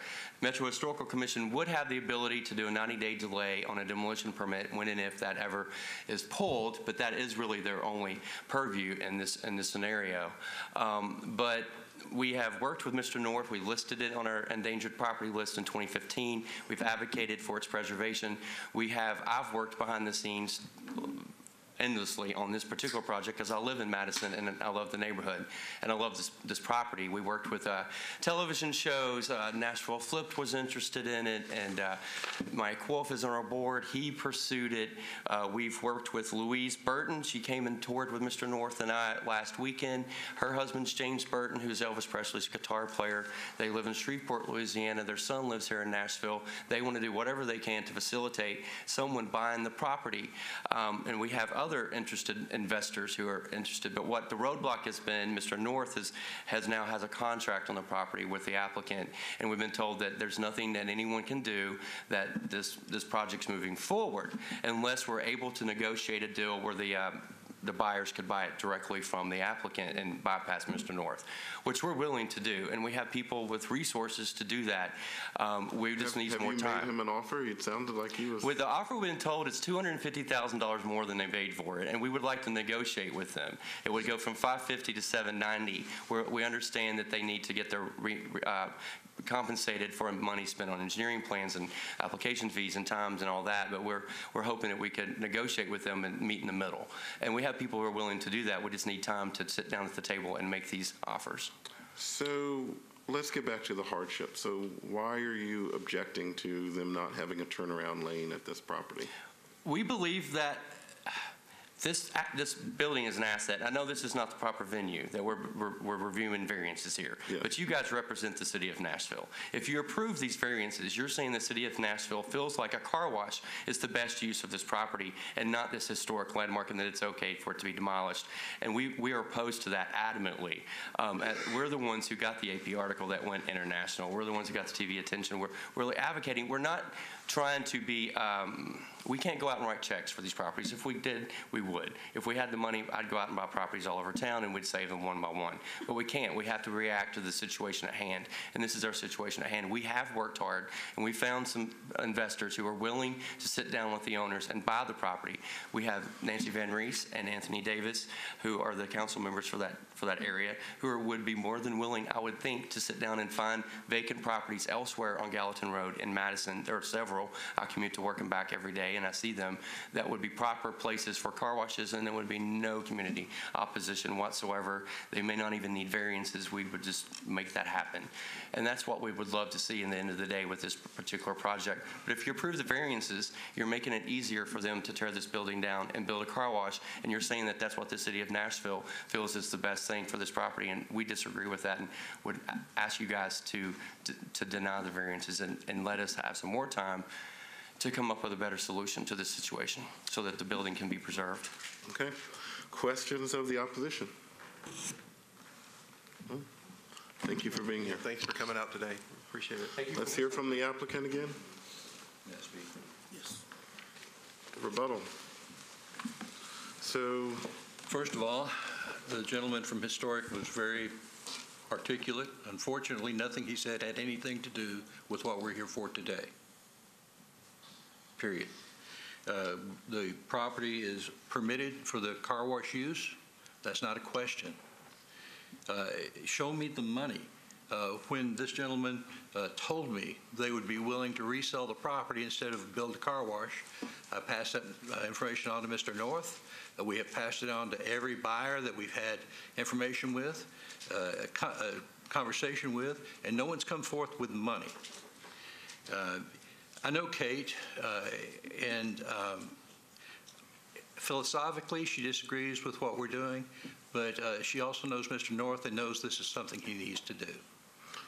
And the value of the property uh, as uh, Colonel Parker's residence has been greatly diminished by the Elvis Presley estate. You cannot make money off of this property using Elvis Presley's name or using Colonel Tom Parker's name.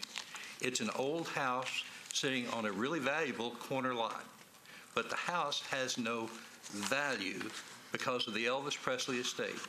We have contacted them directly to try and sell them the property. They have no interest in it. You know, I'm, I'm not trying to put a, um, a, a very cheap car wash here. I do a very, very nice car wash would, would, um, I, I think en- enhance the area of that, um, of that area. You know, it'd start a, um, you know, revitalization over there. Um, seeing somebody, you know, come in and dump some serious money. I mean, most of our projects are two point two to two point six million dollars. I mean, we don't cut any corners. It's all masonry. It's, you know, it's, it's a very nice building. And, um, like I said, that, that, that site there has been on the market for a long time. I've just chose other sites to build is why I'm just now getting to this site. How many employees would you have at this location? Um, I'll have normally two to four. Um, our hours of operation in the winter are eight to six, and in the, um, summer months are eight to eight. Um, Well, tell me again the hardships. Hardship one, um, the, the first one was on the bypass lane. Um, I've got a bypass lane, but I don't have a bypass lane that you can pass the, um, the cars that are in queue. then you don't have a bypass lane. Okay. Um, I- Okay, so I'd. I- The I'm ci- the asking for a code variance. requires the bypass lane go all the way around the building. So I didn't know that it said all the way around. I didn't John read Michael, that. what does our bypass laws require? I mean, if it didn't, you wouldn't be here with that variance for a bypass lane. So obviously, what you proposed is not what the code requires. Mr. Chairman, I think the operative language from 1720070, which has to do with queuing requirements for drive-through facilities, is the I guess, next to last full sentence, each land use in table 1712-070, which does include, of course, include car wash full service, shall have a bypass lane with a minimum width of 12 feet and shall be clearly distinguished from the queuing lane by markings. Um, Ultimately, staff in its review of the application determined that this was not a bypass lane. Board has an opportunity to, I guess, reinterpret that if you see fit, but that was where staff came down. So would, would the bypass, bypass lane also have to bypass the, the gates where you pay? Right after you turn in?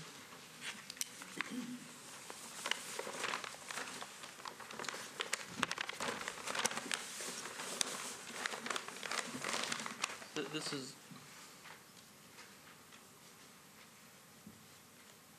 Does anybody know? I, I didn't hear the question, I'm sorry. Well, I'm, I'm, I don't know that you would know the answer, I- or if anybody does, but um, if the bypass lane has to bypass everything, it seems like, oh, I'm asking if it has to bypass the actual gates that you go through. That's where you pay, I'm assuming, those, That's correct. those three lanes there. And so are you indicating? Michael read the, it talked about a clear 12-foot wide lane dedicated. Yeah, The most direct answer is that the code does not specify an answer to the question that Mr. Harper posed. Sir, you have other car washes. Uh, Yes, ma'am. How many did you say? Um, 16, And are they located in Davidson County? five of them. And do those five have a bypass lane? It's got this, this, this footprint here. It's got the same plan you've got there. Correct. Has it ever been told to you that they needed a bypass lane? Did you build those locations? I did. And just as, um, you know, a competitor of mine in, um, in Nashville over off of Dickerson Road, the Camel Express, in front of Lowe's and Walmart there, has got this, you know, what's, I call a bypass lane, but evidently is not a bypass lane, exactly like this after the gates. Um, There's not a car wash in Davidson County that's got a true dedicated bypass lane around the whole, the, the whole property.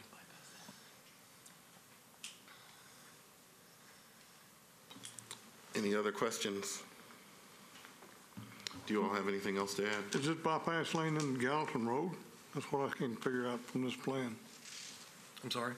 Is this bypass lane into Gallatin Road? Um, No, sir, my, my bypass, or what I've got dedicated for a bypass lane is on my property. Um, I guess the bypass lane that code reads would, would come in off of Berkeley, go um, as far north as the property line, up to Gallatin Road, back west, I mean, back south on the property line, out to um, the, the, the top, the corner of Berkeley and Gallatin Road. This, with that bypass the lane that you show here, has it been approved by traffic? I mean, there's a apartment house for retired people right down in Berkeley. I'm wondering is that going to interfere with that? Well, the bypass lane that I've got here, it, it doesn't interfere with anything off, off of my site. So if, if you had to, to rework this, uh, and I'm assuming what I'm going to say would work as a bypass lane, I don't know for sure. But if you, hypothetically, instead of having three gates, if you only had two gates and the gate that was farthest to the right uh, was the beginning of your bypass lane, and you shifted the pavement a little bit so that you would have a bypass lane that uh, essentially followed the outside of the property. But then you get stuck in the queue on the other side as the cars exit. Well, the I- I'm car wash. saying if the, if the bypass went past the car wash and then emptied onto Gallatin Road, that would serve the purpose of being able to bypass, because everything else on the property is what you're, that's the, the gig that you're paying for. You're paying for the, the car wash, car wash, which is the building, then you come out of the building and you have, all those parking bays are there for detailing, not for Right. parking while you go inside to do business. That is part of the business. So there's really no need to keep going on that part of the property. You're not going to the dumpster, you're not doing anything else. You're just bypassing the whole operation. You decide, oh, I don't want to pay for this. It's 50 cents more than I expected, so I'm going to go out and it dumps you on the Gallatin Road. It seems to me that if you could make that fit in the property, then you would have a bypass lane. And I can do that, and um, I, I know that development on Gallatin Road, um, a lot of um, planning and code members, they, they get excited about, you know, limiting the ingress egress on Gallatin Road, so I've closed that down and just utilizing the one on a Secondary Street to Right, and- cause, you know, And if you're following what I'm saying, you're, you would essentially still be using the one curb cut that is on there, but you would be using it for egress, not ingress. Uh, If that, you know, maybe you can make it right turn only or something out of the property on the Gallatin. correct. But that, that would, I, I think, as I understand it, that would take, take care of the bypass lane issue. I've got a question. Would it alleviate the bypass question if his um, gates that come in, if, say, the one all the way to the left were designated a bypass lane, so that you could go right in through that gate and turn right back around without getting in the queue and leave the property? You mean just that quick little turn into the left? That's correct. That's not a mm-hmm. bypass lane. Well, Like I could eliminate this, Remember what, But- but John it Michael, bypasses can you, the queue. John I thought Michael, that can was you the read question. that to me again about the 12 feet? Bypass lane with a minimum width of 12 feet and shall be clearly distinguished from the queuing lane by markings. right. So we could absolutely do that. I could take this grass strip out, make the left lane a bypass lane, so when they come in, they can just do a quick U-turn and not even hit the queuing area. A U-turn, so they could get out easily by t- taking a U-turn? That would fall under the, the justification of a bypass lane. I'm not a planner, but that would be for someone else to determine if that was truly a bypass lane. Because we could, you know, mark it as a bypass lane, it'd Who- be 12 foot wide. Who makes that determination at codes, whether they've met the bypass lane or not?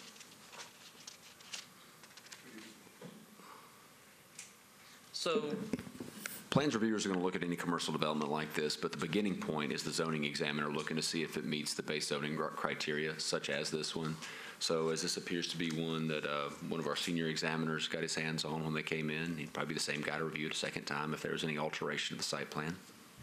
so, so in theory, if, if, if we deferred it, the, he could revise his plan, take it through, and an examiner would determine whether or not he had a bypass lane or not, and at that point, he would or would not need to ask for that part of the variance. Sure, and that would Yeah, save the them from bypass having to engineer a formal, any, any big, huge overall site plan necessarily, just to come through on, check that in advance so that before they come back to the board, they'll kind of know where staff has come down on that issue. So, so in theory, we, uh, we could defer the whole thing, or we could vote on the other three things and defer that. And either it has to, has to be accepted by you guys, or you have to come back and ask for, You're correct that you could choose either path. You could vote on some number of the variance requests today and then defer some other component. We've done that recently on the property at 1234 Antioch Pike, uh, settling two of the questions initially and then bringing back the sidewalk variance request at a later date.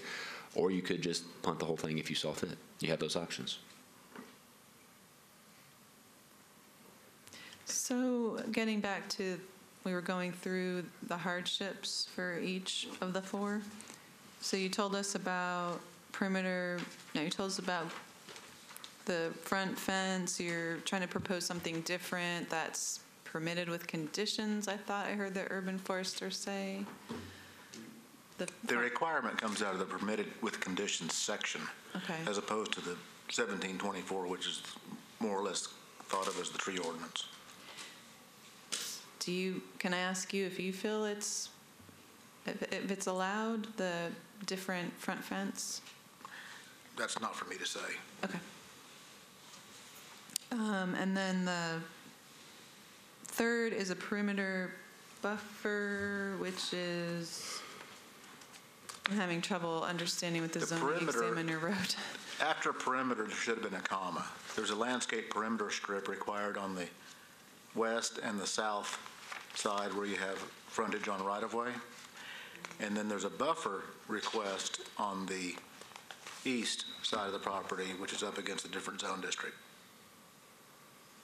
And it looks like on the east, they're proposing a 10-foot buffer yard. Is that right? A 10-foot buffer yard on the east with a, uh, well, it's a buffer A, so it's 15, 10, or 5. But the 5 includes an opaque fence. You have choices there. So what No, are I'm you not asking- actually proposing? On, on the east side, I'm not asking for any, I'm, I'm Okay. very, I'm very fine with that one. On the north side of the property, it's, uh, in- in the code is asking for a six-foot-high masonry wall on the north side that's behind the building. My building takes up a good portion of that property, which is, you know, uh, you know, taller than a six-foot wall, but There's also another, the property adjoining that has about a 12-foot hill. I mean, uh, there- there's a a dirt barrier at that point. Uh, I'm I'm not sure I understand the reason for Well, a wall that I would think the, retain re- the trash. original reason for the wall was for the old-style car washes where Right. you drove in, you spray, and you drive out. Right. That has spray. That was, that's what was triggering the wall in the ordinance. The, wa- the ordinance did not differentiate between that type of car wash and this type of And, car and wash. these, these ordinances never really contemplate the physical condition of the property next to them. Obviously, they couldn't foresee that, they wouldn't say you gotta have a mission wall unless there's a nice dirt hill there or, you know. Sure.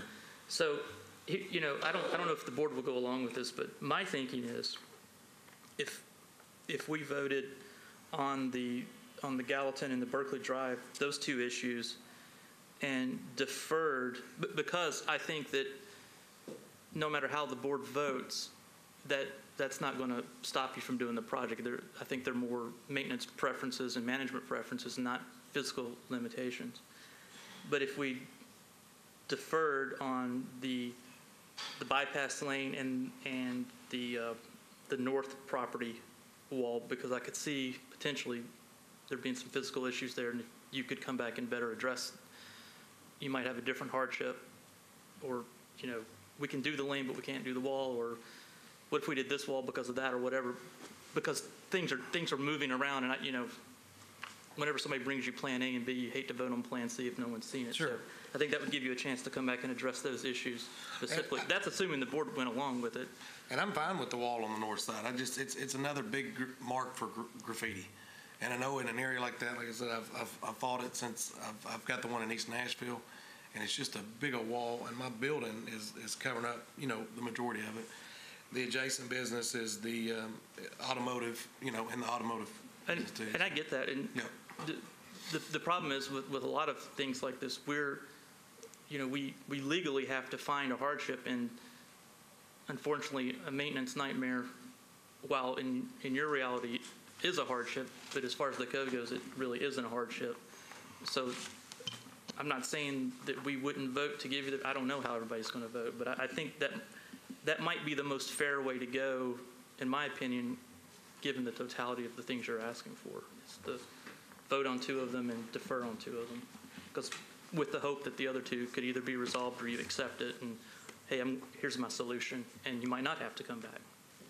I don't know, how's, how's the board feel about it? I guess we're still open, public meeting, but. They're asking for four variances, so it would have to be explained four hardships. Now, And, and I'm not, Should we close the public hearing before we get into all Probably. this? Well, do you have anything else to say before we close the public hearing? No, sir. Okay, thank you. We're going to close the public hearing. Discussion, so it's been proposed that we defer a couple of these variances and vote on a couple. What's our thoughts? Well, I, I- I mean, I'm, I'm happy personally to vote on all of them because I don't see a hardship. And I think that there's, you know, I, I appreciate what they're trying to do. It looks like a really nice business.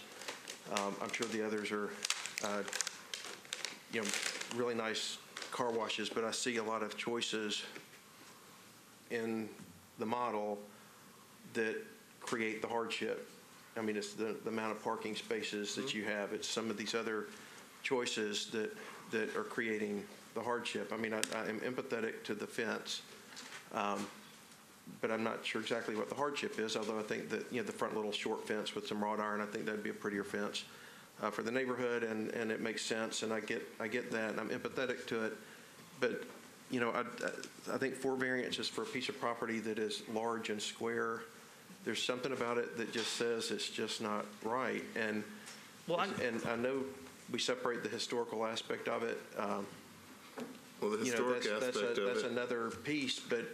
We're here to discuss the variances. But I think, well, that's what I said, I'm, that, that I'm, uh, again, empathetic to that piece, but looking at it uh, just from a, you know, what are the hardships? um, I'd- Well, and I- I I'd- I don't- would, I would be much i- if, if he had council support, if he had others to say, hey, man, we really want this, and, and yet I understand from the seller, um, the, the trouble, uh, but like I said, I just, I don't, I, I see a lot of choices, and I see those choices in being the cause of the hardship, of, of the request. So does anyone want to make a motion? I- I'd like to have a little more discussion if we could, because it seems to me a lot of time, I don't like deferring part or all, because I feel like we double hear these cases a lot, and we have got to get the business of this county done. Uh, At the same time, we have a owner of this property who wants to sell it. He's got a buyer. The buyer is a business owner who has five similar businesses in the county and has not had the requirement of this bypass lane. And I'm only going to talk about the bypass lane. I would tend to think, and I feel like he's willing to do the bypass lane, but it's to, he's to have to move some things around to do it. My thought would be defer to let him do the bypass lane if he wants to do that.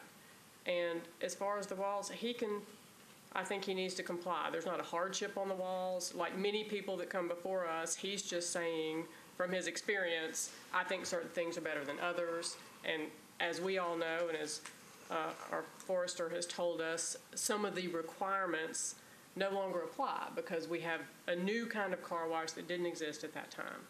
So uh, for purposes of contributing to everybody's thoughts, I would like to see the bypass lane variance deferred and the other three, we could vote on the other three and that's his decision on how he wants to proceed. But I don't think we need additional proof on the bypass lane. Either he's able to do it or he's not. So if he's able to do it, then he won't have to come back here. I don't think he should. It's a permitted use of the property. Uh, Well, the reason, i- if I may, uh, that I'm suggesting we defer on the bypass, it, it seems to me that, first of all, there is confusion because, um, at least on his part, that he's done this before. Sure. And that's, that in and of itself is an excuse, so, oh, this is the first time you've been caught, you still have to do it. I get that. But I think, even among this board and, and the staff, there's not real clarity to what defines, like how, how much bypassing is to be done. You know, can it go out on Gallatin Road, which to me makes sense. Yeah. But that might not meet the letter, and I'm saying, let's put it on the, the reviewer. He, he had to say no because there is no bypass, but Right. with this, you know, and then it doesn't come back and it's fine, the business is done. And, and I didn't, I didn't mean my suggestion to defer this as, you know, I, I don't think there's a hardship for, for any of that. I just think there is confusion on the bypass, which is the only reason I'm suggesting we defer on that. I've been on this board a number of years, and I see many efforts by members of this board trying to find a resolve to problems out here. I think our obligation and our challenge is see, see what we got, what's presented here, have hardship or don't. I'm gonna make a motion that we deny it based on four hardships here. This- I mean, four, very, yeah, lack of four, what, what am I trying to? Lack of four hardships. Right. Yeah, lack, lack of four hardships, so I'm gonna vote it. Okay, Make a motion's motion, been vote made. Is, is there a second to the I motion? will second. it. Second? Okay, motion's been made and properly seconded. Any more discussion? Seeing none, and let's have a hand vote for this. All those in favor of denying the uh, four uh, variances signify by saying aye and raising your hand. Aye. Opposed? It, um, that motion passes five to two. So it's denied to allow those four variances. Mr. Chairman, if the board is prepared to proceed, we'll go on to case number 2017-017. Joseph Becky is the appellant and owner of the property located at 520 Harding Place. This is a short-term rental case, um, basically a classic item A appeal. Uh, The operator operated a short-term rental property, but without first requiring the legally required permit. Uh, Your packet kind of gives some evidence as to the reviews that were determined upon um, the operator's eventual application in December of 2016. This is his appeal to the board. Um, Mr. Becky, if you'll introduce yourself by name and address, you'll have 10 minutes to make the desired presentation. I should ask first, is there anyone here in opposition to this case? Seeing none, again, that'll be 10 minutes to make your desired presentation. Hello, thank you. Uh, Yosef Becky, uh, 520 Harding Place.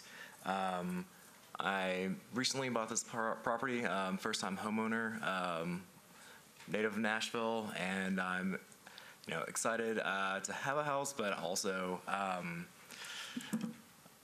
I'm sure under, y'all would understand that um, the housing market has gotten, you know, um, hot here, and um, a little extra income um, through a short-term rental property um, will be helpful for me um, in the coming years, the coming 30 years, uh, you know, with my loan. Um, so, um, I wanted to uh, start with Airbnb, and I may have started too early once I decided, or once I realized that I needed a permit. I came in to get that permit and um, was rejected. So I'm So let's just here to rectify. process. Okay, Yes. so you advertise this on Airbnb. Yeah. So how'd you hear about Airbnb? Oh, just through friends through media. Um, And how did you hear about Metro's regulation of Airbnb? um, once I started, my parents said, "Wait, actually, I heard something about that on the news." You, Do your parents live here in Nashville? Yes. Okay, so when you found out about that, what did you do next? I went through the process of getting a permit.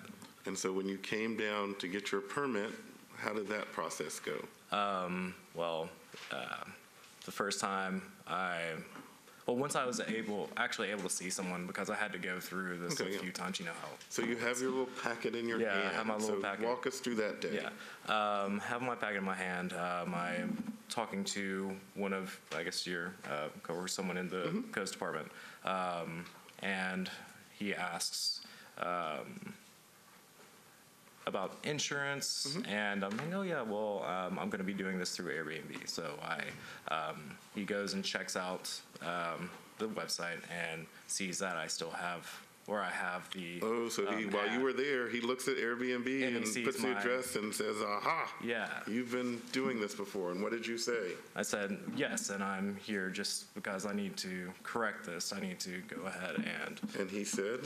Um, well, this is the rule of the law, all right? or, you know, this, these are codes, this is, So I how can't, many- I can't reject, or I How many can't approve you. listings did you have and did you cancel any of them? I did cancel them. Um, When? I, ha- I guess. Before you went was- to Metro? No, no, no, not before. Okay, so after you, the guy said, eh, you, you don't have a permit, so you canceled all of them. Right, and I'm going through this process to, you know, get approval and then, you know, therefore continue. We've, we've heard this song before. I'm sure, I'm sure. So, uh, questions, board members? Okay, anything else to add? Um, How long, let's ask you, when did you actually apply and when were you denied? Um, I do not have that in front of me at the moment. Um, But was, what month was it? I guess that was in November. So since November, you've pulled down all your listings and you haven't had any? Right. Okay. Um, Mr. Chairman, application date December the 12th of 16, rejection date about 10 minutes later. Yeah, so. Okay. Anything else to add? I No, wanna- sir. I want to ask, is this going to be, are you proposing a owner occupied or non? Owner occupied. Okay, thank you. Okay, Hopefully this will be my forever home. We'll see. yes, okay. Anything else to add? No. Okay, we're going to close the public hearing. Okay, the council has empowered us now to give less than a year. Is this one of these cases? Yeah, I mean, this is, I mean, I think this is classic owner occupied, stopped renting when he found that he wasn't doing the right thing, immediately tried to do the right thing. And so I'm, I'm happy to, you know, make a motion that we find that the zoning administrator did not err in his denial of the permit, but in our ability to uh, offer less than a year uh, uh, punishment for that, that we uh, allow this applicant to be uh, eligible immediately for uh, a permit. Okay, motion's been made. Is there, is there a second? Okay, motion's made properly second. Any discussion? Seeing none, all those in favor signify by saying aye. Aye, opposed? Congratulations, you are now eligible to have your house for Airbnb. Contact John Michael and the Yeah, you're Codes eligible for a Department. permit. You have to get your permit. You still have to go get your permit, you Yes. still have to uh, abide by the laws, and so anybody else out there, know that there's, Metro regulates these, so before you list, listing is a violation of the law, not renting, listing. So uh, I'll good keep luck that. with everything. Thank you, sir. And thank you. Mr. Chairman, the next case to be presented to the board skips well ahead to case 2017-021. This involves the subject property just off of Murfreesboro Road at uh, 308 Felfrey Court. The request is for a series of variances at the subject location shown here, a CS zoned property, commercial service, in the floodplain overlay district. Shown here from its aerial view, an undeveloped lot proposed site plan. Uh, The setback, the variances requested are for number one, a rear setback variance, number two, a street setback variance, number three, a parking count variance, and finally, four, a buffer, or more specifically, landscape strip variance, all for um, the CS district for a new auto repair shop. The site visit photographs show the property in its current condition, or at least current as was the case Tuesday of this week.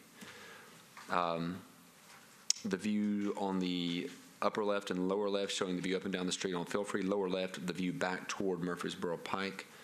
Um, The upper left-hand corner showing to the end of the little roundabout there on the court. And then finally, the view right across the street there is the lower right-hand corner. Is there anyone here in opposition to this case?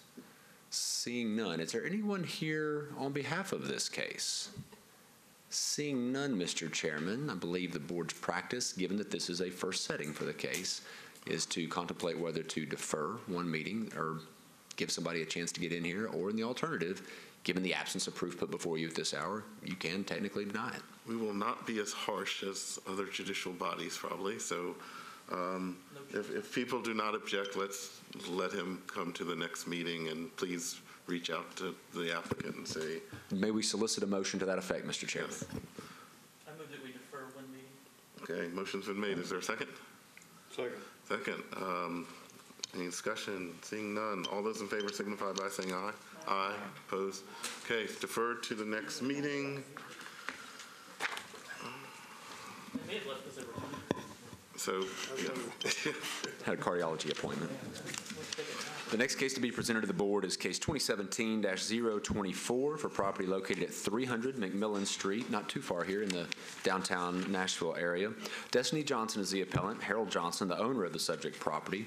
And the request is for variances from number one, lot size, and number two, rear setback requirements in the MUI-A or alternative district with a plan to construct two single-family houses on the subject lot. The aerial gives you a view of the actually mixed area. This aerial doesn't show you there is some residential use on McMillan and in this area. Um, The proposed site plan shown here gives you a feel for the layout of the proposed two units on this lot, the intersection of Hines and McMillan.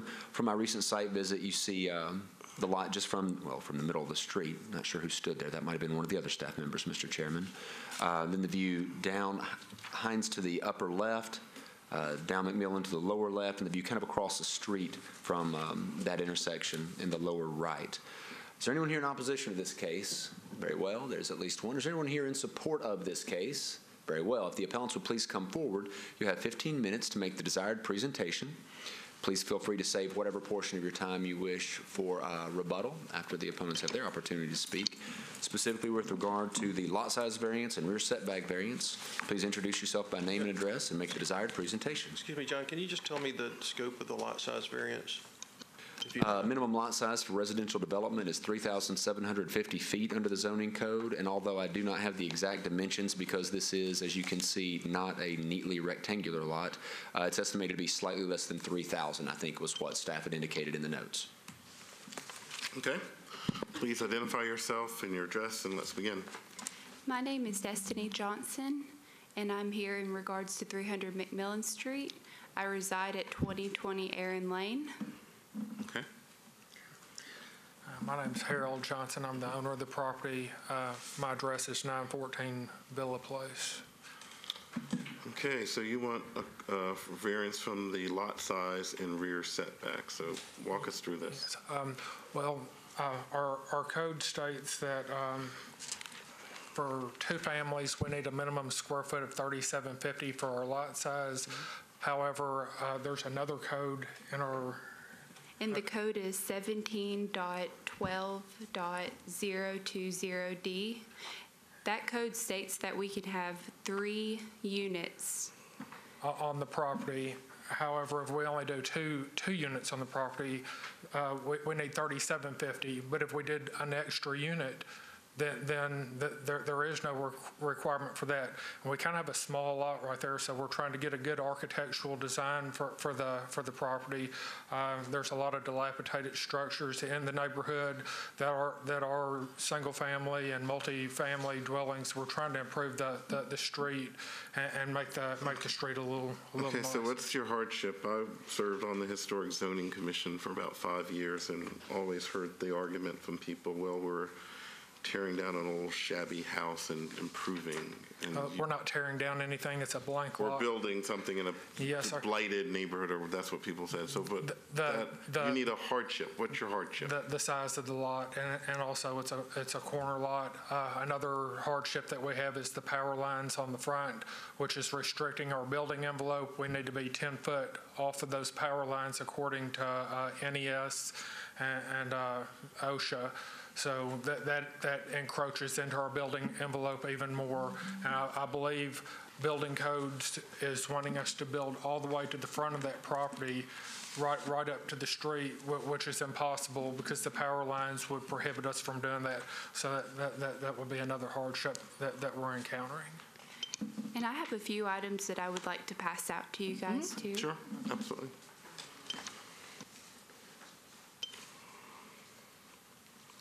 Have a question of our, um, our um, zoning staff. Um, It's a corner lot, so what, it says rear setback requirements, which is the rear?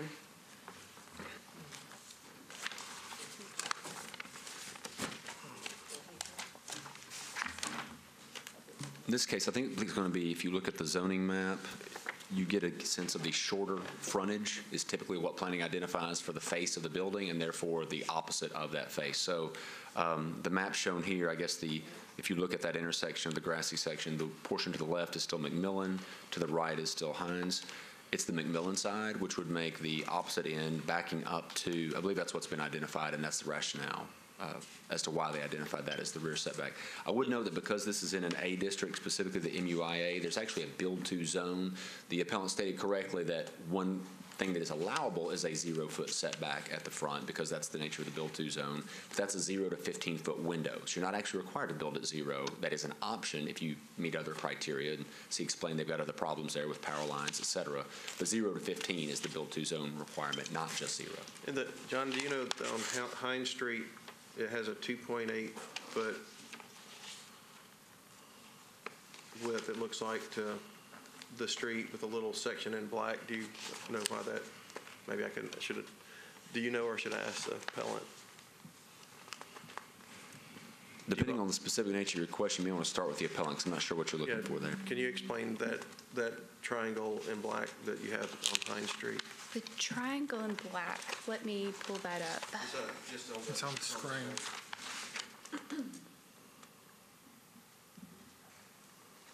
Uh, I believe, I believe that would be blank land. Uh, We we had to cut into the garage. Uh, I don't believe that that's part of the envelope. I think he, he's kind of dropped that back to adhere with the side setbacks is what it appears to me.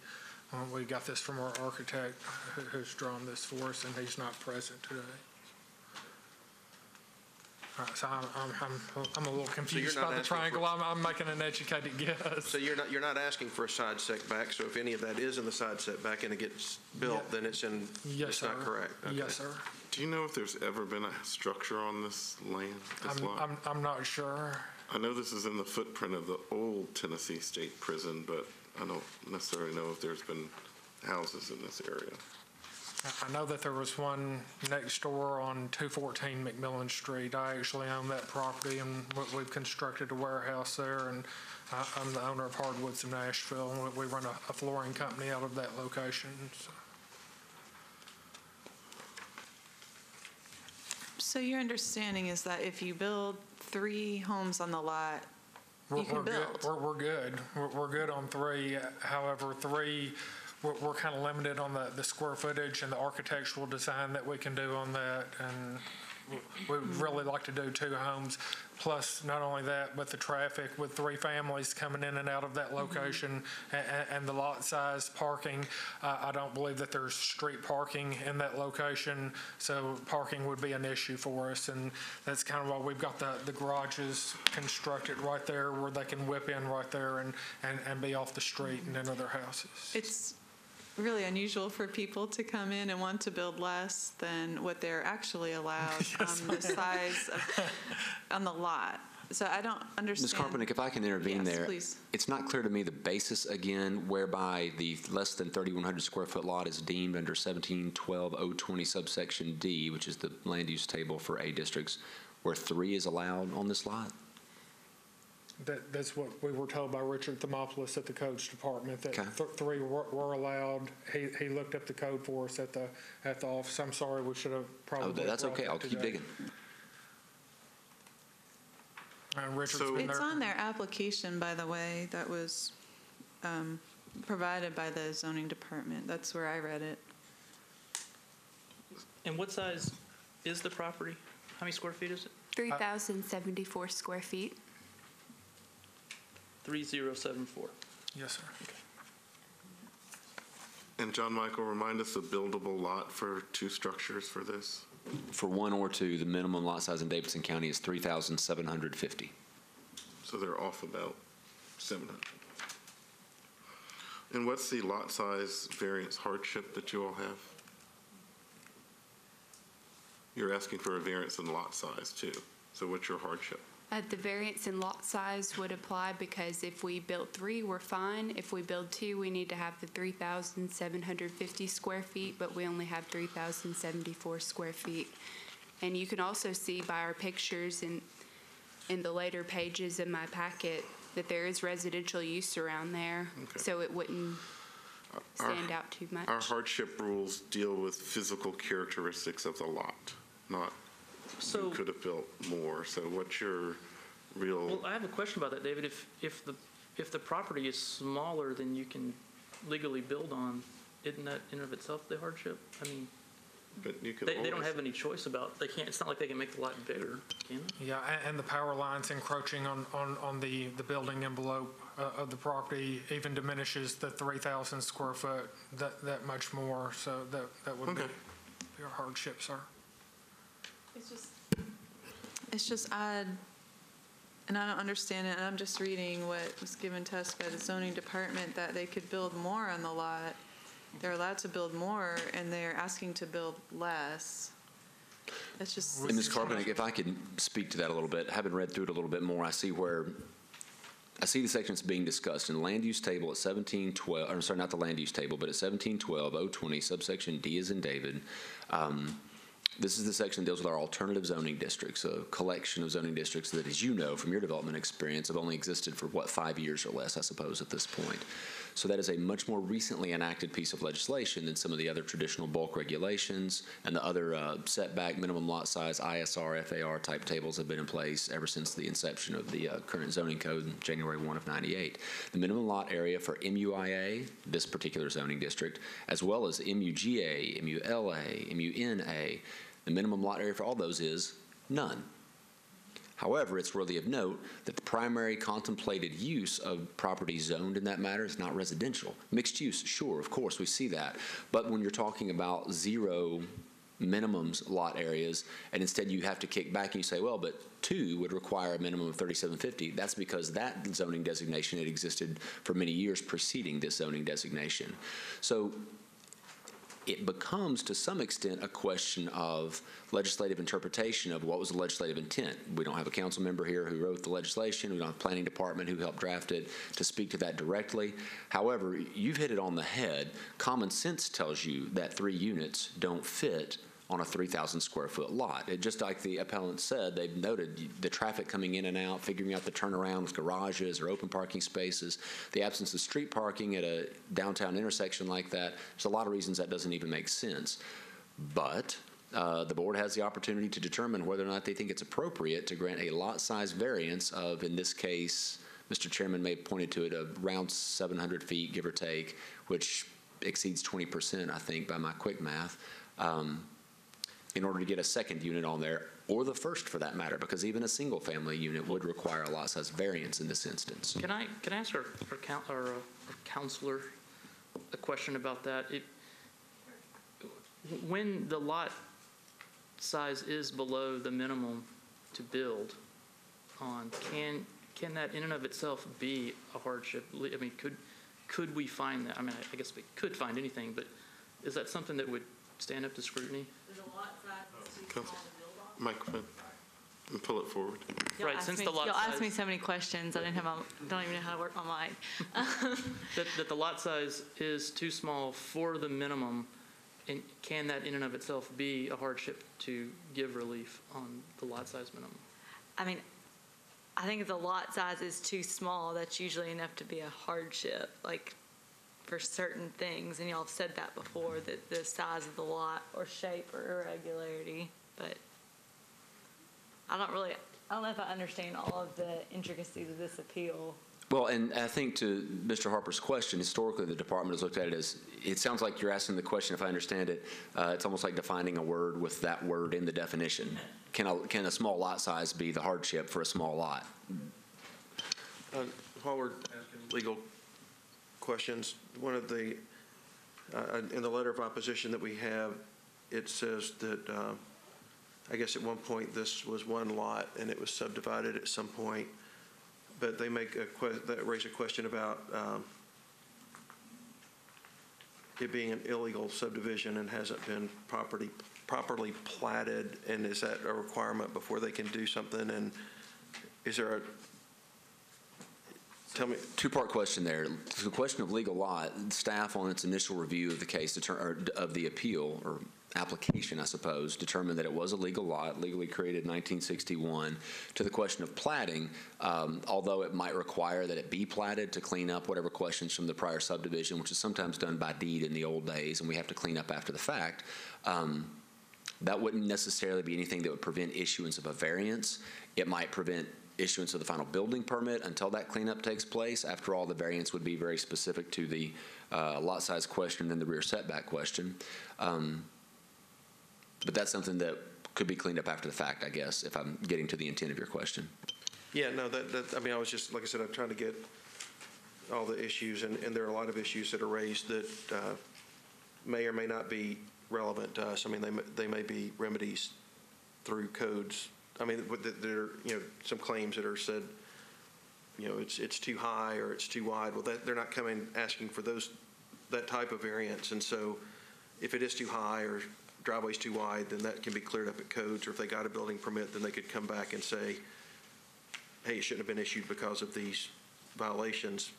But, I- but that was one that, that I felt like, I mean, there may be some that are applicable, and they can talk about that in a minute, but I just wanted to make sure when we were asking legal questions if- about the platting, which uh, seemed in line with the lot size.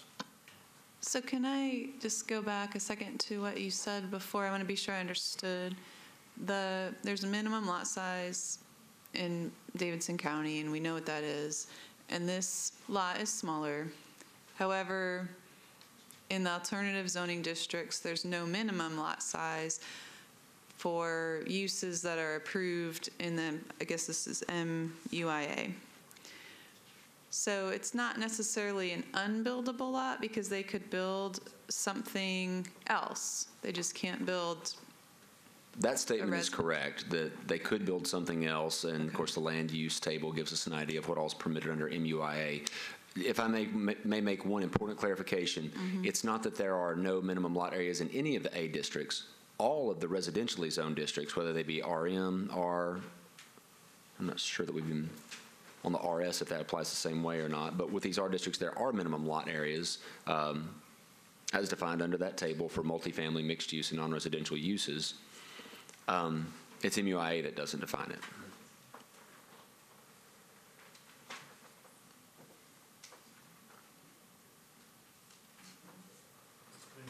Anything else to add right now? You'll, of course, have time to come back for rebuttal after the opposition speaks. No, sir. Okay, any other questions before we hear from the opposition? Okay, you'll have 11 minutes and 14 seconds, and let's hear from the opposition please come forward and state your name and address for the record.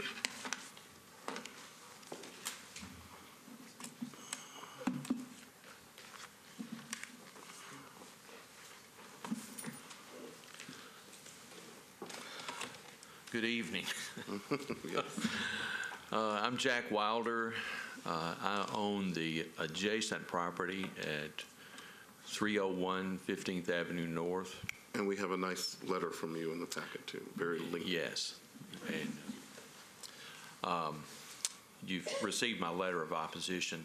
I think the, uh, some of the, the data details from my standpoint, the big picture for me personally is I believe that this proposed project would significantly impact the, the present and the future value of my property. Now, there will be some conflict as far as business activity and things. How is this going to impact the value of your property?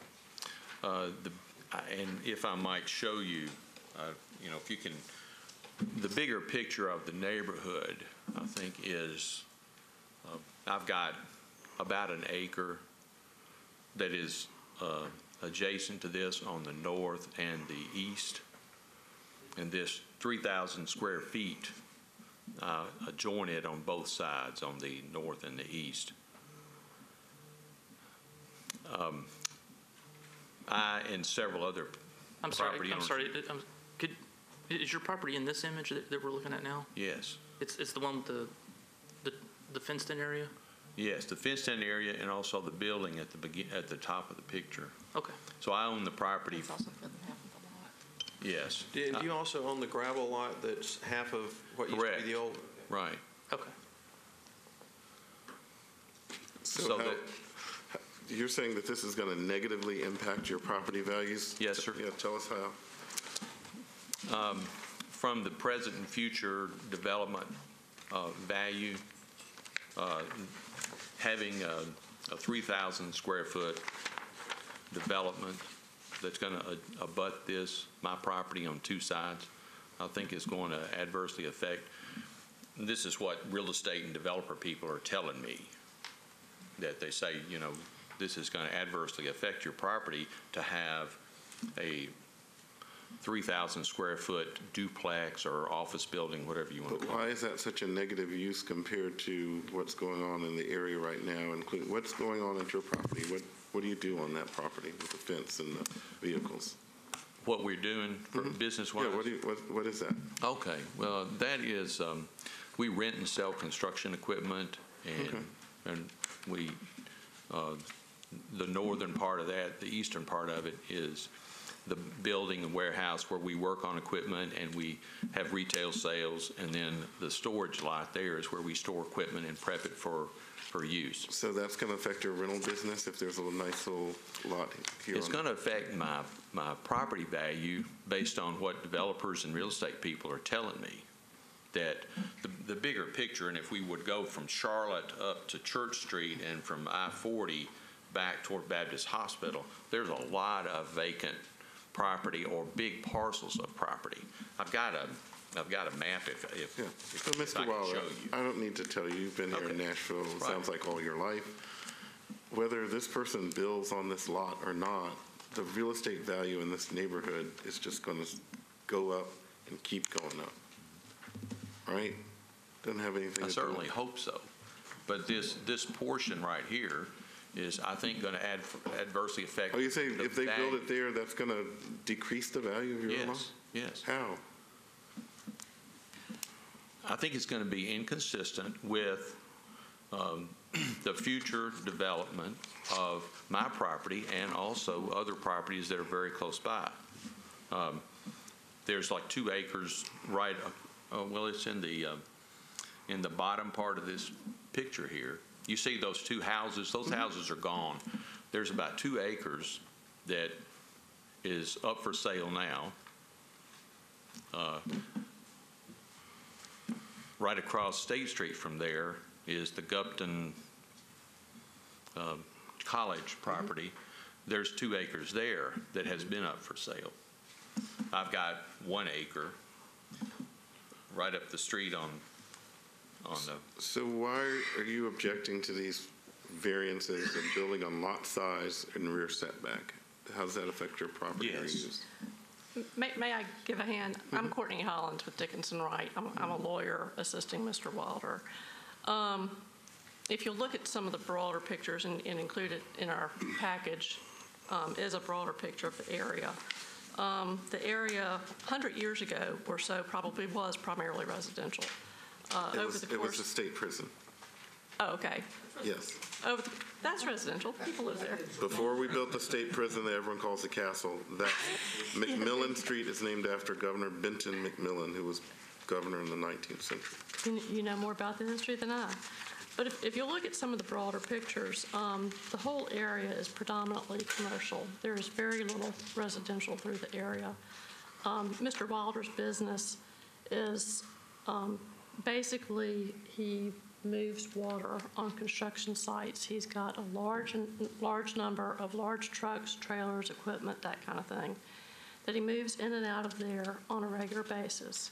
Um, His trucks and trailers are regularly utilizing all these roads, McMillan and, I forget the name of the side street, um, along with the alley, um, back and forth. To put a residential property there, which is very unique to that immediate area, um, would put a burden on his ability to move equipment in and out of his business.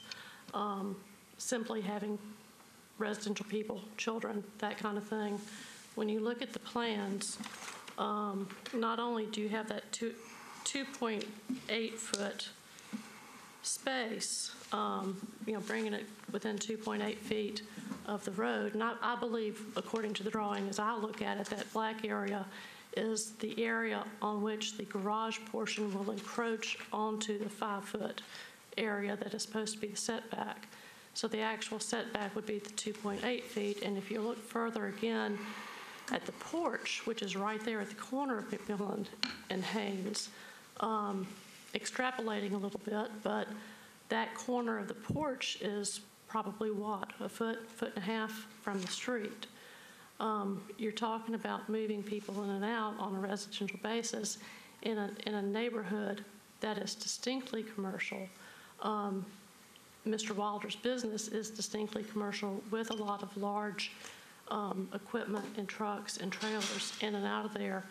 Um, That's the basis for the inconsistency of the use. Can I ask I you I- a question? Um, So are you simply opposed to residential use on this site?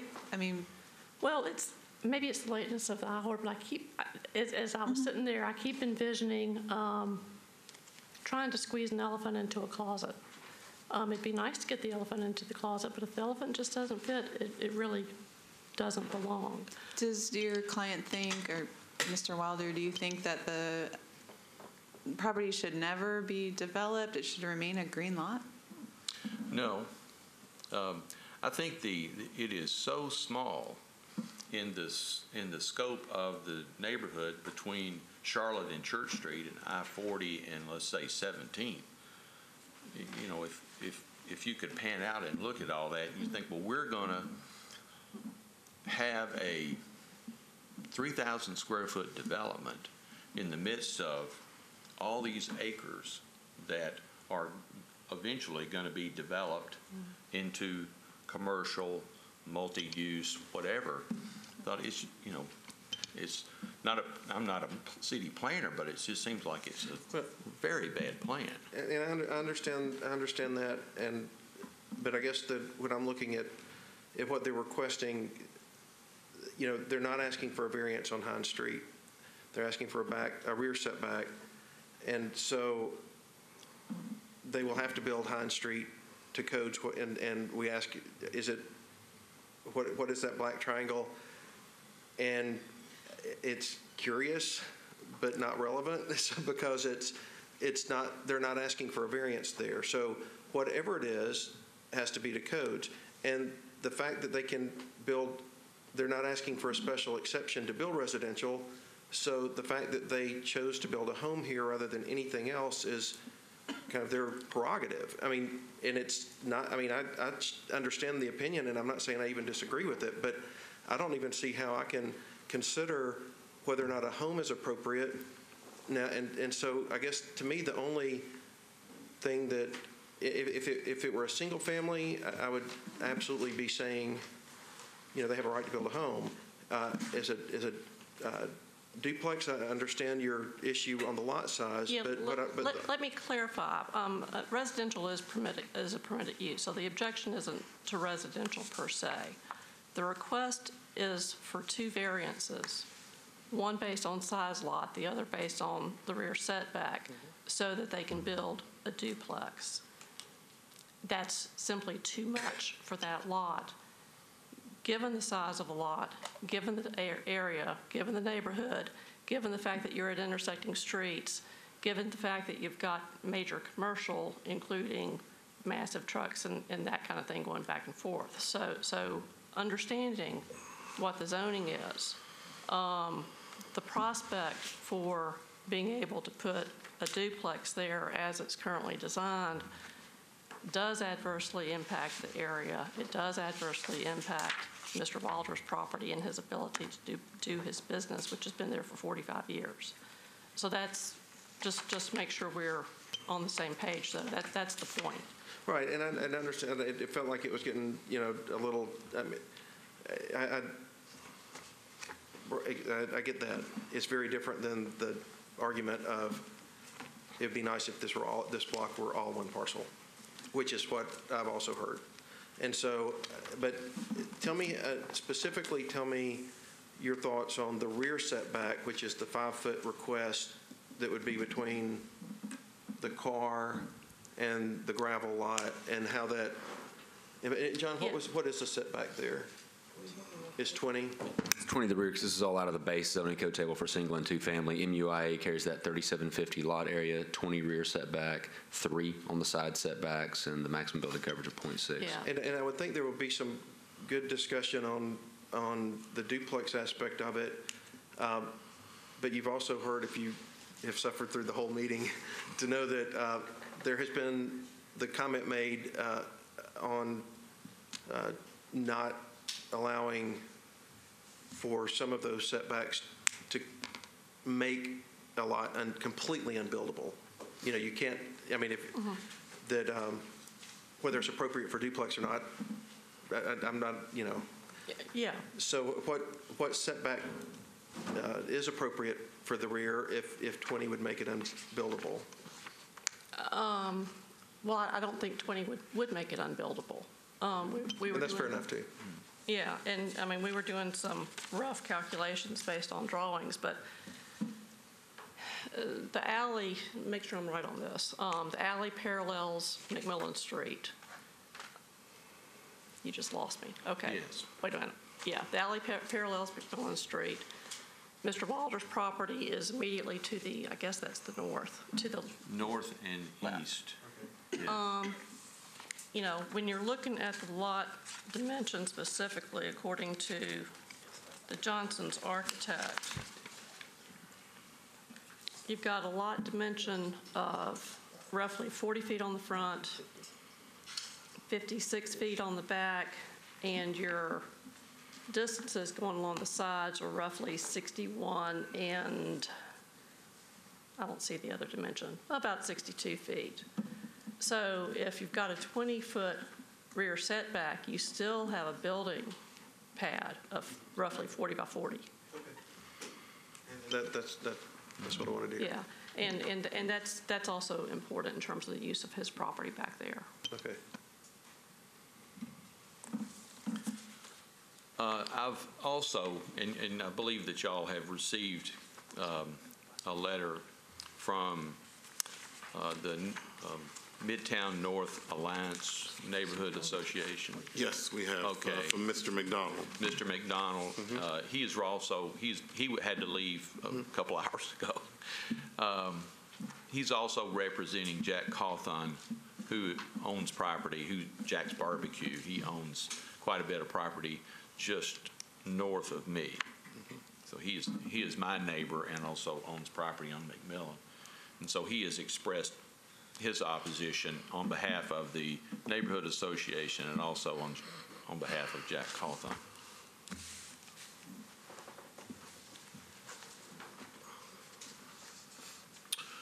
Any questions for the applicant? I mean, I'm sorry, the long meeting. For Long day. opposition. Yes. Can't believe y'all do what you do. Um, So, for free.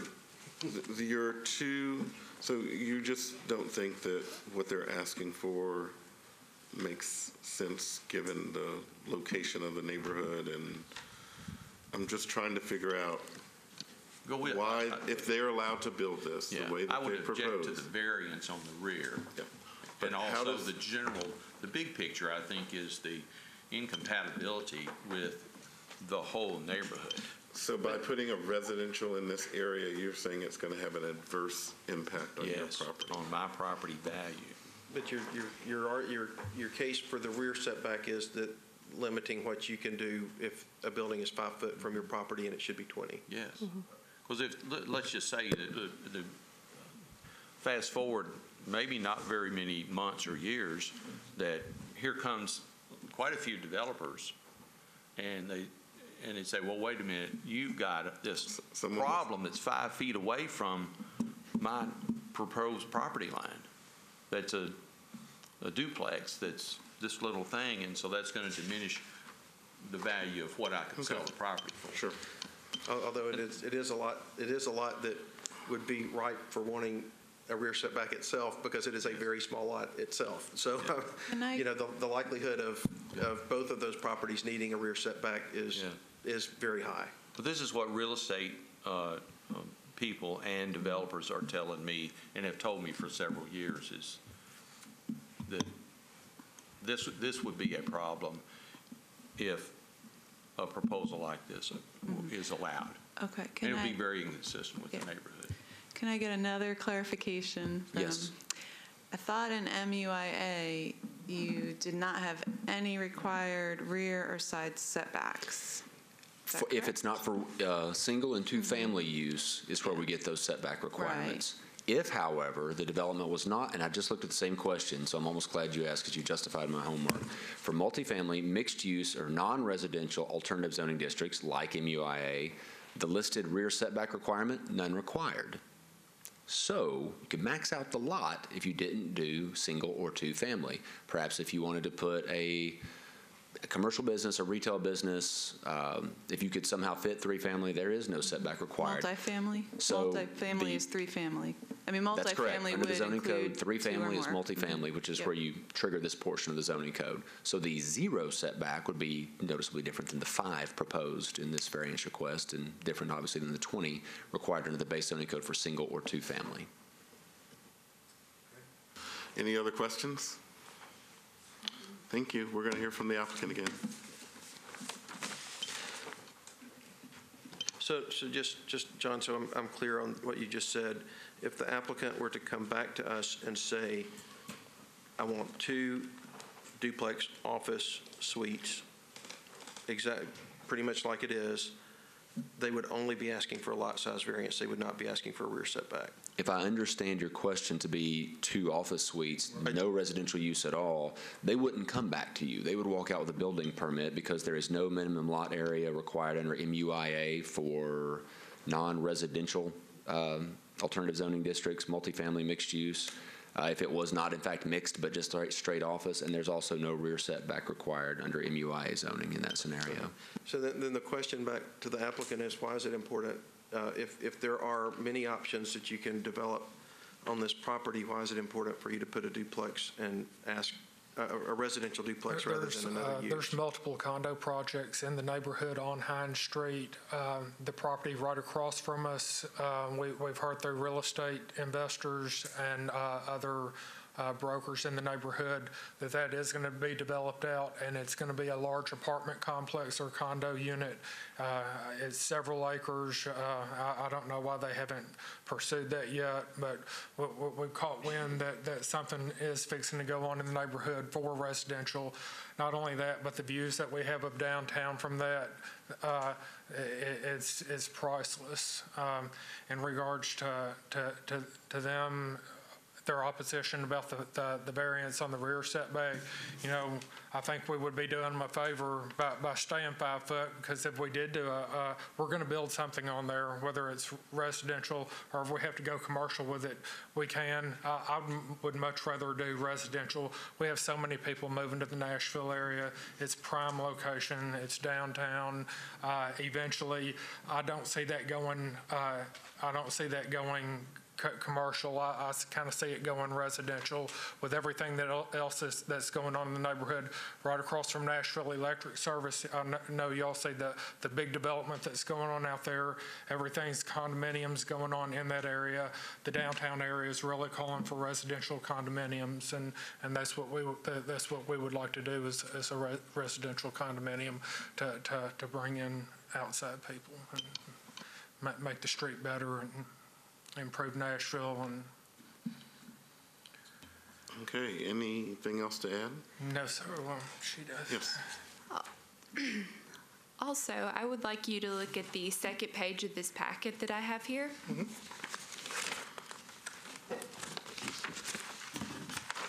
I would like to add, according to our survey, there is a 0.3 foot encroachment on our property due to the fence. And we're not too worried about it.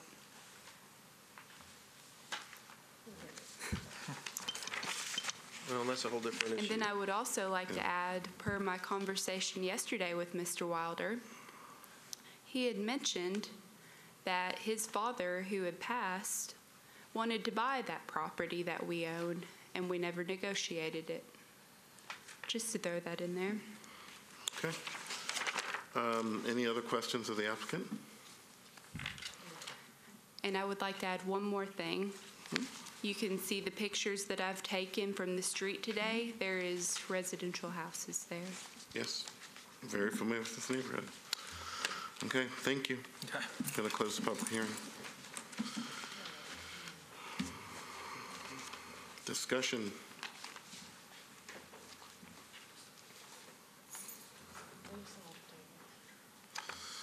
So this is in this area, this emerging area, which, as I mentioned one time, was the home of the Tennessee State Prison.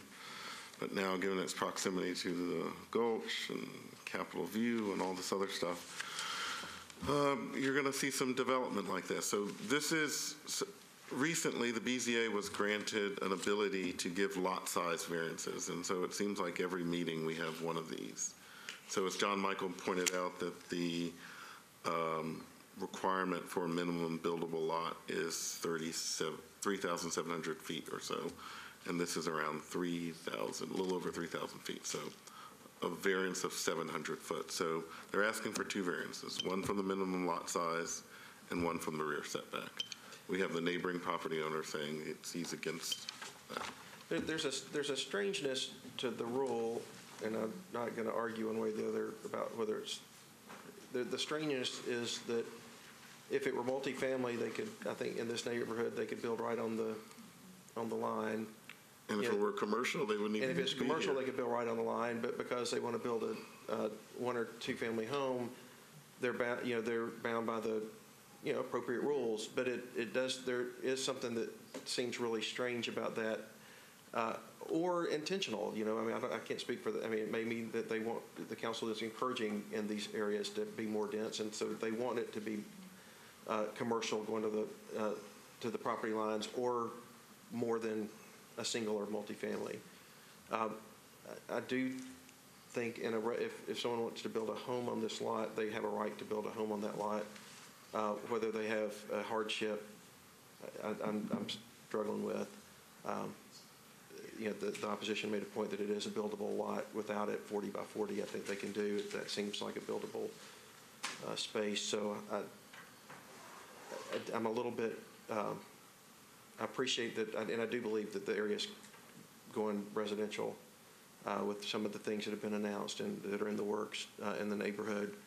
Um, But I also am a little hesitant with the choice of this when you've got a lot of other options that don't require coming here too. I have a question, just because I don't, it's not my area. If we grant, if we granted the uh, lot size variance, but not the setback, is it, is it, you're saying that's a buildable lot size?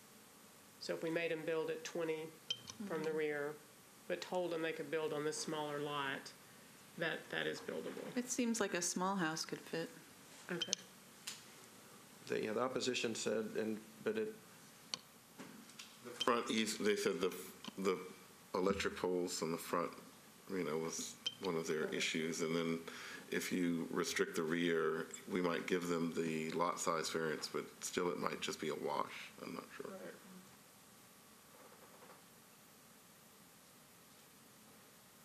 I, I think, I think both the variances have legitimate hardships. Uh, I mean, it is an odd-shaped lot, and the utilities on the front, you know, certainly uh, can't, can't be dealt with. And, uh, you know, it's, it's a small lot. I mean, that's, if, if you're going to do residential, which is allowed, you know, I,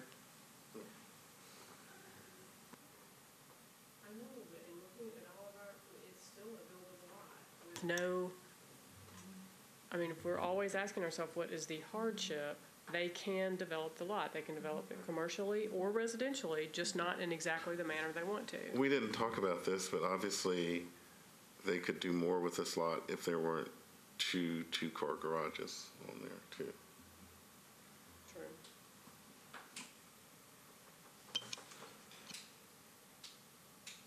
yes. I was going to say, I agree with you on the oddness of, or whatever you said before. It, it's very odd.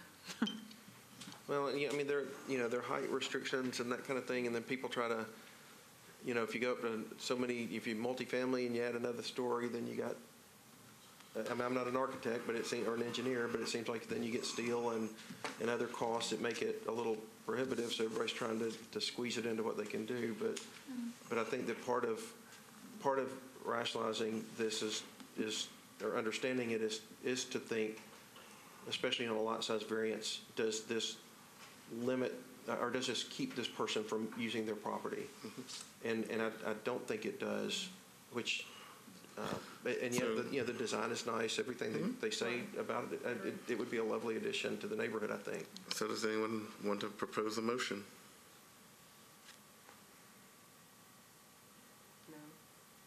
We can continue to discuss it.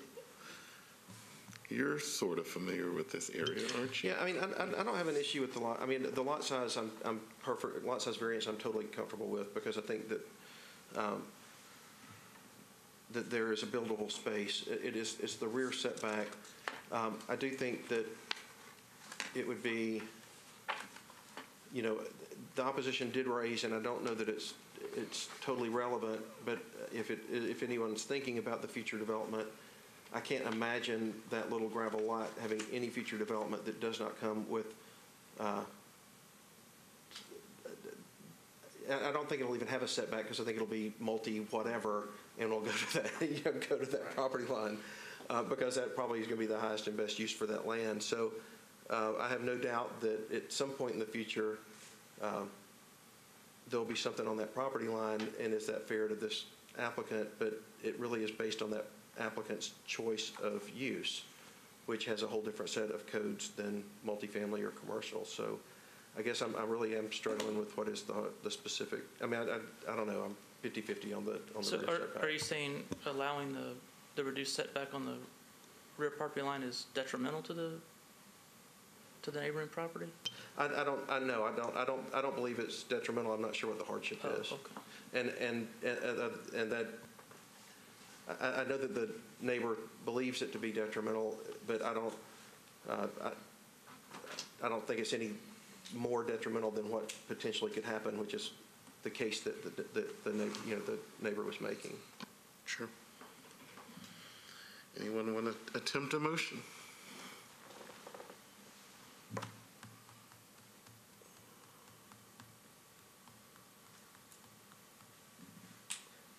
Well, I mean, like I said, I, I- I really am still 50/50 on the, the, the rear setback hardship. I, I don't, uh, I, I, I could buy an argument if someone wanted to make it strongly one way or the other, but I'm not there on a motion, but I'm, I'm perfectly So- comfortable with the motion on the lot size. Well, my, my opinion of, of the rear setback is that it's, it's part and parcel to the, the small lot argument. You know, if, if the, if, if you're willing to grant the small lot, then, I mean, we, that's one of the reasons we, we grant rear setbacks is because it, the lot is too small or too shallow. I agree. So I I think if, if you agree to one, then I think it, I think it pulls the other one with it. Yeah, I think if you just grant the lot size and then not the rear setback, they basically, it's a total wash. They probably just end up building what they could build today without any variances. You know, It's probably a little, a net gain, but it doesn't seem like if they have a, have a 20-foot rear setback, you know, the lot size variance, they kind of lose out.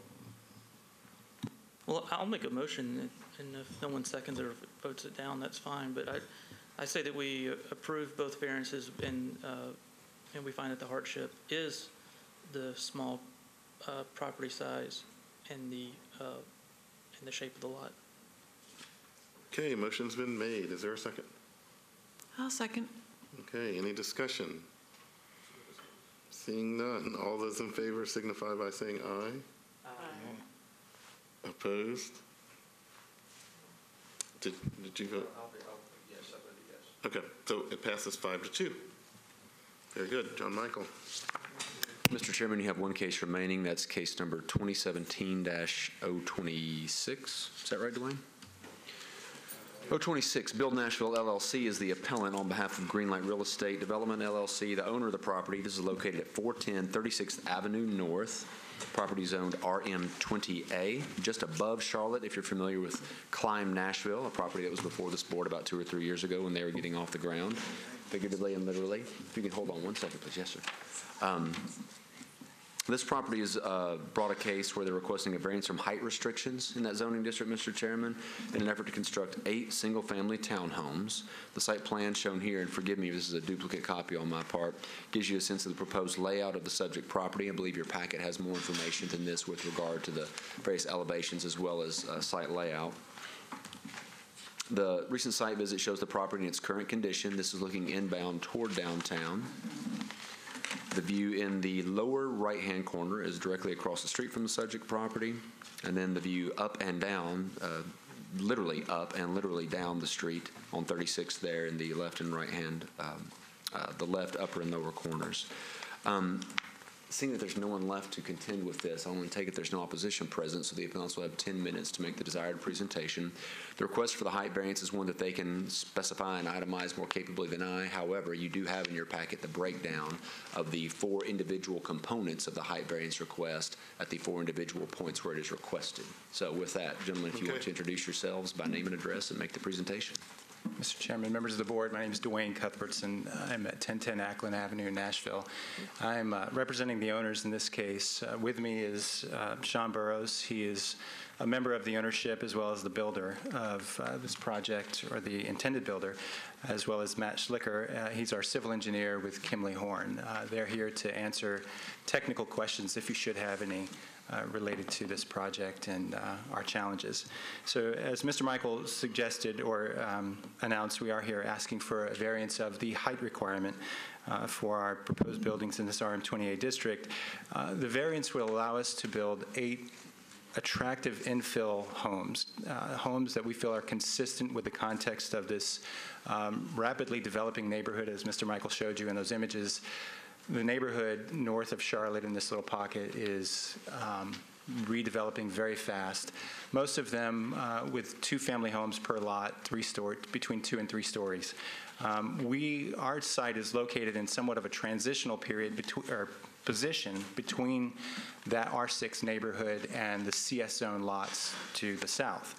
Um, the zoning, in this case, RM20A, uh, this is a .43 acre site.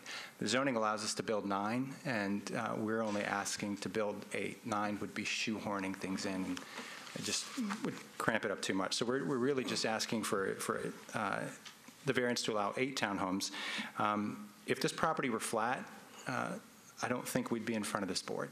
I think uh, we'd be able to solve our own problems or our own challenges.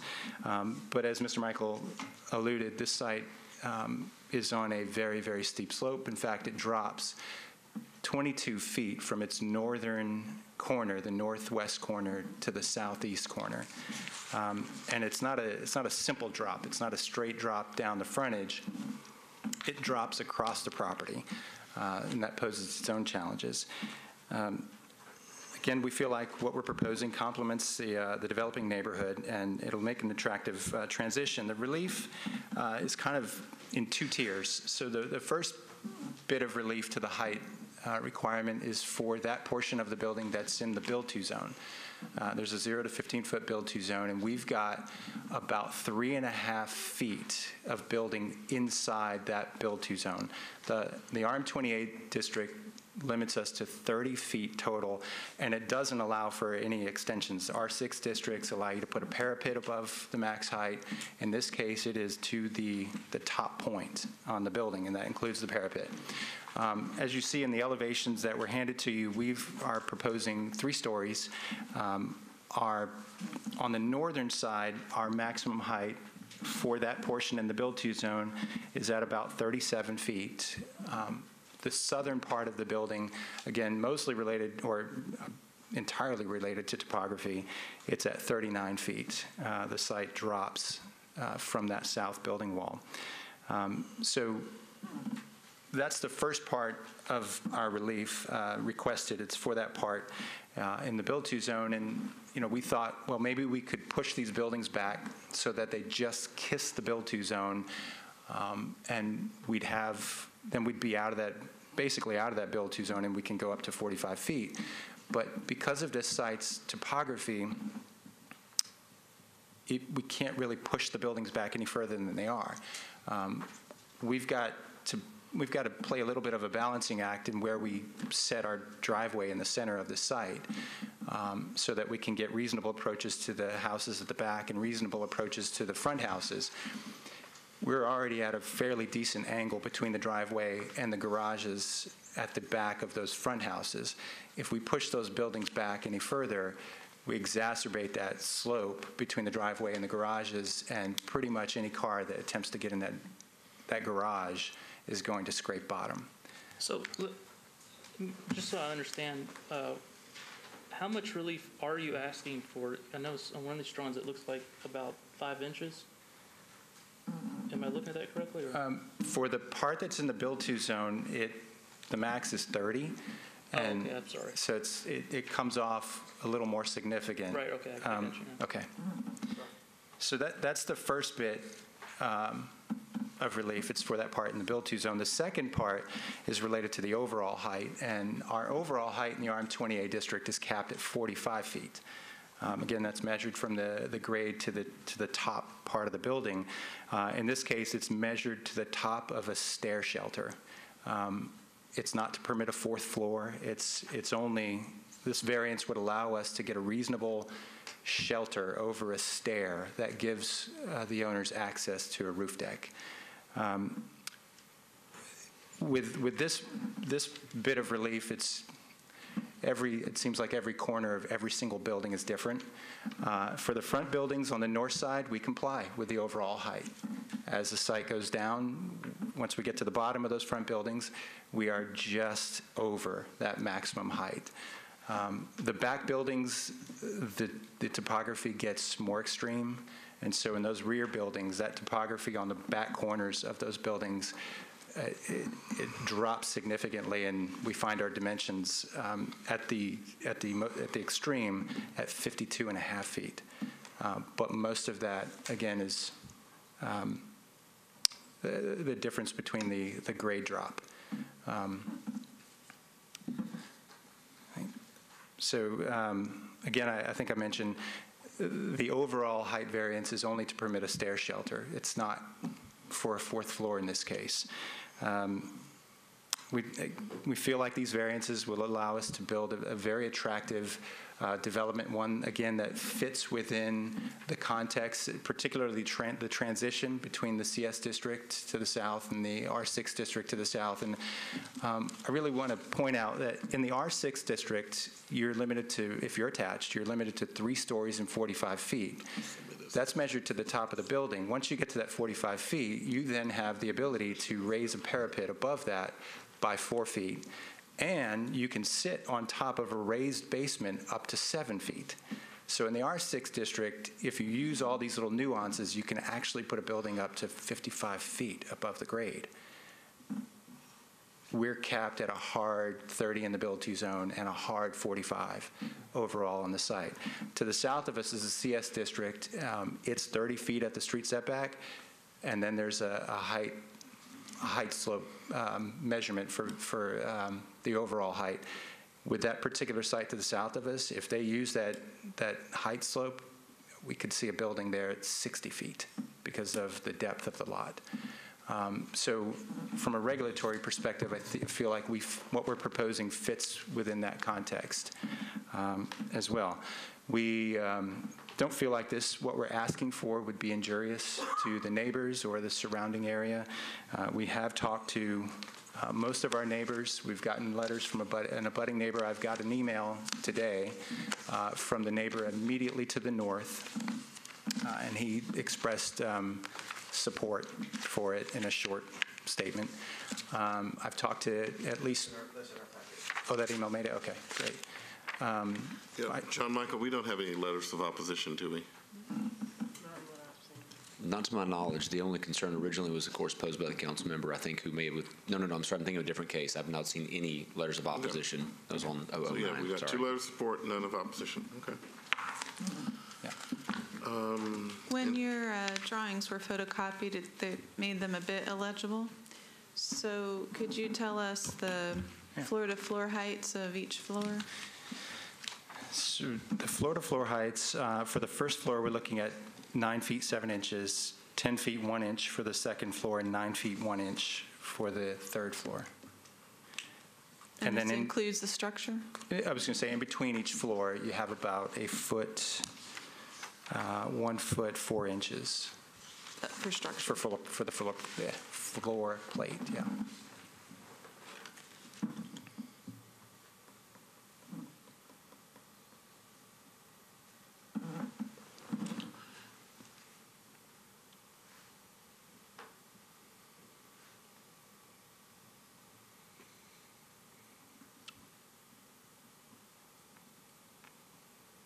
Okay, any other questions? Any other questions? Do you have anything else to add? No, sir. Okay, no? Let's close the, um, do you all have anything else to add? No. Let's close the public hearing. Okay. A height variance based on this top floor covered stairwell thing. No, um, two layers of support, none of opposition. John Michael, can you put up aerial up again?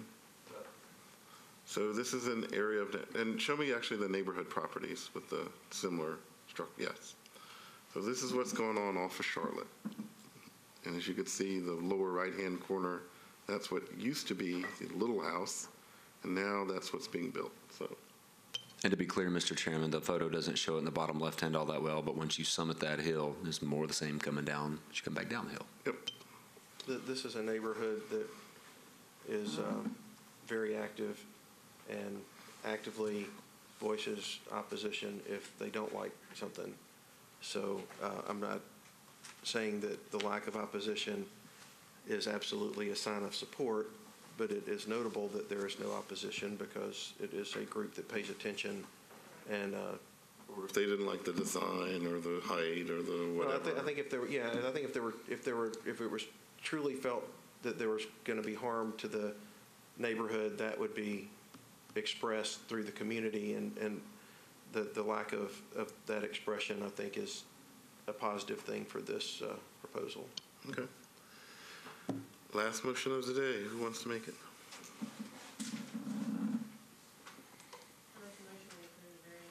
Hardship of the topography of this particular lot. Okay, motion's been made. Is there a second? Okay, motion's been made properly seconded. Any more discussion? Seeing none, all those in favor signify by saying aye. Aye. Opposed? Passes unanimously. Good luck with your new project. Thank you. so much. Thanks for your patience. And we Mr. Chairman, are with your permission, we'll start our annual two hours of continuing education for the board members. Is this an, is this an appropriate time to? Right not- now? you- You don't, you don't want to Oh, yeah. Duly noted. Oh.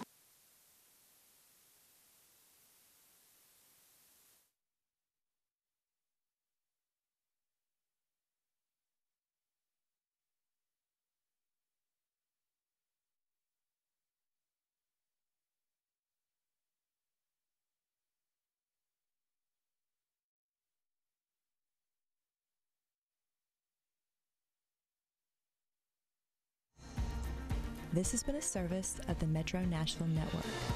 If you would like to see this presentation again, or for more information about this and other programs, visit nashville.gov.